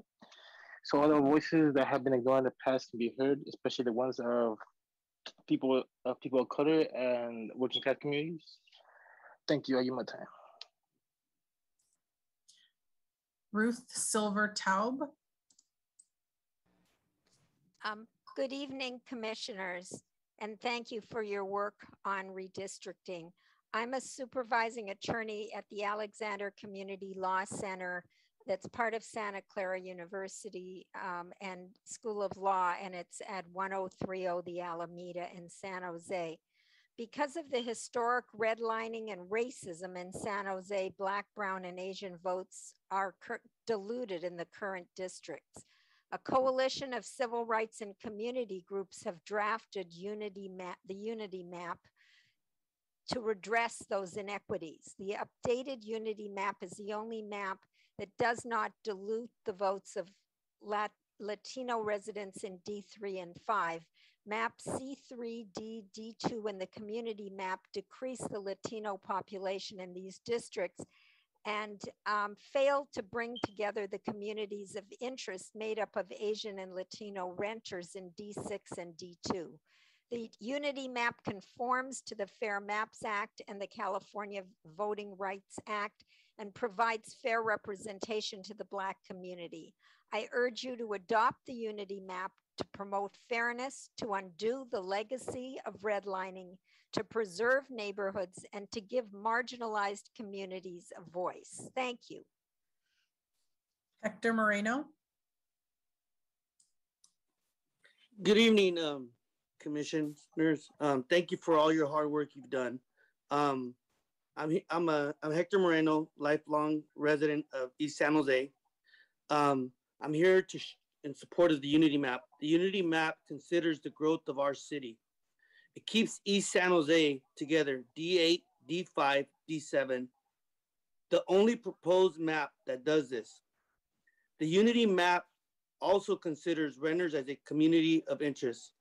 So I'm here in support of the Unity Map. And for those people who say that we're suppressing them, well, we're just like the one of the people who spoke. Um, we're not suppressing them. We're just speaking up, and we're not staying quiet anymore. So thank you for your time, and thank you for all your hard work. Um, and I yield the rest of my time. Marisol.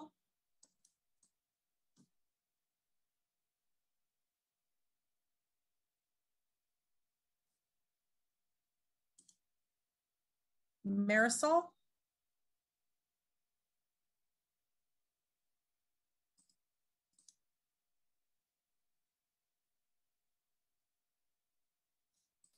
Okay, I'm going to move on to Corey Quevedo.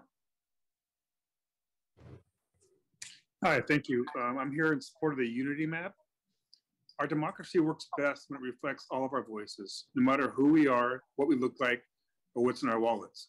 Yet across the country, we continue to see efforts to disenfranchise Black and Brown voters and weaken the political voice of working people and tenants.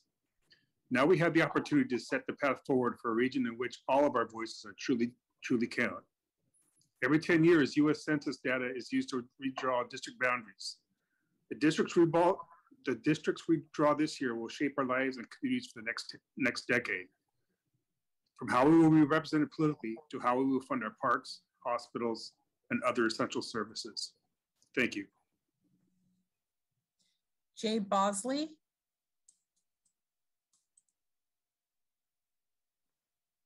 Yes, my name is Jay Bosley. I'm the council representative for the Santa Clara San Benito Counties Building and Construction Trades Council. We have 35,000 members in those two counties. Good many of them live within the city of San Jose. We support the Unity Map because they support the Unity Map. Thank you for your consideration. Tessa Woodmansee. Thank you. Thank you, Toni. You work so hard on all these meetings. You're amazing.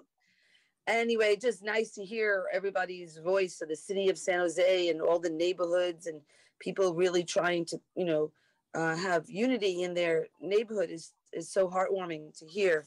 And I, my idea of wanting to come to the, uh, the redistricting, even though I'm late to the meeting, was to talk more about like a hyper local um, neighborhoods.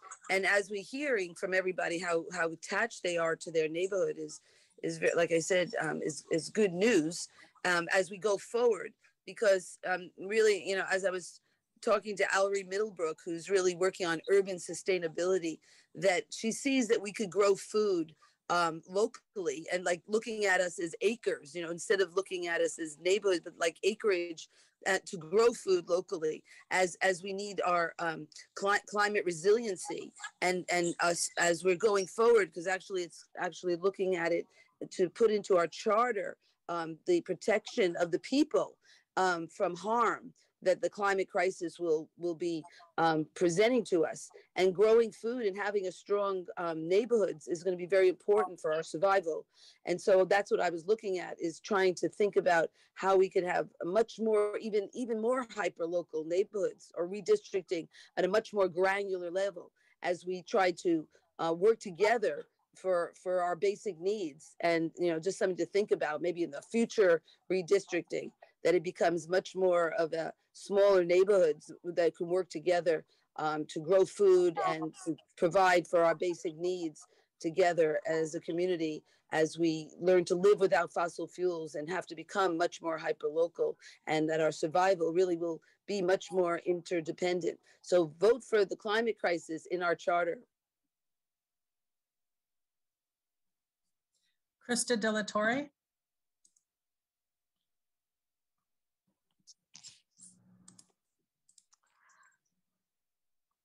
Hello, can you hear me? Yes. Okay, hello, my name is Krista De La Torre and I'm here on behalf of the South, Lab- uh, South Bay Labor Council to speak to the Commission in support of the Unity Map. Um, the Unity Map will keep communities together and ensure that every San Jose City resident has a fair say in their representation. Unlike other maps, the Unity Map will not dilute the voices of working people or marginalized groups. It has been carefully thought out by civil rights and community leaders and continues to gain support from a diverse coalition of community stakeholders. Of the proposed maps, the Unity map will give working families, multifamily residents, and renters the best shot at fair representation in a city that has historically favored and prioritized the needs of homeowners. For instance, this map will connect multifamily neighborhoods along the I 85 corridor that have been poorly represented in the past, like Hoffman Via Monte, for example. Um, this will work to diversify the electorate of former District 2. Uh, the Unity map will also unite renters in the dense neighborhoods of downtown, central, and South San Jose, ensuring that the people in those areas are and their and their voices are properly heard. Uh, moreover, by conforming to the Fair Maps Act and the California Voting Rights Act, the Unity Map promotes fairness and ensures that various ethnic coalitions have an equal vote in their district. The Unity Map also works to address San Jose's history of redlining while keeping communities of interest together. This includes Fruitdale, the Rose Garden, College Park, Penitencia, Alum Rock, Berryessa, Evergreen, Silver Creek, Naglee Park, Little Saigon, Communications Hill, Seven Trees, and Willow Glen.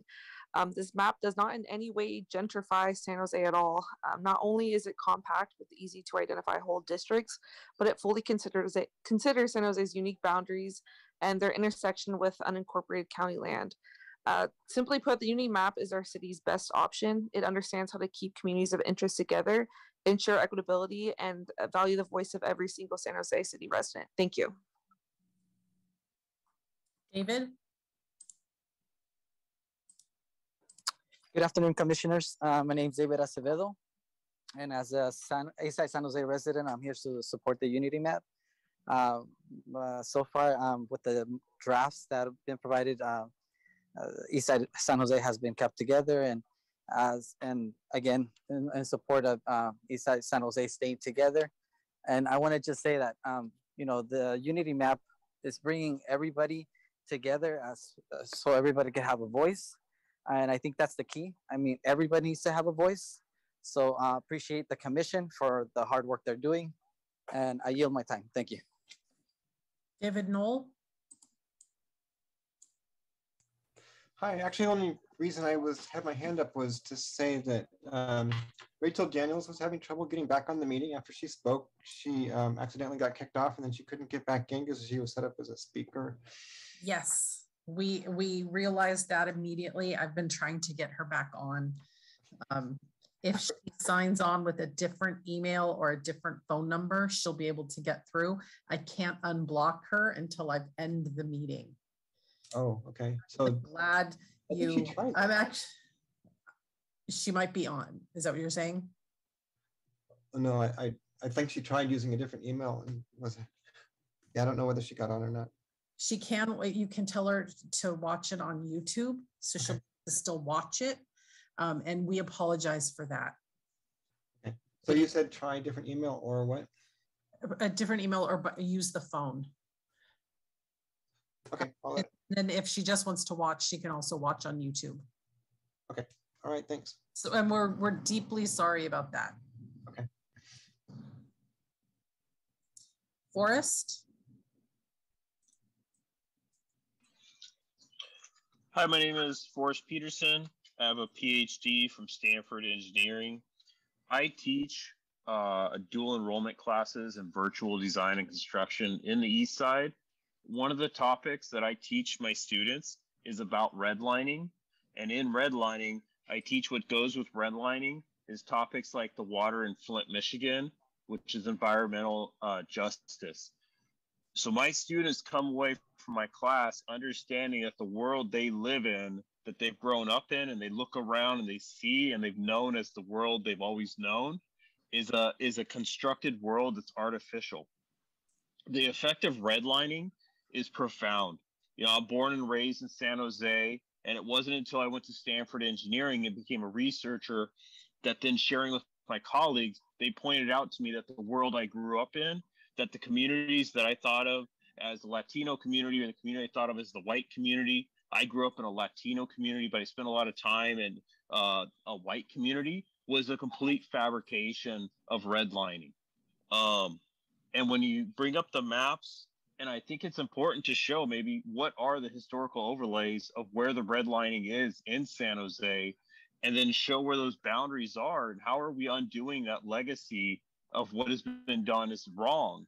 Um, I think that's one of the things that some of the commentators have picked up on is, you know, some communities, you know, all respect to them are saying, hey, you're you're pushing us around a little bit. But then remember, these same communities have been pushed around for over a hundred years. So what we see right now today is not justice. This is injustice. And the, the goal is to create justice. So of course something is going to change. Um, change is never good. So I want to leave it with that, and I thank you uh, for the opportunity to comment. Elizabeth Kamya. Hi, thank you, commissioners, uh, for your time this evening.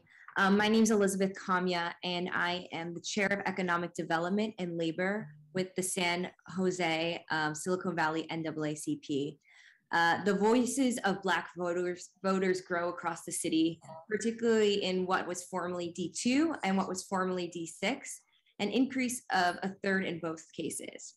However, with so few Black Americans in our city, due to what Forrest so wellly put, a long legacy of redlining, um, in addition to a legacy of racism in San Jose and displacement, uh, we should only support plans to grow the Black communities um, share of the vote. And the Unity, Unity Map does this. And I want to remind folks, as I have a minute left, uh, that post George Floyd, immediately after, there was a reckoning. People were listening, people were learning. And then it stopped. This is a chance to keep pushing, to make sure that the lives that have died are not in vain. This is a chance to make a change and change is never easy. And change might not be ideal for those folks that are living in affluent communities who are getting their services met. But you know what? There are so many people in San Jose who aren't. So many people who don't have privilege, who don't have the privilege that people do in these communities who are saying, not in my backyard. Well, you know what? Yes, it needs to because it's time to level the playing field it's time to make a change. It's time to build a San Jose for all. And it's time to rise, as folks have said. Enough's enough. And a unity map can do this and so much more. Thank you. Bao True.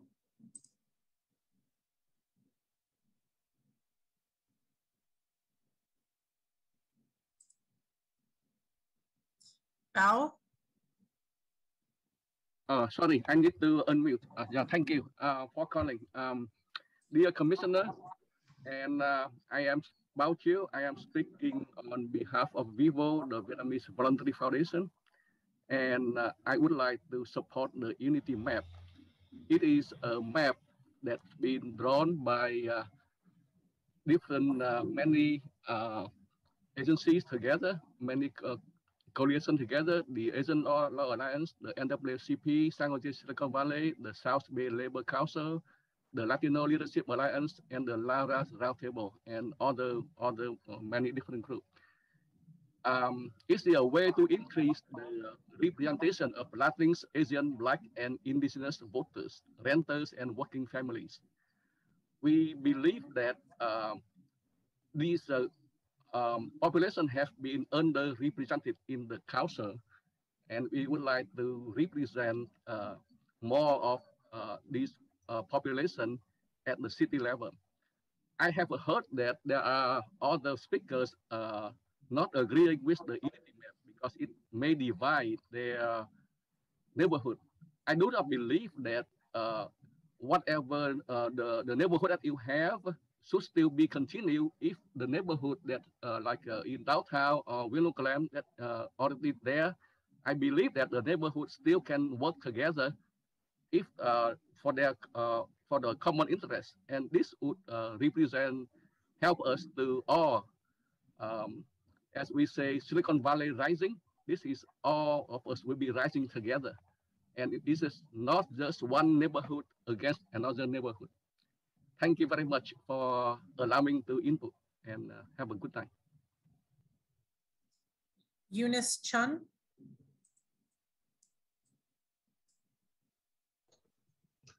Hello, thank you commissioners for all your hard work. Um, my name is Eunice Chan. As a District 2 resident and a leader of a community-based organization, KACS, in District 6, I support Unity Map our organization has been serving local Korean and Asian American community members for more than 40 years in San Jose. We know the local community well, especially Asian Americans. The Unity Map increases the representation of Latino, Asian, and Black residents and renters significantly. I believe the Unity Map keeps each community of interest together best. It ensures that ethnic group of people have an equal voice in their district. Again, thank you for your work and consideration. Adriana Aloni.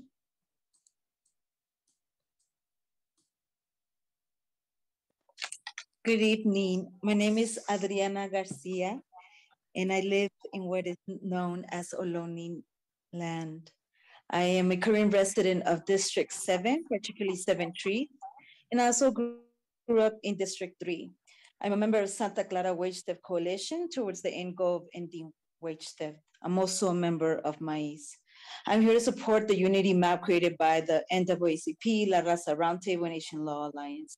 This unity map is inclusive of BIPOC communities for BIPOC communities by BIPOC communities. It allows for just decision-making, fair resource allocation, and equitable political power that benefit generations to come.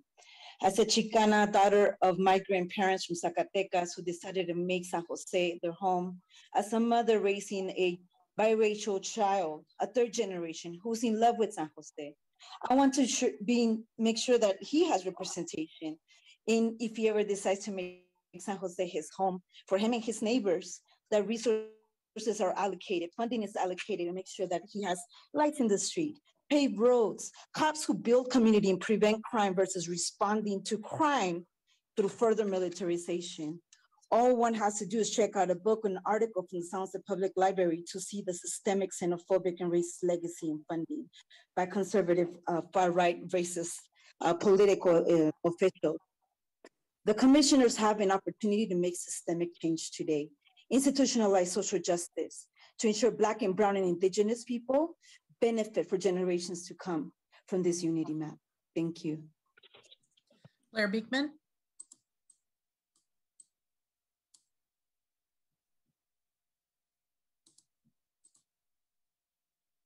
Go ahead, Blair. Hi, Blair Beekman here. Sorry about that. Uh, thank you for considering uh, bringing the Ocala area into D5. Many people in this area have always felt a part of D5 for a long time now. Thank you for the words of a commissioner that it's going to be tough to figure out the future districting around the Gardner area. I have learned tonight and have grown concerned the ways of simple, neat, good adjustments of community maps may, may be cutting out important Latin and Asian populations. I was surprised to also learn tonight D6, D3, D4 uh, I've had an average of over 110,000 people in their districts. From the good words and good studies of the Unity Map people tonight, they are trying to address racial equity of D6 while also trying to address the previously overly large population of D6. Good luck in all our efforts and dialogue together. To ask, however, how much less racial representation will there be in the future of a smaller D6 and in not using the elephant snout of the Unity map. Uh, personally, I'm interested in the East-West ideas of, of, of, districting and equity and how D7 can actually move along Vine and Almaden past the 280 to San Carlos and San Fernando. So it can share the corners of D3 and D6 in the Gardner area and the future of Google Village. And then D7 can travel east up to 11th Street uh, and that can become a more natural fit for the San Jose State and surrounding Williams Reed neighborhoods area and a larger, more square D7 overall. This is a lot to take in, and I'm sorry I'm a little flaky. I hope we can better consider a larger D7 and how it can be a good district for the Spartan Keyes area, and interestingly may address uh, concepts of neighborhood unity and equity better. Um, with 12 seconds, this can also help balance uh, D5 questions for D5 to be part of the Little Portugal area and uh, it could be a part of this up upcoming BART station in D3 uh, can be. John Vu. Hi there, my name is John, and I'm a resident of the current District 6, represented by Dev Davis. I'm not going to comment on the Unity map, but I do admire the passion. But reading through the co public comments submitted online, I can't believe any resident in the city of San Jose would disenfranchise any resident in our city. This person wrote, we are a Willow Glen resident and have lived on Creek Drive for 27 years. We backed up to the Guadalupe Creek and we bought one first VA neighborhoods in San Jose. When we moved in and we met some of the original homeowners, they have mostly moved away or have passed, but we have long lived, loved living here. We remodeled the house six years after we purchased and started our family. We have roots in Willow Glen and are currently updating our home again. We have some seen some redistricting maps showing our streets moving to another district and less desirable Monterey corridor we're actually a bit furious that the more affordable neighborhood of Willow Glen will be removed from the district and lumped in with less appealing neighborhoods, especially with the creek being a natural divider. We are a biracial family, and the thought of being removed from the Willow Glen district only furthered the divides with the haves and haves not in our area, and that is the most infuriating part. We are asking that you please do not divide the Willow Glen neighborhood, end quote. I'm just saying overall that being part of District 6 and seeing that from a Willow Glen resident makes me feel less happy to part of being this district. So therefore, I'm asking all of you to please, please follow all the federal, state, and local laws on how we redistrict and not buy into NIMBY, not in my backyard mentality that continues to dilute the voices of all citizens. Moreover, seeing those comments posted earlier really, really is disenfranchising all the residents of the city of San Jose. I know there's a lot of passion for the Unity map, and I also know that, you know, there is a lot out there, but I asked the commissioners and the Unity map to please look at the other map proposals, including the one from Greg Ripa on October 21st. Thank you so much for your time. Gabby? Oh, good evening. Thank you um, to the commissioners for the opportunity to talk. Uh, I I am a current um, resident of the Ocala neighborhood, and I would just like to um, thank the Unity um, map uh, creators to reach out my neighborhood and to actually give a voice um, to our needs and um, understanding that you know the Ocala neighborhood has the Alum Rock Ocala Middle School and the Alum Rock uh, DCP Middle School, and um, we we don't um, recognize ourselves as being a part of the Evergreen area. So um, I, I, appreciate them um, putting um, the Al- Al- Ocala neighborhood in the East San Jose. And I appreciate the commissioners also listening um, to us. And, um, and thank you, Commissioner Um, Robert Martinez, I believe that's your name, who um, who actually listened um, to to us. And I appreciate you um, how do you call it, also putting Ocala in one of the other maps. So thank you so much. Gabriella?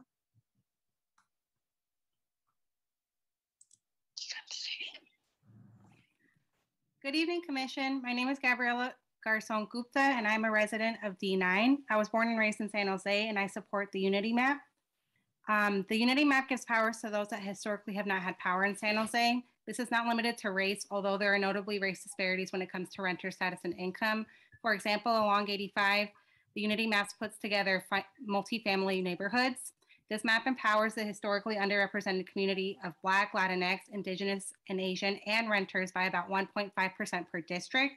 The Unity Map is a great balance of both the hard numbers and data and complying with the Federal Maps Act and everything like that, while also considering the actual people that live in these neighborhoods. Not everyone's going to be happy with the outcome of this map, and I appreciate the conversation that's been going on between groups no matter the differences. The fact is, though, the Willow Glen area is going to have to be adjusted, and the Unity map does the best way of this because it puts Willow Glen from three to two districts. It is great that this map has generated um, a lot of conversation and other maps, but I cannot good faith support the community map because it hurts the voice of renters by putting more of Willow Glen into D6 from D9 and taking this multifamily neighborhoods out of D6 and into D9. I would also like to say there are no special interests. There's only a preservation of people's humanity. Our community should give everyone a chance to access all San Jose has to offer. And homeowners of single family homes need to start thinking of renters as part of them and not have, as some people have said, not in my backyard mindset. There's going to have to be collaboration, and people are going to have to work with those that come from different racial backgrounds, different ethnic backgrounds, and different class backgrounds. Thank you. Jenny Choi. Good evening. Thank you, commissioners, for taking on this very difficult task of redistricting for our city. I very deeply appreciate your work. I live in the Thousand Oaks neighborhood. We are in District 9, and I hope that will not change. We have strong relationships built over time, and um, we work well with our council member's office as well as with our surrounding neighborhoods of Pinehurst, Erickson, and Tanglewood. We want to stay together as a community of interest and continue our well forged and continually strengthening relationships within District 9. That was all I had wanted to say today, but based on what I've heard here tonight and the issues of equity that have been brought up, I will respectfully note that in a city with Asian Americans as the largest racial and ethnic group at 39% of the city's population, it is remarkable that this redistricting commission has not a single Asian American commissioner, and our city has not a single Asian American city council member. I see this as just one example of the many equity issues we have to address together in our city. So I strongly urge the commissioners to please ask your con consultants to look not only at balancing the numbers, but to do deeper analysis of the equity part of the equation while keeping neighborhoods intact as much as possible. Thank you very much.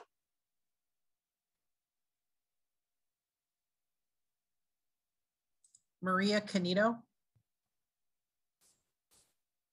Thank you, and I thank you, and I hope you can hear me this time. Yes. Great. Thank, thank you, commissioners. Uh, my name is Maria, and I'm the vice president of the Tatra Community Association located in District 9. And I'd like to thank Cher and Sonia for their presentation of the community map this evening, as well as David Knoll from Erickson for his presentation.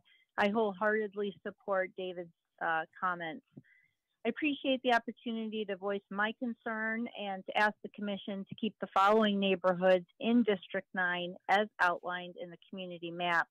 And those neighborhoods include Tatra, Pinehurst, Thousand Oaks, Erickson, and Tanglewood, altogether known as the Pearl Branham Four Corners.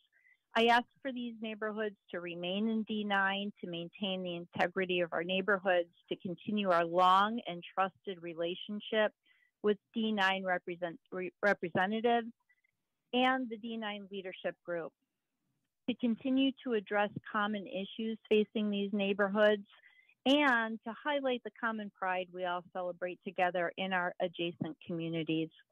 So I strongly support the community map that would continue to keep our neighborhoods together in District 9, and I thank you for the opportunity to comment.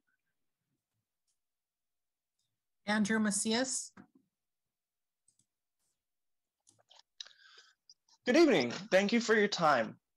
My name is Andrew Macias, and I spent the first half of my life living off Penitencia Creek, and the second half closer to Capitol and Eastridge and I'm here to speak in support of the Unity Map today or this evening. I appreciate how it addresses the extreme inequalities I've witnessed and how it treats the East Side with respect. The Unity Map ensures the Reed Hillview Airport is in the main East Side district with the Alum Rock, uh, with Alum Rock. When I was younger, uh, I'm closer to the foothills. It was very apparent that some neighborhoods were very more affluent the, uh, than others. And as I grew up listening to all the planes fly over Reed Hillview, uh, and people racing up from the Mercedes dealership to Red Lobster, you realize nobody in those mobile homes are flying the planes or driving the Mercedes. I've worked at Raging Waters. I've worked at the fairgrounds. Uh, I've worked at Happy Hollow, downtown San Jose on Santa Clara Street and San Pedro Square. So I've always worked with all of our community. And there is a tragic amount of community and society members left falling through the cracks because the average income of the districts has such extreme outliers. Additionally, I hope in the future your outreach includes more than just Facebook and Nextdoor ads, since these can ignore many of the members who I'm speaking about. Uh, especially consider, I very recently moved to the South Side and next door can be extremely toxic, especially to the communities that you're really want to reach out to. Um, so I hope you just kind of take this and realize why so many of us are supporting the the unity map. Thank you so much for your time. I know you guys have a lot to consider, so I appreciate you hearing us out. Andres Quintero. Hey everyone, uh, it's me again. So I, I really uh, appreciate the robust dialogue that's going on. This is always healthy to have um, you know, plenty of people speak. However, as we move forward, it's important to be informed. And so if we go back and we take a look at basically the, the, the person who wrote the, the, the book on political history in San Jose, Dr. Terry Christensen, take a look at his uh, book, uh, San Jose, City for All Seasons. We start looking at some of the things that happened in the past. Uh, we can notice uh, 1950 to 1975, uh, most of the council members were businessmen and attorneys and they happen three quarters of them happened to come from just two neighborhoods in San Jose. We're talking about a history that uh, took out and didn't allow others to have a voice in the political process, and so it required significant amount of change. It required districting, and that's exactly why you're going through this process to ensure that we don't go back to those times again. What happened as a result of that representation being consolidated into two very affluent neighborhoods, we had in uh, uh, neighborhoods in East San Jose that weren't incorporated purposely so that people wouldn't have a voice in the city. Um, it's no surprise that we wind up having the last uh, street to be paved, the last street to be paved in the entire city of San Jose, out here in East San Jose in District 7, Towers Lane. Uh, many of you probably didn't even realize that because some of you haven't come out to our neighborhoods. 2000s is when we finally had that street paved. Uh, that's that speaks to the the serious issues that were ingrained into our city that finally were dealt with. And we're talking about infrastructure. If you want to go ahead and talk about values of a city, it's what you do with your budget. And having a city, a street in East San Jose that looked like a like a developing country. That's what it looked like without pavement up until the uh, mid 2000s. All right. Thank you very much for your time.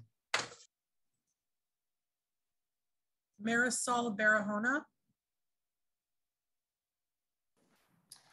Hello, my name is Marisol Barahona. I am a resident of the Seven Trees community, which is a community of interest in District 7.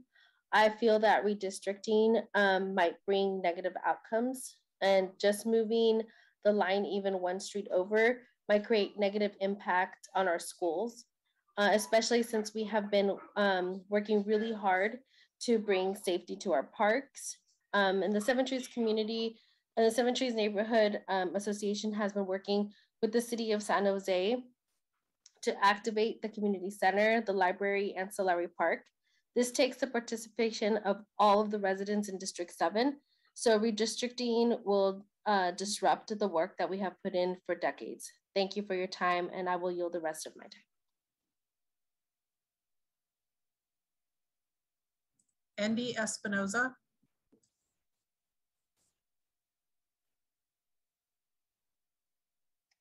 Hi, my name is Andy Espinosa. I'm a member of the community here in support of the San Jose redistricting unity map, and I and I want a fair map, and you want a fair map. Uh, in order for us to achieve this, we need to ensure that everyone has an equal voice and opportunity. Not being for the unity map means you're not on board with voters. Sorry, not being for the unity map means you're on board with, with voter suppression, particularly Latinx votes. That also means you're okay with displacing the displacement of us, Latinx, the Asian, Black, and Indigenous community members. Please help with keeping our families and communities together.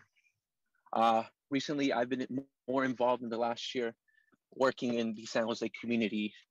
And right now, COVID is ravaging through our through our communities, uh, particularly all of uh, color. And so right now, we're focusing on getting them back up.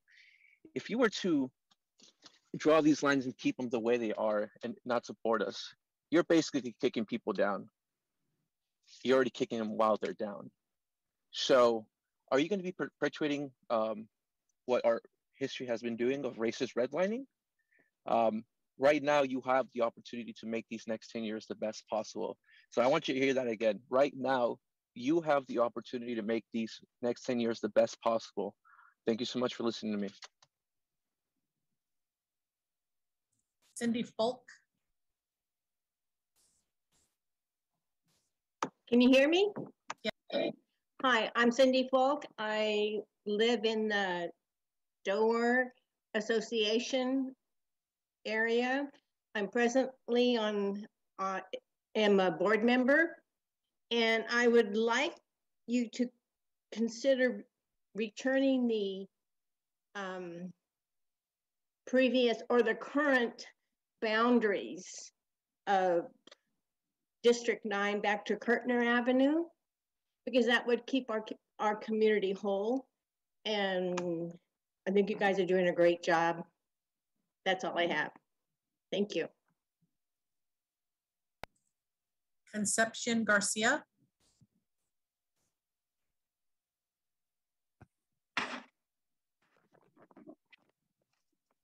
Hola, buenas noches. Mi nombre es Concepción García y soy residente de San José y estoy aquí para darle soporte al mapa de unidad, donde las diversas comunidades tengan la misma igualdad en voz y en voto, para el beneficio de la misma. Desafortunadamente, nuestras comunidades ah, de bajos ingresos, en ellas me incluyo, estamos mal representadas y por lo, por, por lo consiguiente nos encontramos con barreras que no nos permiten el acceso a muchos beneficios y que no solo perjudican solamente a nuestras comunidades latinas, sino también a otras asiáticas y las demás ah, comunidades. Yo soporto fuertemente a la comunidad del mapa para mantener a nuestras familias y a las comunidades juntas para un solo propósito, que es la igualdad para todos. Gracias por su tiempo y por su, y por su trabajo.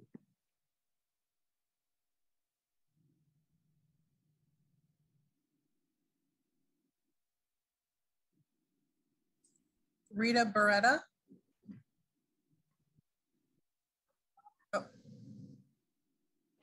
Ah, buenas noches, Ah, yo soy Rita residente, ah, líder comunitario, promotor y ah, de Valley Palms, ah, al este de San José. Ah, estamos pidiendo ah, al consejo que no remuevan a Valley Palms del distrito 7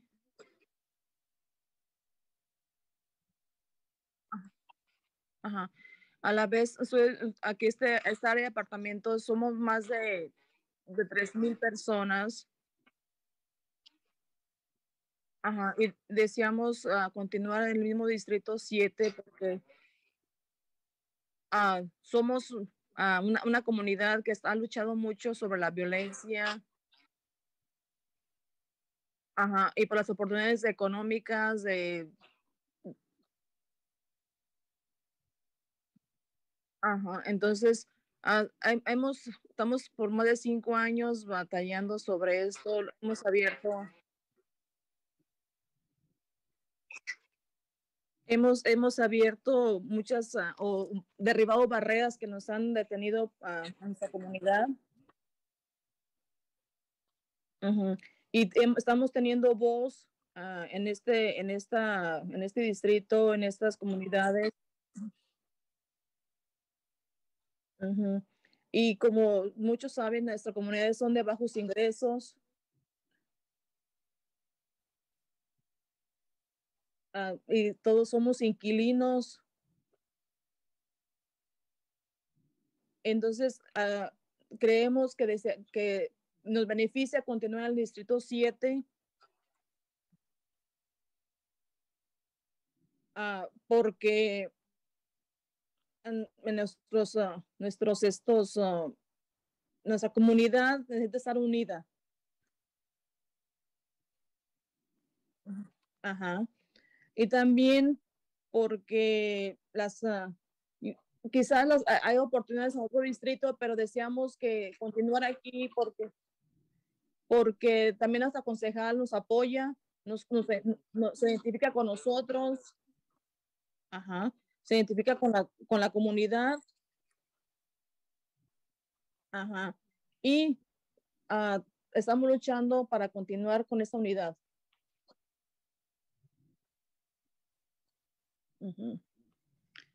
Ah, es- pedimos que se nos apoye, se nos respete nuestra decisión. Ajá. eh, A, a continuar en este mismo distrito. Ok, gracias.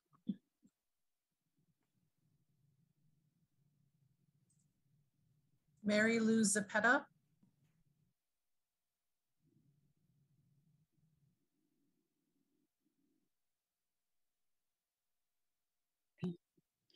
Hola, buenas noches, ¿me escuchan?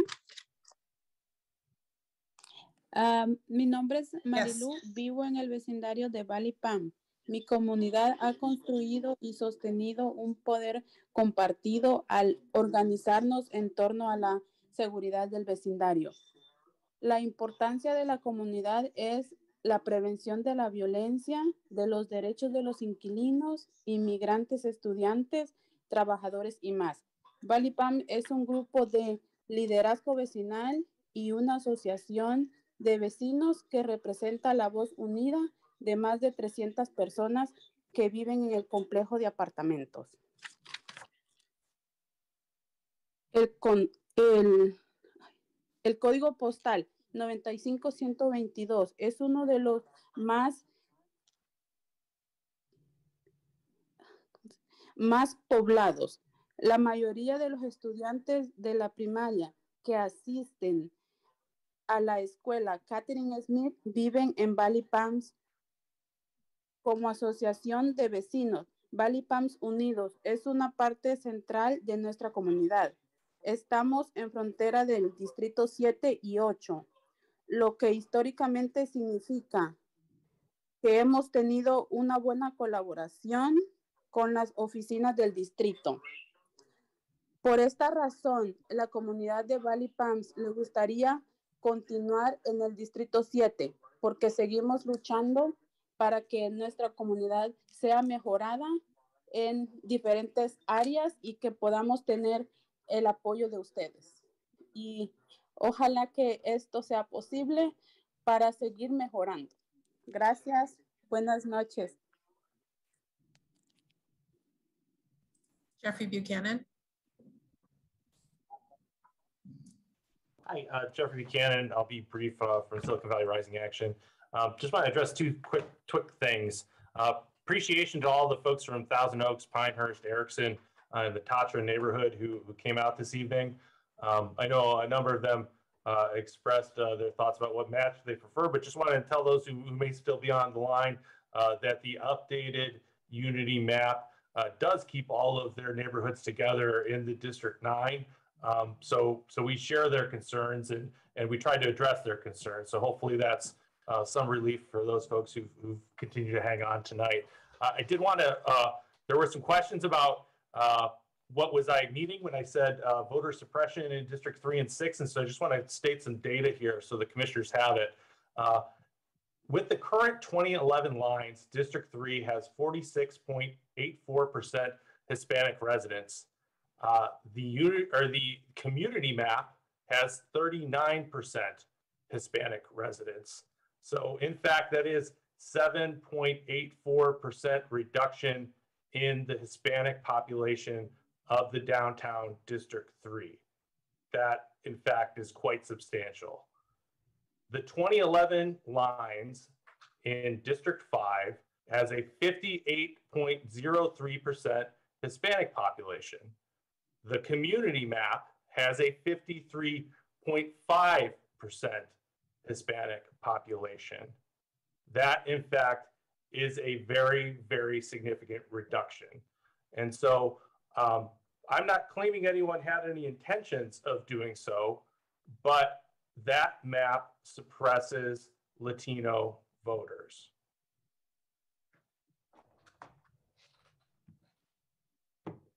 Thank you so much. Sonia Liu.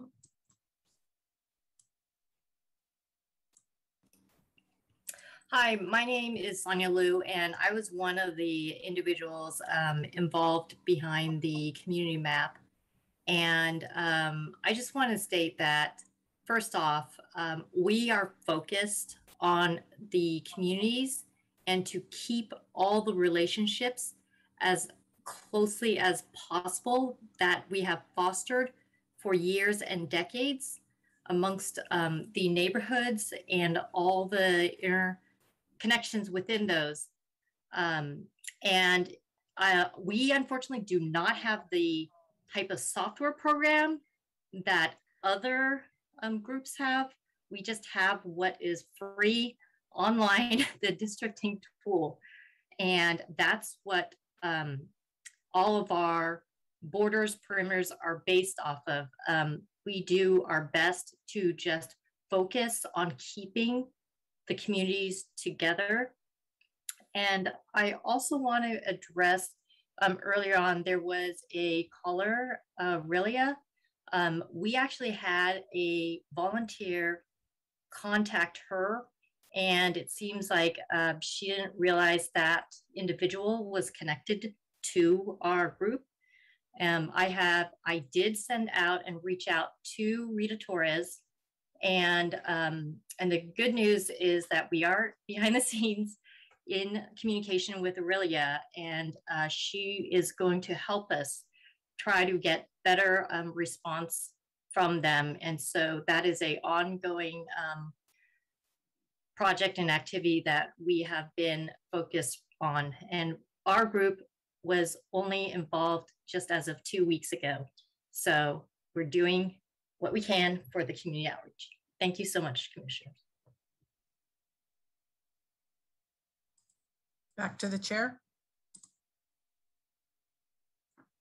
Thank you, and thank you very much to um, the members of the public for their um, uh, comments and thoughts, um, and thank you for those uh, who still um, are with us, continue to be with us. Um, it is 11 o'clock. We have been going for four hours, um, so let's take a short five-minute break, and then we'll come back um, to um, discuss further and um, talk about potential possible action before we adjourn for the uh, for the evening. So we'll come back at 11:05.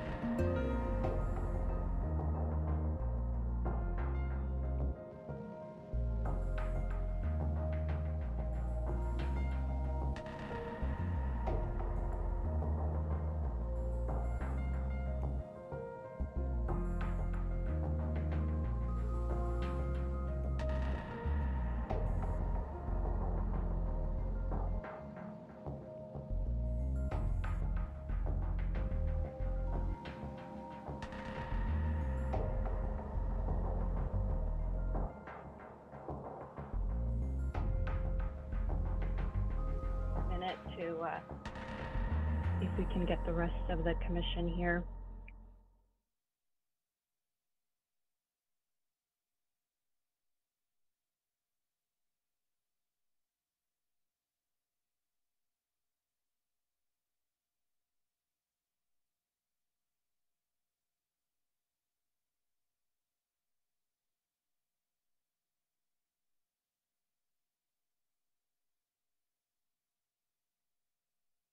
All right, well, why don't um, we go ahead and, and get started and um, hopefully they'll, they'll join us shortly um, since it's getting late here.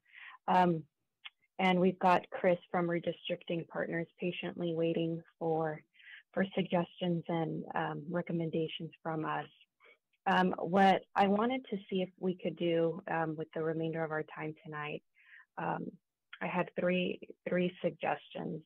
The first is to see if we can uh, perhaps narrow down the uh, number of maps that we want to consider moving forward.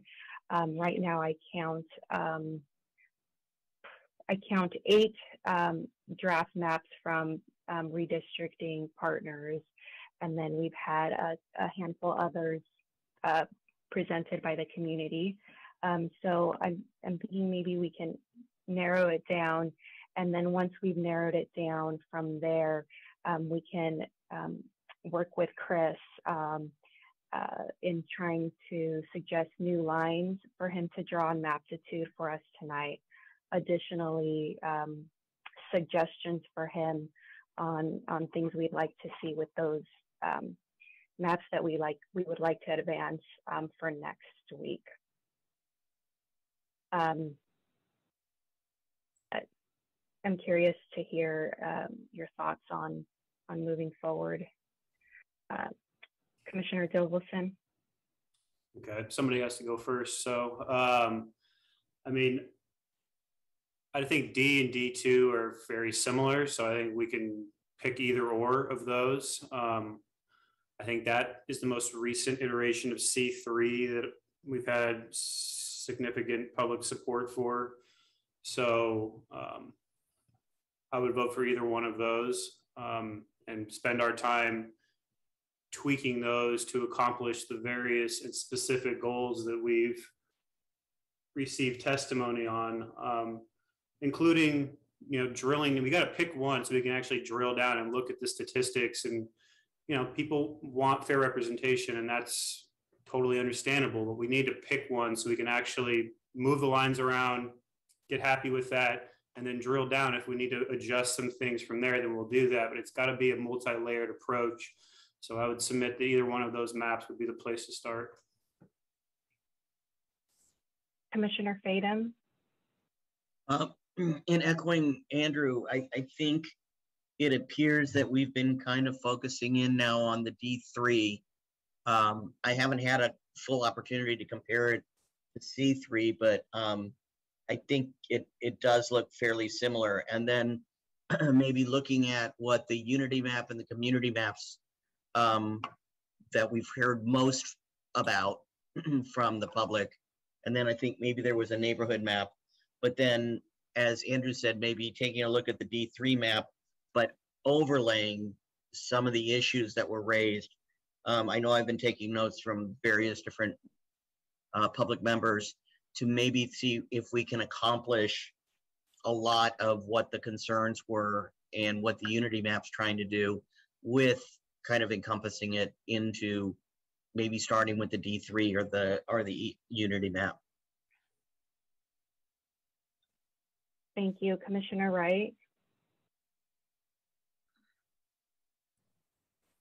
I've been very appreciative of the various presentations that we've seen from uh, various members of the public and groups that have given us plenty of food for thought in addition to the work that's being done by the city's consultant. Um, I am supportive of what uh, Andrew was saying in terms of let's narrow it down to one or two maps because I think it's also more efficient for us then to drill down and make those adjustments based on what we've heard from the community as well as from the presenters and from uh, what I've heard, you know, I'm also kind of looking at uh, map D and D2 as well. Thank you. Commissioner Alvarez? I totally agree. I think that based on all the testimony that we received from the public, and I'm very proud that the fact that they've stepped forward and given their their uh, their counsel to us to consider that uh, we continue, we move in the direction that Andrew has pointed out. I think that's very good that we've identified, at least reduce it to three maps and then take a look at all that. I also have several notes of people and their, their concerns, what's going on in their districts, that we apply those, those, those, uh, in, that input by identifying which of the maps. And I think the ones that you identified, Andrew, is a good start. Commissioner Sibree? Uh, thank you very much. I'm um, in favor of looking at uh, C3. Um, I just, uh, and um, D4.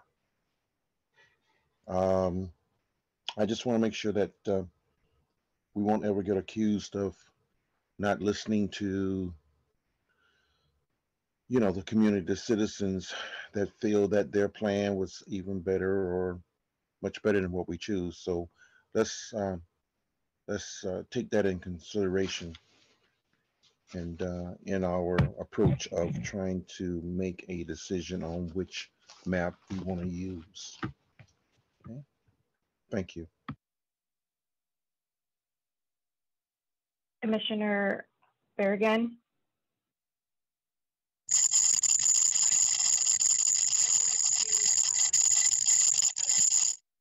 Commissioner Berrigan, there's a lot of static coming from your line. We can't hear you.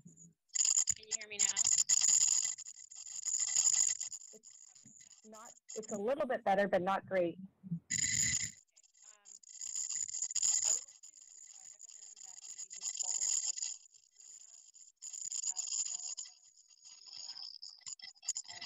Hi, Dee. I'm sorry. This is this is Toni, City Clerk. Your microphone was not like this before the break.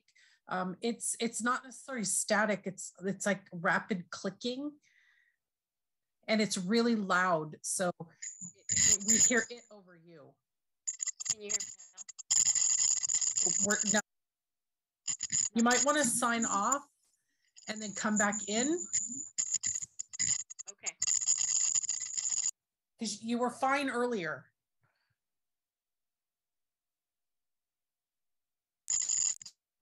We'll come back to you, Commissioner. Um, Commissioner Collins?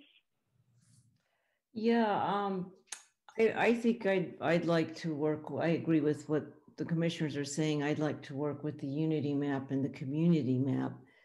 Uh, at least both of them, which can, in, in some ways, I think they might be mutually exclusive of each other, but I think we, you all know that the task is very hard to try to preserve neighborhoods and uh, not put lines down areas where people have been together for many years. And on the other hand, uh, preserving um, voter voices and preserving voices of, of many of our citizens who feel very disenfranchised for many decades is also important. And I, we have to balance those two things. I don't, it, it's a daunting task, but that's why I'd like to keep the u- unity map in, in there along with what the rest of you have mentioned.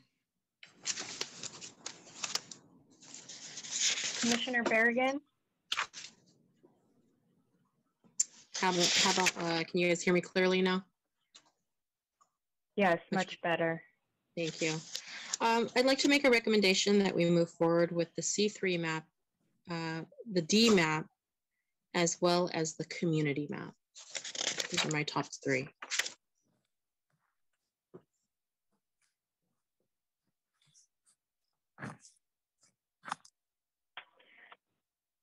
Okay, so, so far I've heard, and, and I'll, I'll just say from my vantage point, the three that I would like to um, advance are C, C3 or an iteration of C3, D, uh, D2. I think those are very similar. um, C4 or the updated unity map and, and the community map. Um, listening to everybody, I don't know that we're at a place where we have a consensus on one. It sounds like a, C, a variation of C3 or D, D2 would be acceptable for all at this time. and perhaps that's, that's uh, a, an okay place to start for tonight. Um, Commissioner Martinez? Sorry, I didn't weigh in. I just wanted to just weigh in on on um, on C4 and D2. Thank you. Okay, thank you.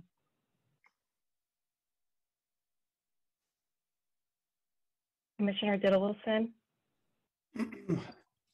If I could make a suggestion for like an affirmative action plan to consider would be to use, let's just call, let's just say D2, just to pick one because they're very similar. So I'd say, and the reason why I would start with that is because that is the minimal change iteration that we've all been talking about now for however many weeks or months that kind of, okay, that's, that gives us a good starting point and we've made a couple adjustments. We'll make some more.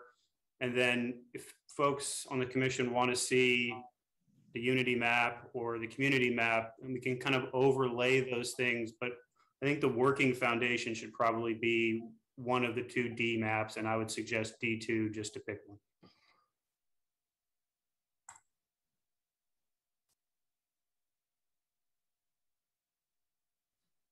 Okay, is there any objections with starting with D2 tonight?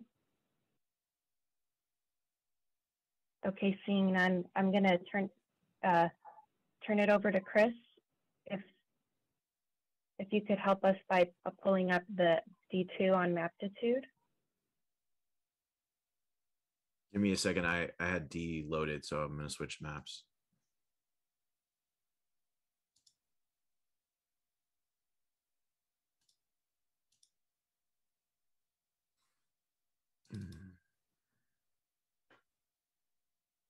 Okay, it's loading now.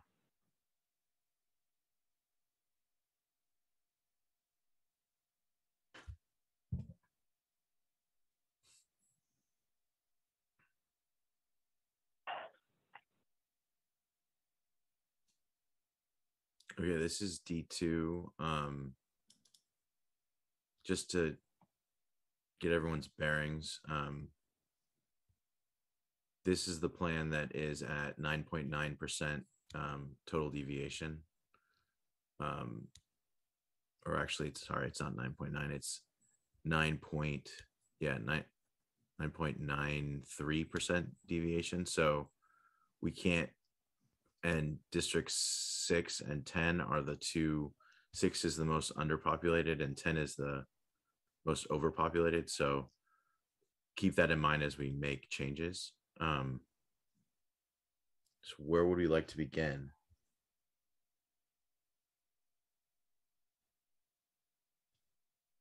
Commissioner Dilvelson? Yeah, I'm just gonna, can we just go down to the border of six and nine? Yeah.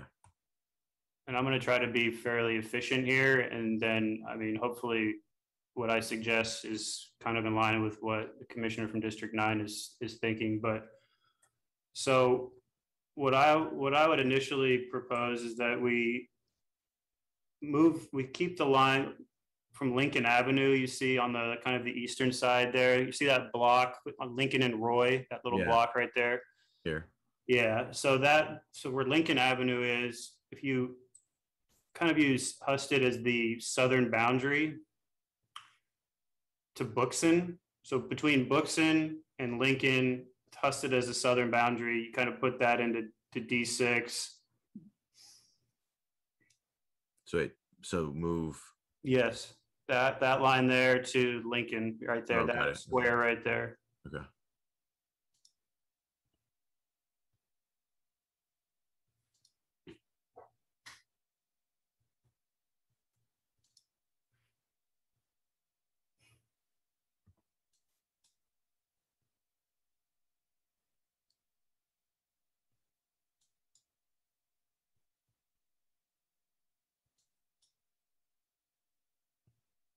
So that would um move six up about a half a percent or point seven five percent. Okay, I got a few proposed moves, and then if you come basically to the western side or what, southwestern side there, yeah, where Bagby is, so see Yeah. Curtner Avenue, those are the Yeah. blocks right there below Curtner that they, we had testimony on moving that back into D nine. Okay.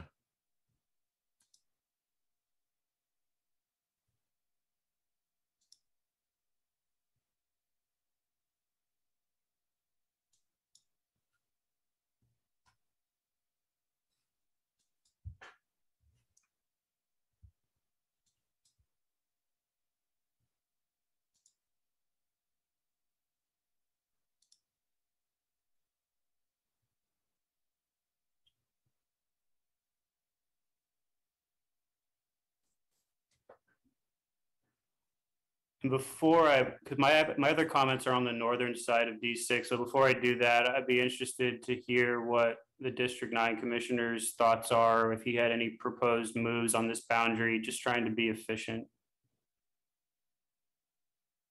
Commissioner Bates, Beta? Thank you. So I think the other main concern that we had, um, that we were hearing was, and I, if you can, uh, focus in again, was in the southern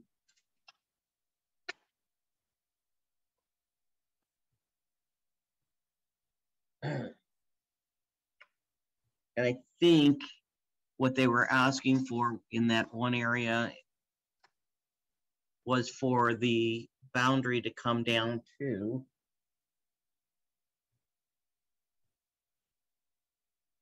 it's the, the Pearl Branham Four Corners. So It's it's already unified in District Nine. Yeah, that's already, Yeah. that's already good. It's already it's already there.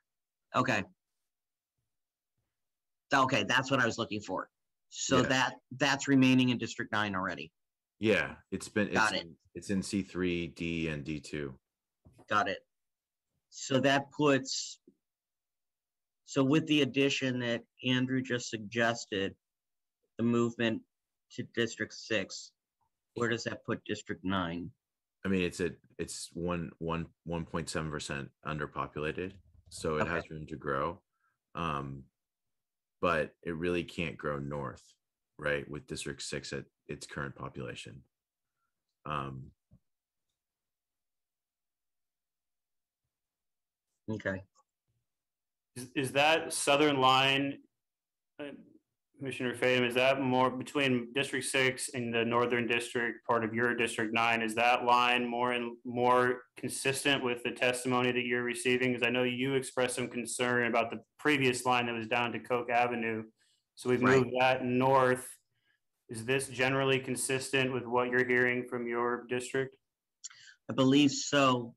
Okay. But I just want to take a look at, um, I need to, uh, focus in on it to make sure with regard to the neighborhoods, what I'm looking at. But it looks like it because we, we've got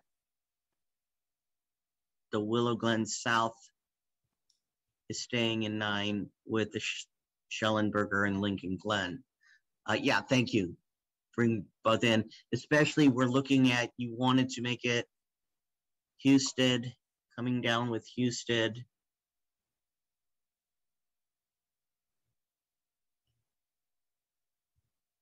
See, where was Houston again? That's the southern boundary line here. Right. It should be right here. Yep. Yeah, okay. And that, I think, I don't think that breaks up too much from my notes.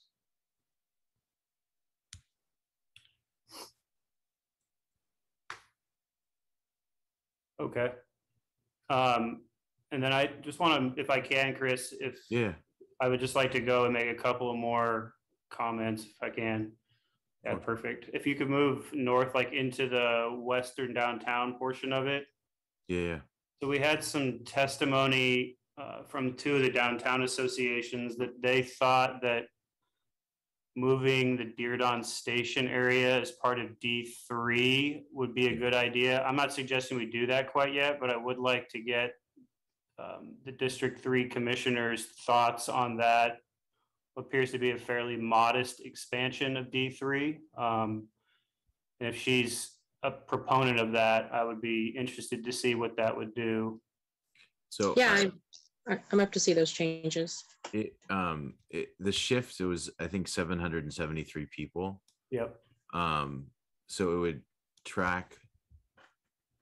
This is a little bit too much. Um, but it would take in this part of um Diridon and then it would come down and take in this loop here. Okay. And then stop at the two eighty. Um, and maybe I'm, maybe it's over. I don't know. Now it's only saying. Maybe I. Actually, I think it needed this nub was the other thing Yeah. um, because of, I think there's a this is where the station is, right? Like right here. Okay. Um, so that's I think I believe that's the um actually I'm sorry I missed a little bit right here. Okay. But um that's the the the outline that um from the map that was presented by um the downtown folks. All right, so can we, can we just do that for now? Um, and subject to more commentary from the D three commissioner, obviously. And then can, then we go up to the, to the very northern part of the, of D six? There's that little strip that they referred to by the Newhall neighborhood. Here. Yeah, I just want to see what that would do to the population if we added that to D six, because it is Yeah, yeah, far more contiguous if you put it into D six. totally. Because it's cut off from the airport. Right. Yeah. Okay.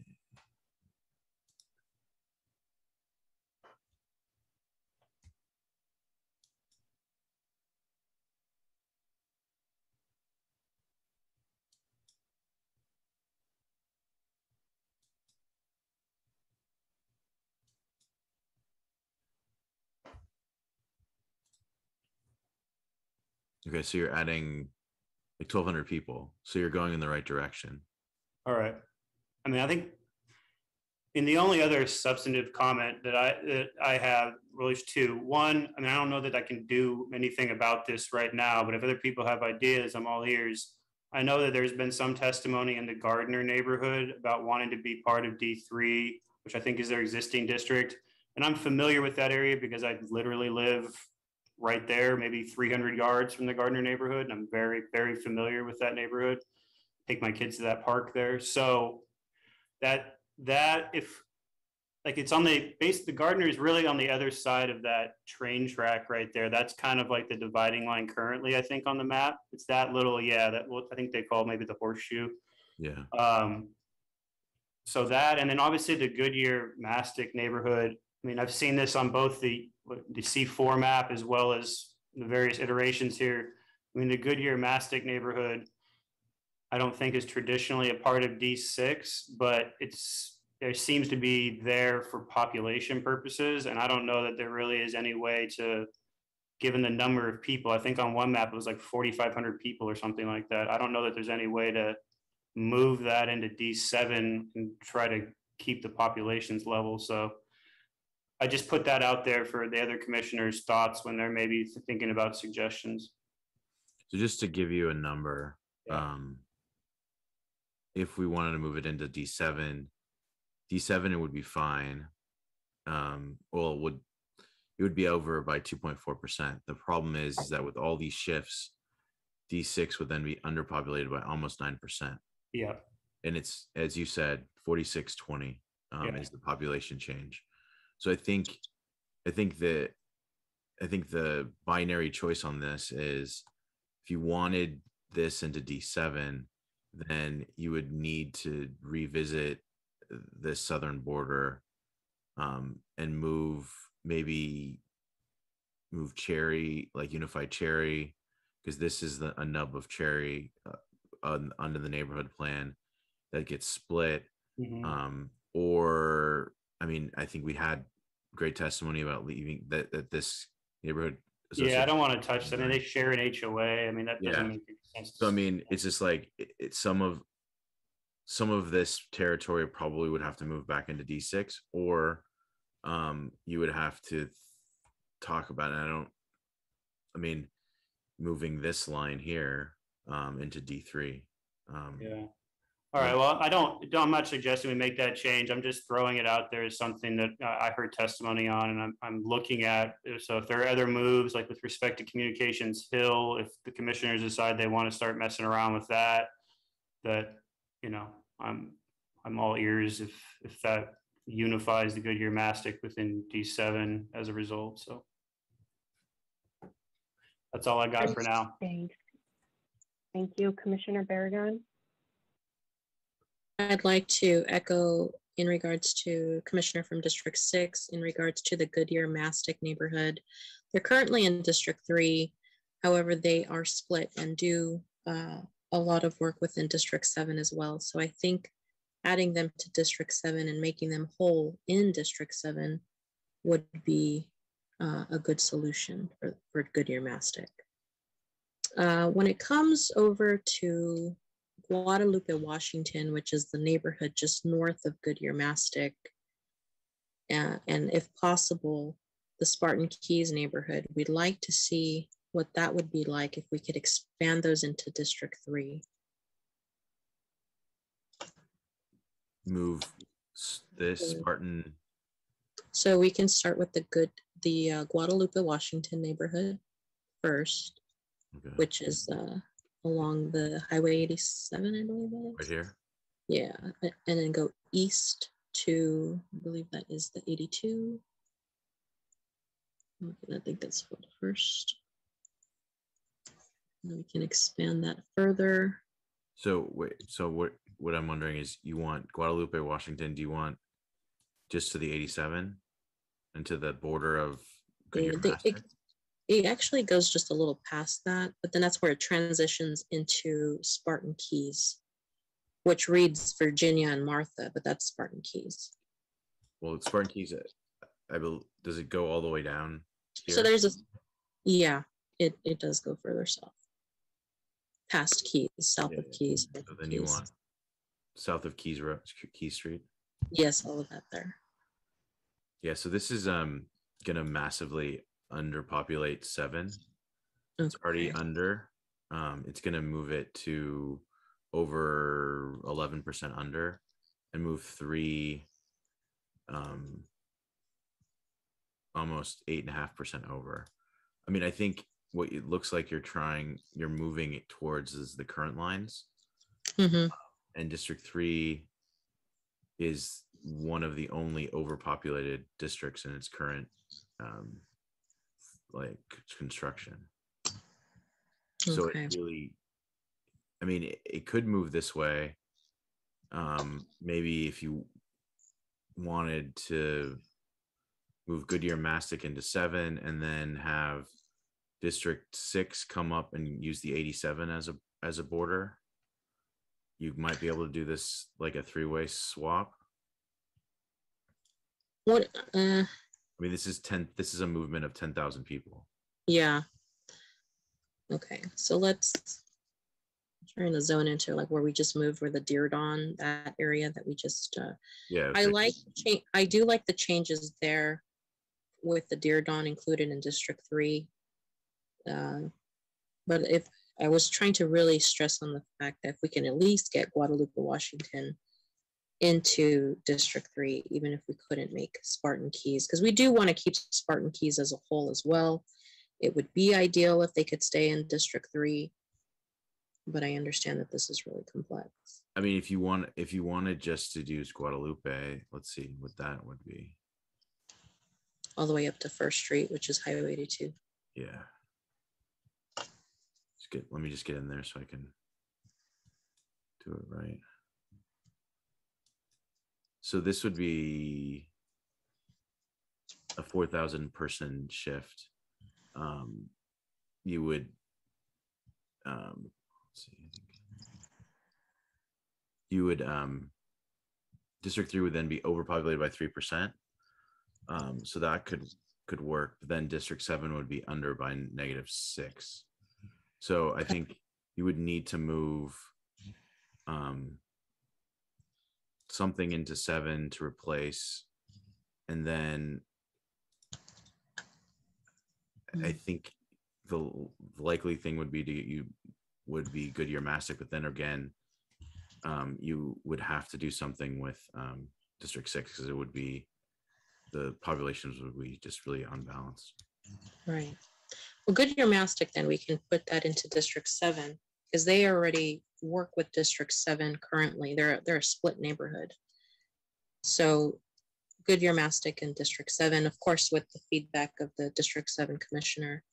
um, That could be an ideal solution to put it into D seven.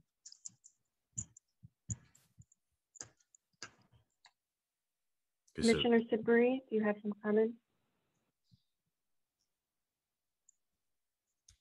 Uh, yeah, I was trying to, I wanted to know the, the population. I think, Chris, I think you said it'll be about, I'll be under, District Seven, yeah, you'd be under by six percent. under by, oh, wow. So Goodyear Mastic was forty six hundred people, so that's roughly four percent. Right. Four percent addition. Um, so you probably with moving, it was almost you would gain a slight population.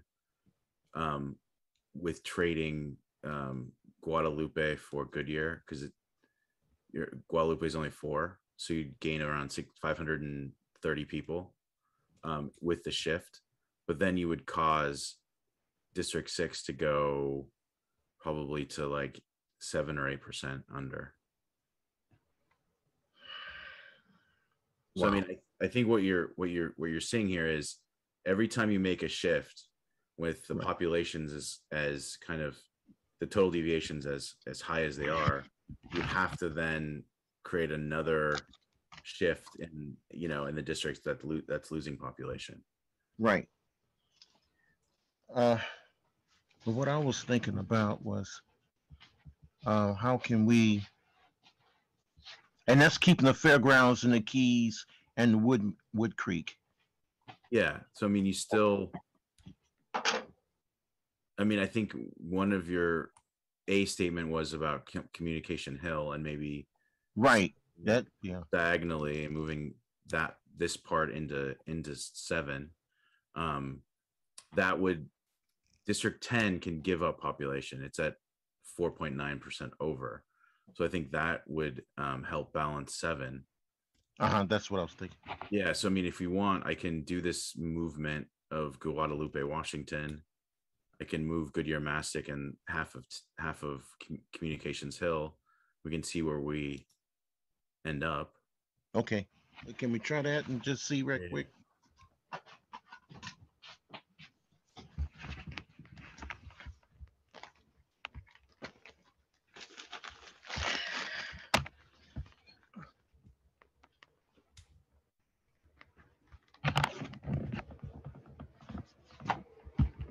Why did you do that?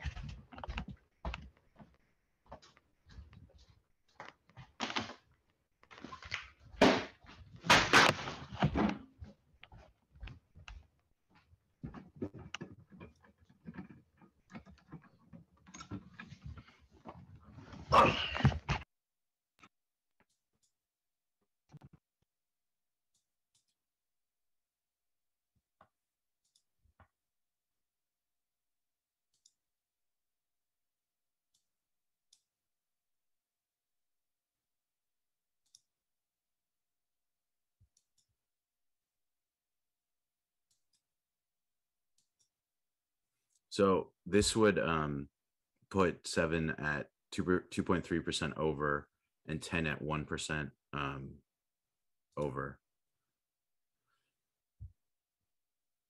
And uh, yeah,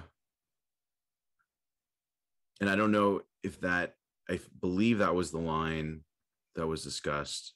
Um, but tell me if you want it to go farther south. Okay, I'm back here. Okay, yeah, that, that looks good. I mean, we're, we're a little over, but that looks, yeah. I, I like that. That's, that's pretty good.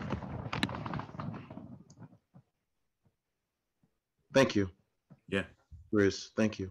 No problem. Doing that. Commissioner Collins, did you have comments? I see your hand raised. No, no. Okay, thank you. Are there any other um, comments or suggestions for this um, D2? Commissioner Divelson?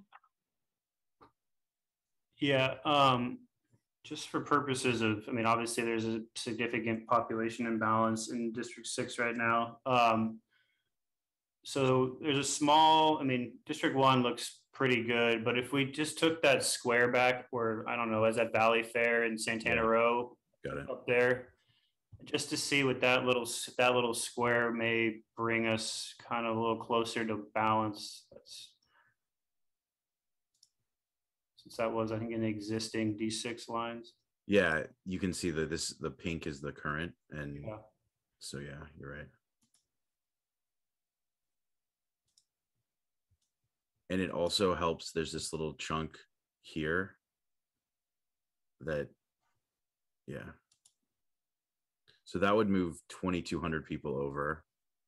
Um and so you you get closer you'd still be district 6 would still be under by 6%. Um, and if we look at all the deviations, um, it's a- like you're actually under 10% now because your highest deviation is 3.1. So this would be 9.88. So it would balance. It just, District 6 would be the, you know, would be 6,800 people under deviation. So we need to pick up a little, a little something somewhere else, but we're closer now. Exactly. Okay.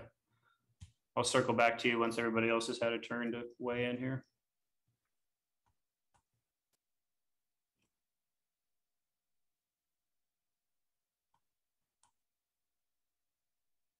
Uh, I don't see any other hands raised, Commissioner Diddleson, so go for it. Okay, cool. Um, can we go back down to the southern boundary? I think there's a little triangle right there, which could make a little cleaner line and maybe we could pick up the last little bit that we need. Like Yeah, this, it's that triangle, right? See on the the Lincoln and Roy, that little triangle like right there? Yeah. So do you like using, Yeah, just using that natural boundary, I guess, if that's possible. yeah.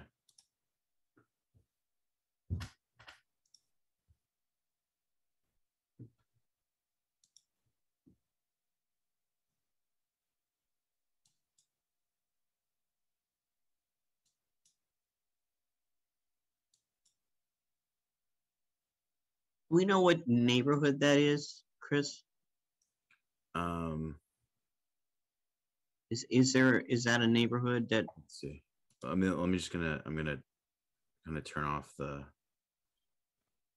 So these are the neighborhood boundaries. And here, let me just not do this for a second.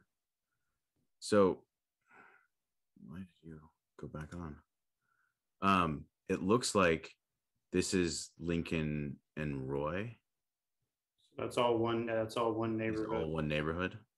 got it, So I think coming down Lincoln Avenue, is that what I see? Yeah, so this so Lincoln Avenue looks like it splits this neighborhood. Um, Right. So it's Curtner.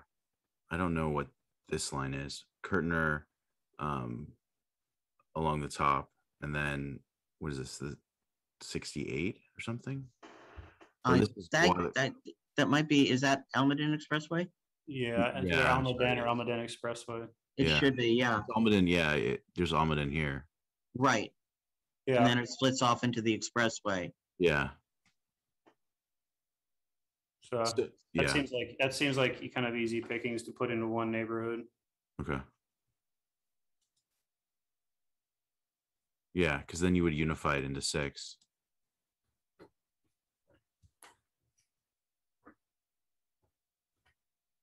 And so that's 550 people. So it's, I mean, it's not substantial, but it's the right direction.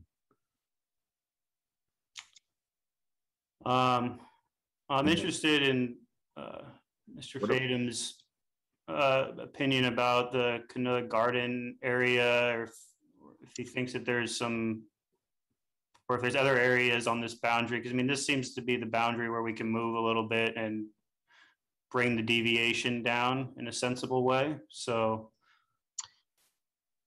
Yeah, but I'm also looking at, we're now getting District Nine's going down. Close, we're down, what is that, two point two eight percent?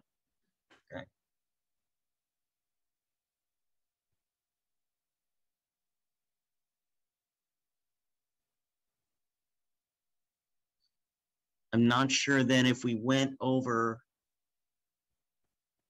by the Canoas, Garnet, Almaden, Northern Yeah. boundary. Right. That's where you're looking, right? Yeah, that's what I was, yeah. Okay. Um, Because this is the expressway, right? yeah, So maybe just using it as a, the line. yeah, I, I'm- I don't know what they pick up, but that looks like there is some residential right in there. It's another four hundred or five hundred There's some- people. Some businesses in there, but uh, that's. Yeah.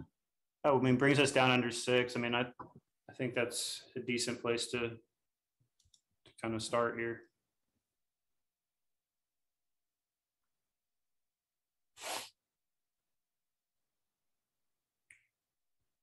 Okay, I'm, I think I'm good for right now.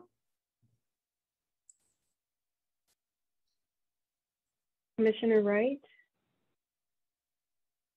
Thank you. Uh, Chris, can you go down to District 10? I want to follow up on some input that uh, we had received from the public earlier about uh, the glider neighborhood. And the chair may have some thoughts on this as well as the District 2 representative. Yes. I want to see what that might look like. Sure.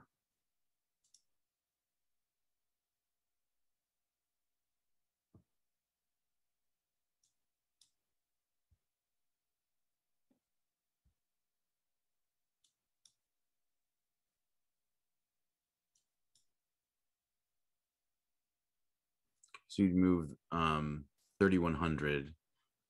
And the the I think the hard part right now is that two is under already and Oh. you know, ten is a little up. So you have so this movement would be make cause 10 to be 3% or 4% over and 2 would be 5% um, Oh, under. Okay. I mean, technically, because six is at five and, and three quarters, you that would still technically be balanced at you'd be at 9.88 again or Mm, 86 again. Okay. Um,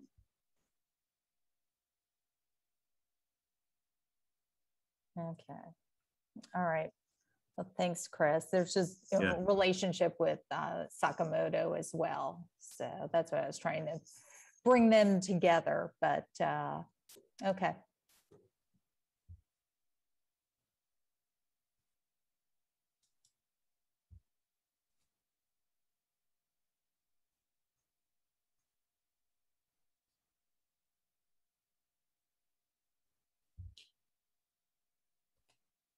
Commissioners, any other suggestions for Chris on this map? Two?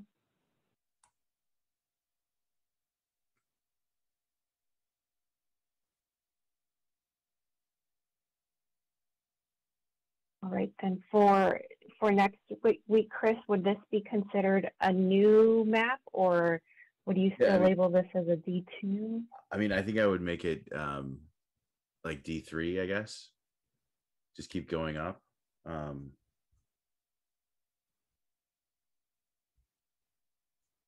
Um, the other thing is I have um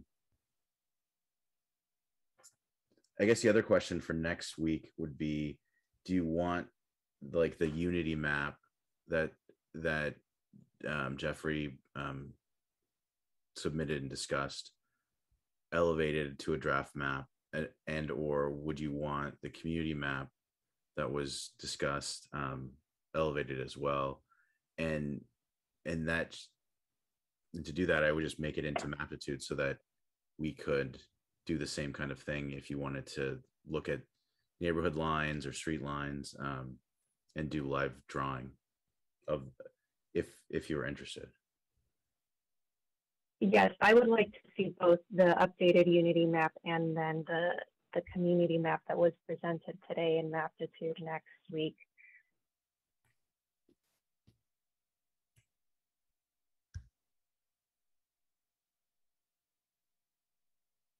And then, Commissioner Fadem? Yeah, Oh, I'm sorry, sorry, just real quick. Yeah, quick question, Chris. yeah, yeah. With that, is there any way of uh, doing it almost like an overlay with D3? Or Yeah. do we have to do almost like a side by side? Can we kind of like, so we can see where the real differences are on the lines that we were just doing? Yeah, so I mean, uh, like I don't have the new uni- Unity map loaded in this yet, in the in this as a plan, but um, what I could do is pull up the old Unity plan and just show you. Well, no, that's not it. Like, well, here, let me show you a different option. So here's C4, um, and it's a little bit confusing um, with both of them on. But w- what we can do is we can toggle them on and off. I can just not shade C4. Um,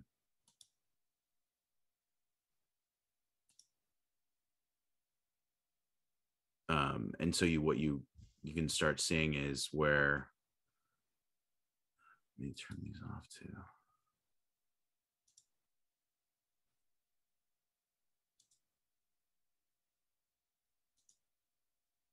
So you can see like if I think if we zoom into a, one of the districts, like let's let's zoom into to nine. Um, you can see that this blue line is the is shifts district nine kind of north, right? Because this is the the line for C nine for D nine. So it comes up and basically would have like Bagby, Willow, Yale, Cherry, the Willows, um, come south, um, take in Pinehurst and Gunderson, Vista Park, and then down to um, Hammer, and then you know this portion of the city. Um, and so we can do the same kind of thing with the other plans, like the Unity map and the community map. We can have bring those up and compare them to this new D three next next time. That's really helpful. Yeah, thank you. No problem.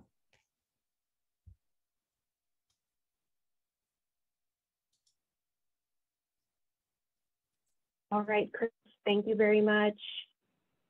Look forward to seeing um, that work for next for next week.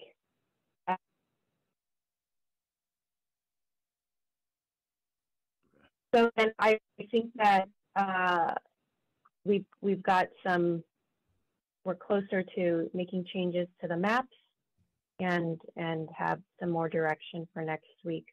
Um, Commissioner Alvarez, before we move on, I see you have your hand raised.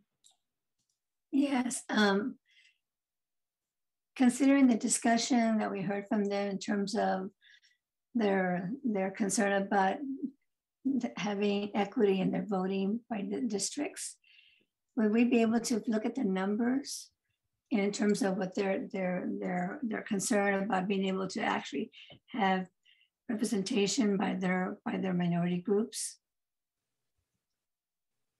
I know it's going to take time, but what- could we begin to look at how those numbers would play out for that, for, for those maps? Because I think that was the biggest point they were making. That's why they constru- constructed this unity map. Um, so I think one thing we can show, well, here, let me just show what's already, what's built in. Um, you can see, here, let me move this so you can actually see the data field. Um, but so this is, these are the, so the citizen voting age population um, is what we use, right, to comply with the Federal Voting Rights Act. So we can do comparisons um, of the Unity and the community map and this D3 map. Okay. Um, and it'll that'll be in the packets that that are um, that come out. And so that second page with each of the plans we'll have every district's population numbers and the citizen voting age population numbers. So you- we can co- compare and contrast. And um, we could also put together a chart basically analyzing the differences between the different districts. Um, I started doing that for the unity plan and for the the D the plan D. Um, and I think it, it's a it sometimes it comes down to a question of do you want a higher number in fewer districts of of a an ethnic group? Or do you want more of a distribution a distribution throughout the city so that there's more opportunity there's more opportunity districts? Well, I uh, think, I think we consider that, but I think looking at their strategy of how they put together their unity map and how they saw the distribution of voting that they, they perceive as would be beneficial, kind of going along those lines to see how, how different are we from what they, what they're, what they're trying to do. no i I- and i and i think the other thing that's really important to just keep in mind is one of the the tenets of the federal voting rights act is that race cannot be a predominant factor when you're Mhm. drawing district lines No, so you have to have um, other ways of describing why you're moving lines um, talking about neighborhood lines talking about community um, unity between different neighborhoods working together on certain projects you know socioeconomic or other um, other descript- demographic descriptions of what unites areas of the city together to draw a line that that is a much um, better way of describing movements on in the map and changes in on on the borders.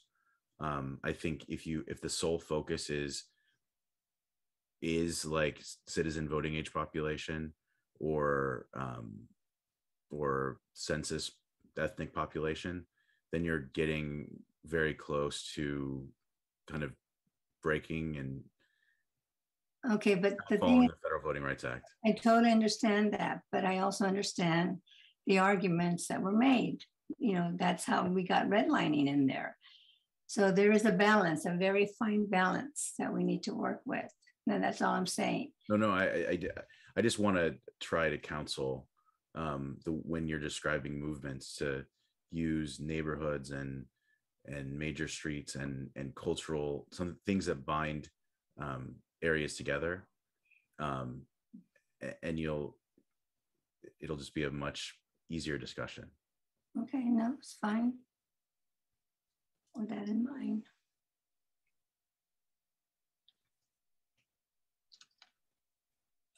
Commissioner Diddle Wilson? Yeah, I just wanted to echo what Commissioner Alvarez was saying. I mean, I, I think the point is, is that if there are maybe more than one move that we could make, that perhaps considering the various neighborhoods and what impact that may have between moves would be an appropriate thing to consider if that situation arises. So it's good to have the data to be able to analyze it.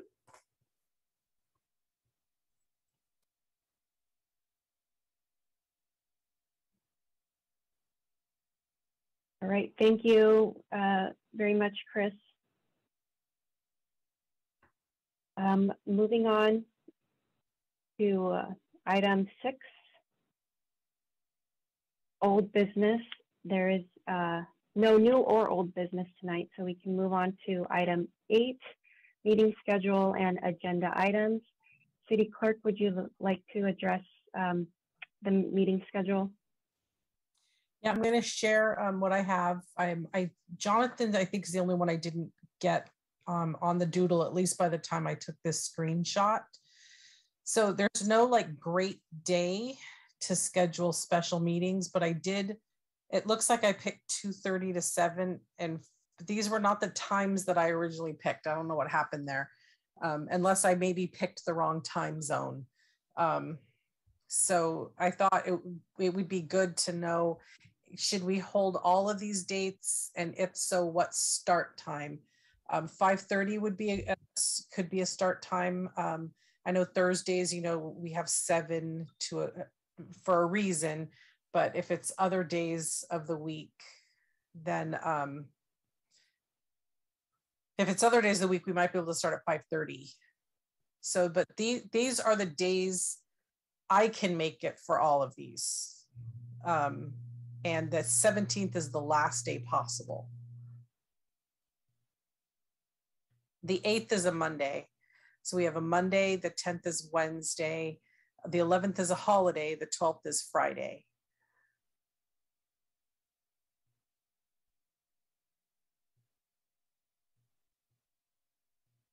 A five thirty start time would be okay with me. I would prefer probably six. Okay. Does six work for everybody? Commissioner Sibley?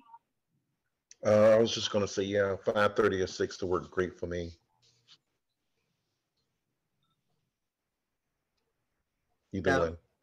Yeah, that would work fine, either one. Same here. Me too.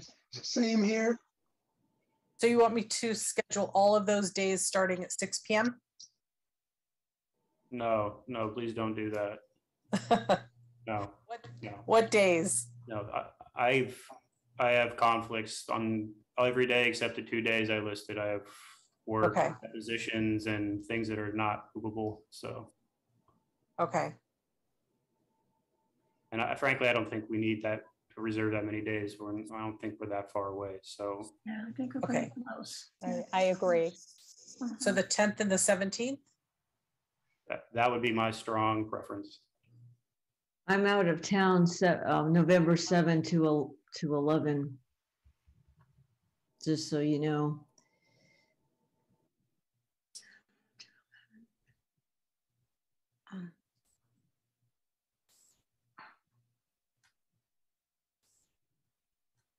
Okay, tell me what. I think we can lock in the seventeenth. We got the Yeah, with the seventeenth, we, we can lock in. We've got that one. If we could start at six, since everybody seems like that's okay, that would be an accommodation for myself. It sounds like Anadina would be, work better for her too. So let's see the date? Yeah, yeah, that would work. I was wondering, it seemed like between the seventeenth and the tenth was were the most popular. Um, I would not be just, able to, could we just do the one meeting, the one extra meeting as, as opposed to scheduling two right now? Which are we doing, the Well, tenth? you, you, you can, we can talk about it again next week on the fourth. Um, yeah, uh, on the, at the end of the conversation on the fourth, you may have a better idea of like, no, we're ready to go, like we're, we're, we're good. I don't, I, I'm concerned if we only do the seventeenth, that's it, that's your final day. You have to approve whatever it is you've got. Mhm, So we need one more day just in case. Yeah, so I, that's why I would suggest um the eighth, well, in any one of those three days, eighth, tenth, or twelfth. Um, even if we miss somebody in there. Here we go with Yeah. the And it would be, it looks like Andrew has got the one and he has the more difficult schedule. Yeah, yeah. I mean, I have three s- very small children at home too, so this is a pretty significant lift personally outside of my work schedule. So to block off that many days at nighttime, that's a, Yeah, it's hard. yeah, just I have three, three kids under four and a four-month-old, so. Oh, so, yeah, and I'm sure that's got a lot of. My time. wife is a superhero, so I, and I'm trying to stay in her good graces. So any accommodations that can be made, I very much appreciate it. Hmm. so. BJ, just- do you have any suggestions? Yeah, I just wanted to say on the tenth, I'm having a surgical procedure, so I would be under anesthesia still that evening. I don't think I would be very good in the meeting. Okay, we can do the eighth. Want to do the eighth, at six o'clock? I mean, I'll, I'll do That's it the fine. best I can. Okay. Yeah. The we eighth can- is fine. The eighth and the seventeenth. Right. Okay, And, and Toni, we can vacate one or both of those if for some reason we make considerable progress on the fourth, right? Yeah. yes, Yeah, Okay. Yeah. All right. yeah, I just wanted to, to hold the dates. Yes. The, the website does um, note, you know, the fourth is the last regular meeting, but other special meetings may be, may be added. So we'll go ahead and put on there a note about the eighth and the seventeenth, um, but, you know, may be canceled if not needed.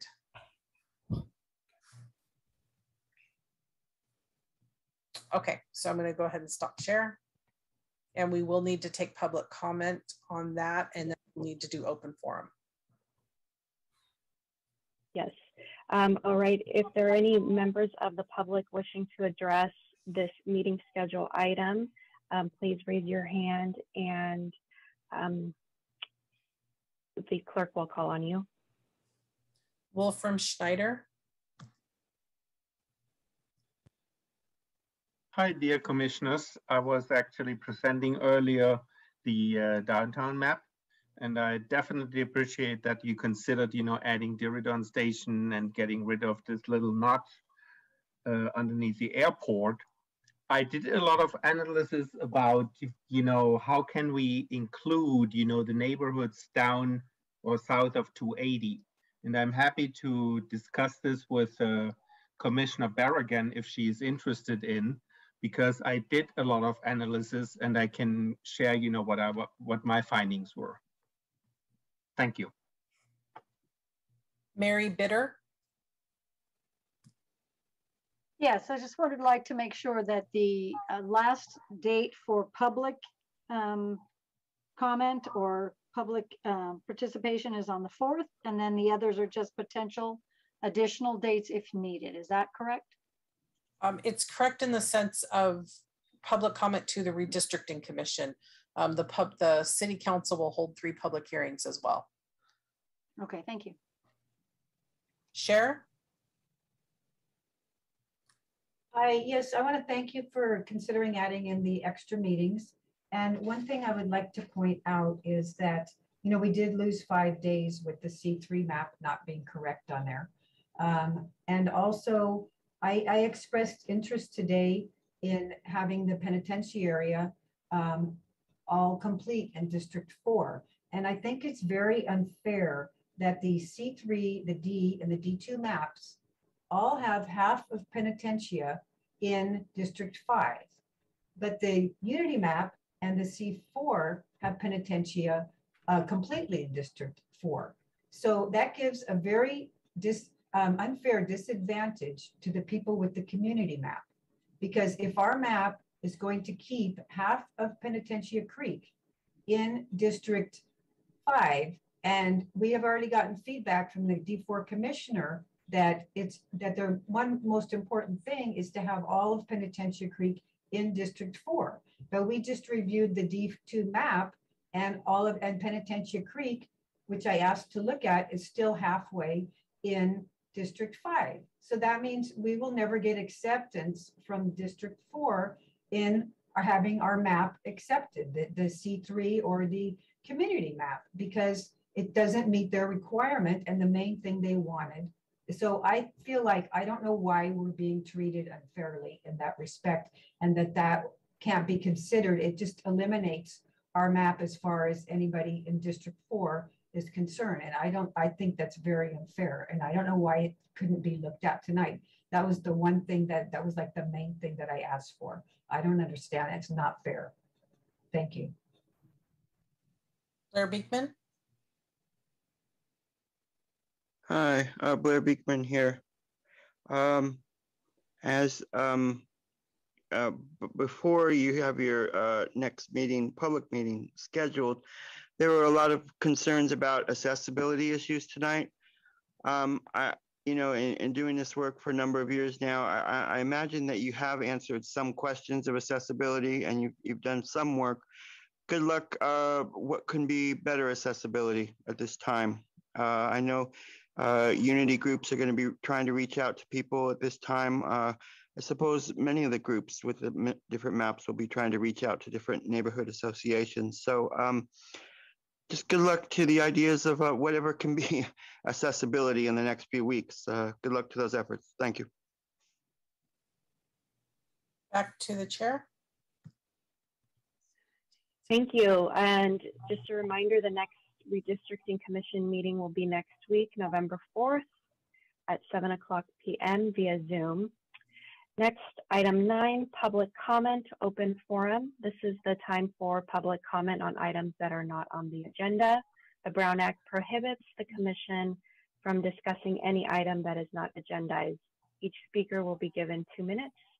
Um, if you uh, would like to uh, give public comment, please raise your hand and the clerk will call on you. Can the clerk please call any public speakers? Yes, and I would like to remind that this is for things not on the agenda. Um, it's not a time to talk again about the maps that were already on the agenda. So this is items unrelated to mapping. David Knoll. Hi, yeah, I wanted to throw out a suggestion um, regarding uh, the disenfranch disenfranchisement, you know, that we're hearing a lot about. Um, maybe 15 years ago, the city had a big program called Strong Neighborhoods Initiative, SNI, and perhaps the commission in their debrief to the council could recommend something like that. Because I'm envisioning where um, the strong neighborhoods or the neighborhoods that are organized could um, basically mentor the neighborhoods who are not organized. And I'm not really convinced that just changing district boundaries makes a neighborhood automatically more enfranchised or, or more active. Uh, you know, building a neighborhood association is a lot of work, but I'm just thinking that maybe there could be a uh, a recommendation where the city thinks about something along the equity lines there in the next budget cycle to create a program like the Strong Neighborhoods Initiative to help balance the the issues that we've been hearing. So that's that's all I have. So. Thank you, Blair Beekman. Hi, um, I, I, suppose you can stop me if, I, if my words seem to be drifting into what you don't want to hear at this time. But I, you know, to offer first, uh, it was very nicely offered tonight. Uh, you know, the concepts of, uh, you know, in in, in um, creating redistricting maps, you you have to consider uh, racial issues, and you can't overuse them. You can't over rely on them. But at the same time, uh, those issues may have to be addressed which I think is what was trying to be asked with the community maps. And I, I just hope we can make those efforts to ask those questions uh, in, in, you know, the, the uh, slight adjustments that can be made with the community maps.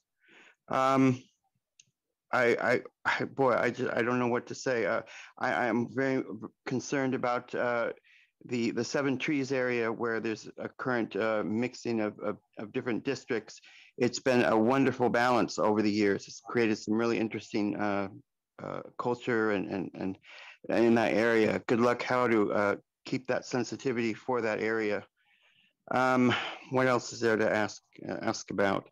Um, sorry about my uh, words tonight. Uh, if my words seemed a little flaky, uh, you know, and I'm a bit out of it, but uh, they had a good heart, and I, I hope they could be seen in, as a creative way I, I believe uh, the Four Corners idea should really be up by the Gardner area.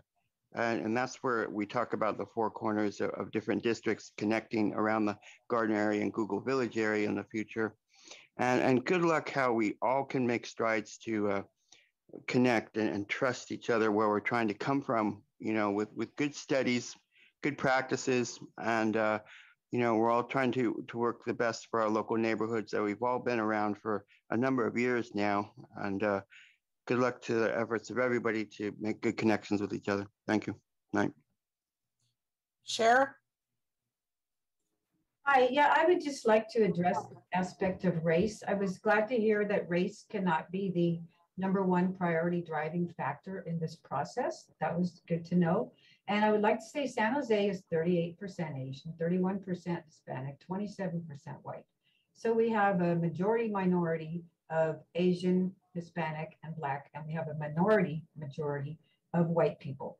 Um, we don't have representation on council, yet we've got uh, uh for Asians, yet we have 45% Hispanic representation on the council.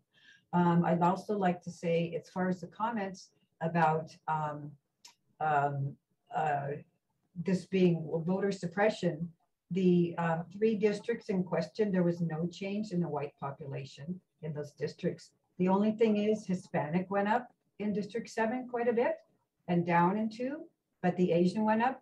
So there's some balancing act that's trying to go on between Asians and Hispanics, okay?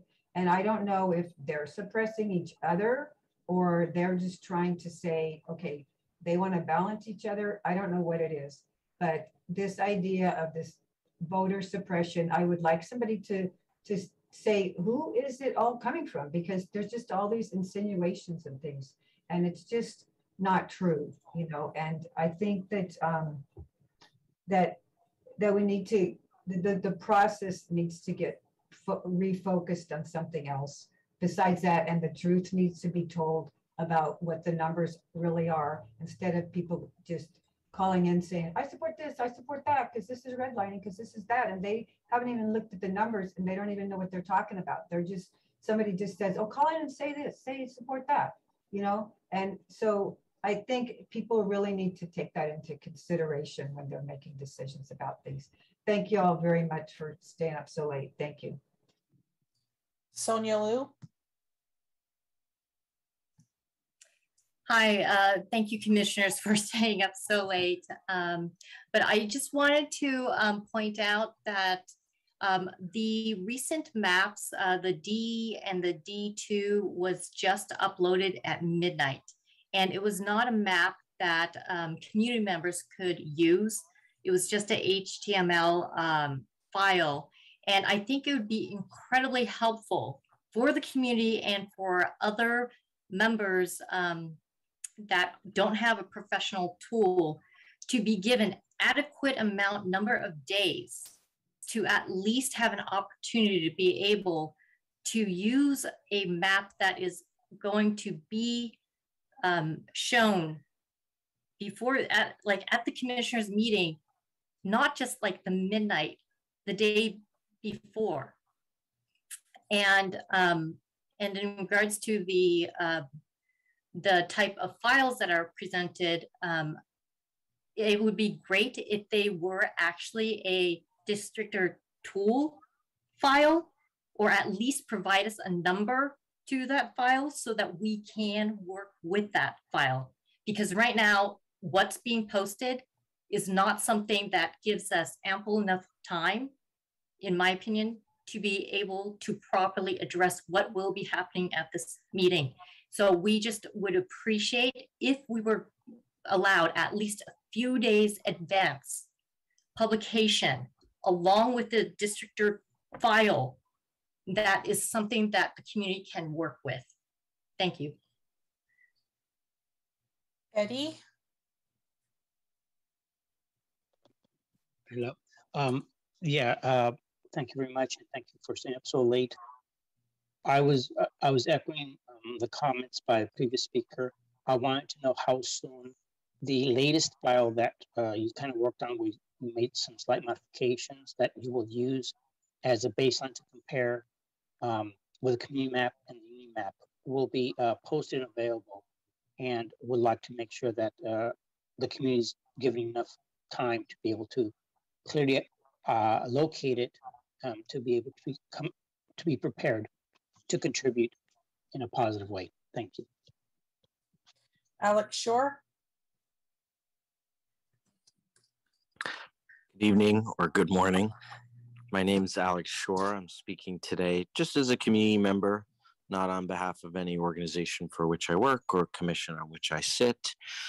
I do know that we have a couple commissions in our city without Asian representation. And I bring that up just because I feel like everyone deserves to have a city government that they feel represents them. And when we have such a, a large Asian population in our city, it is disconcerting to say the least that we have commissions and we have a city council without a single person who identifies as Asian or Asian American. So, as you all are going through your decisions, I hope you continue to think about how to create a city where everyone feels that they can be represented in their commissions and their council. And I thank you so much for that consideration. Back to the chair.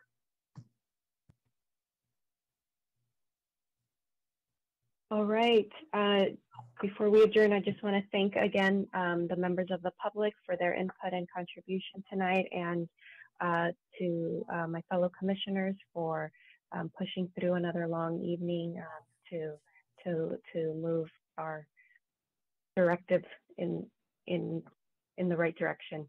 So thank you, everybody. Have a good night, and this meeting is now adjourned.